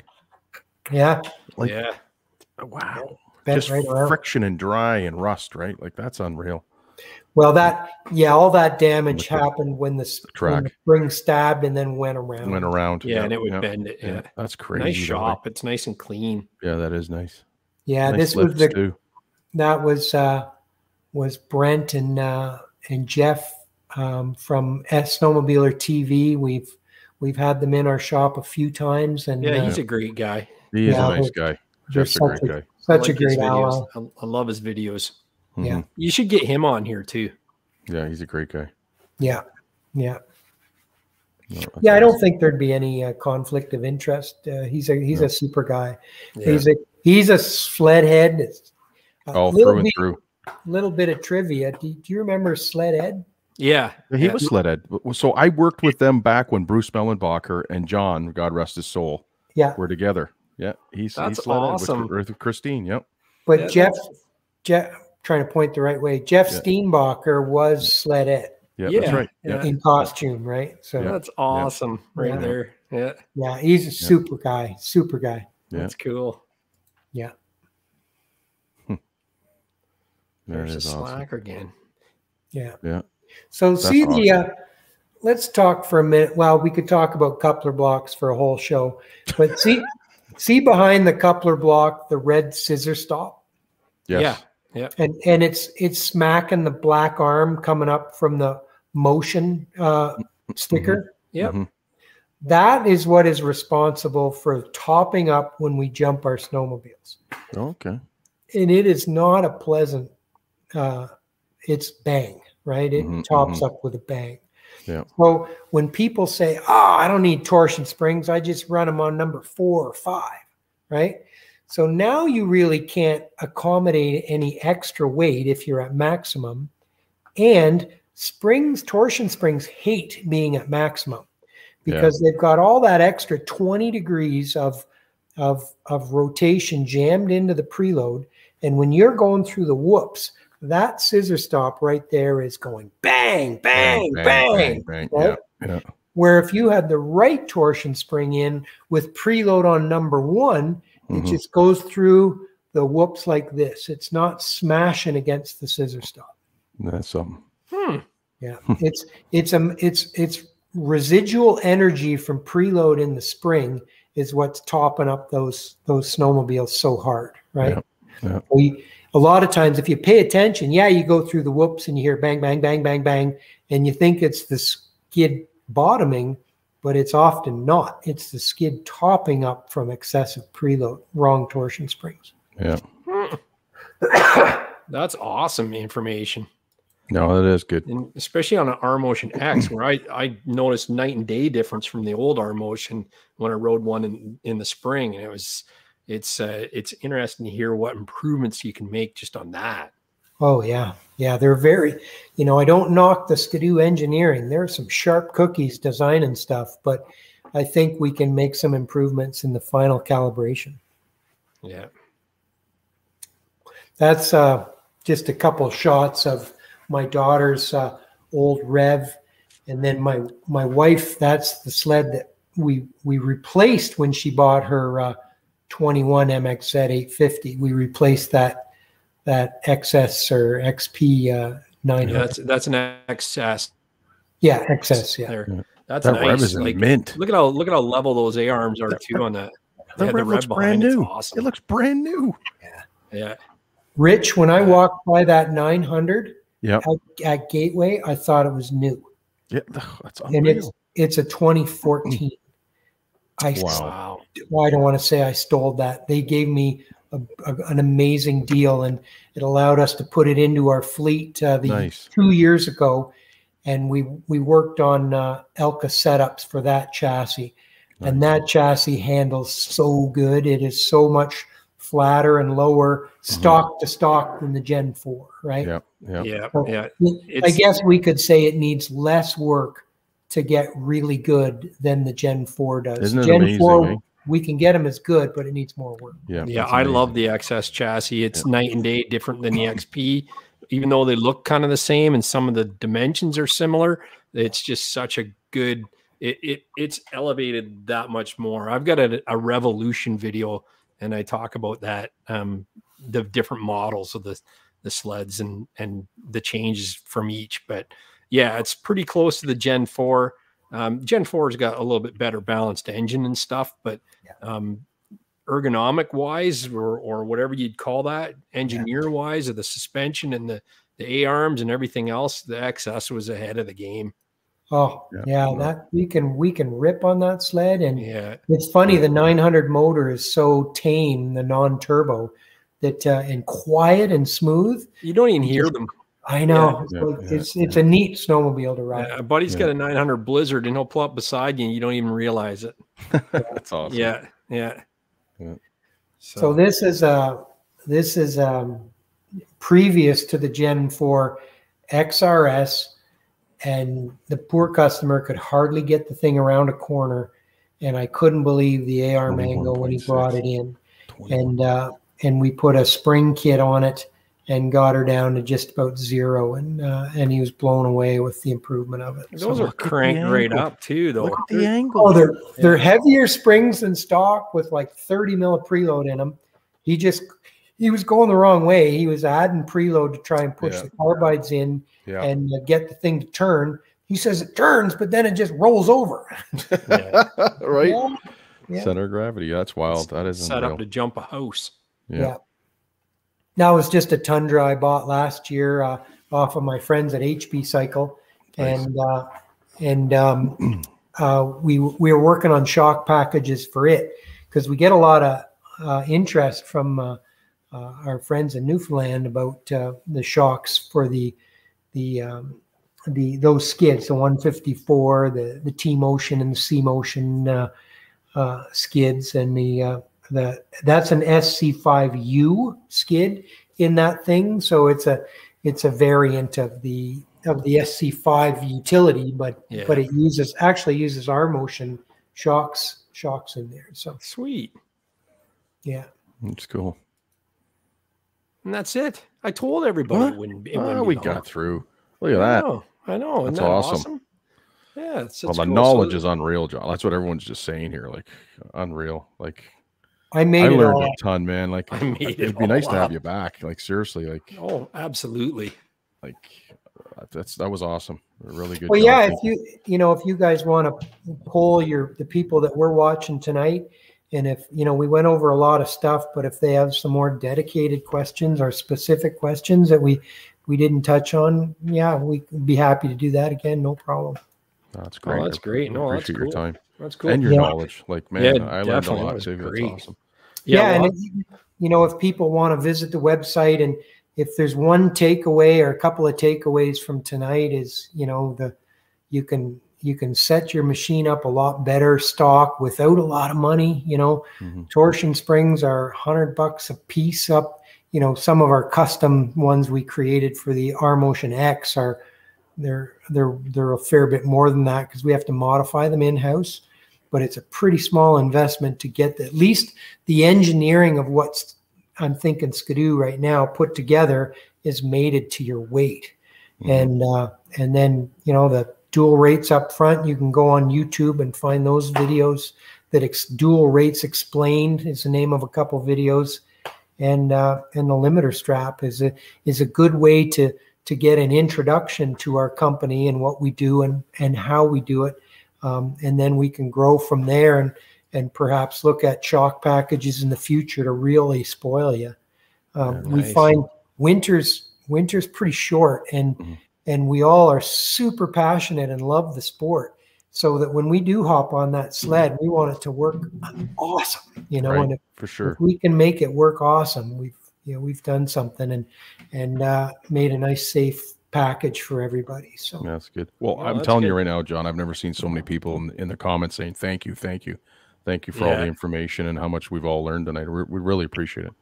oh Yeah, we yeah, do. Thank you so much for the time. Four hours is our longest one Yeah, ever. this has been our longest show of it, but I mean, Yeah. it flew by. Like but it it's did, awesome. it did fly by. It's, uh, And- so we appreciate the time and and uh, we talked about suspension and how it can make you better, but don't forget about traction and go to Right. fasttrac.co Oh, and get your absolutely. free toolkit. I'm just going to pop up that uh, that that banner, that billboard again, um, and Yeah. there you go. Um, Snowmobile Sessions exclusive free install tools with the purchase of a stud kit.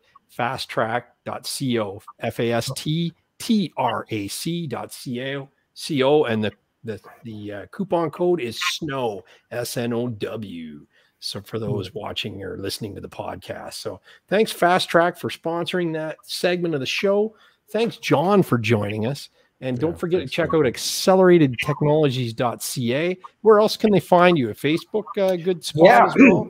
Yeah, thanks for asking. We've got two Facebook pages. One one for motorcycle, which was our our initial page, and then due to the you know motorcyclists and snowmobilers are very are sometimes not the same person.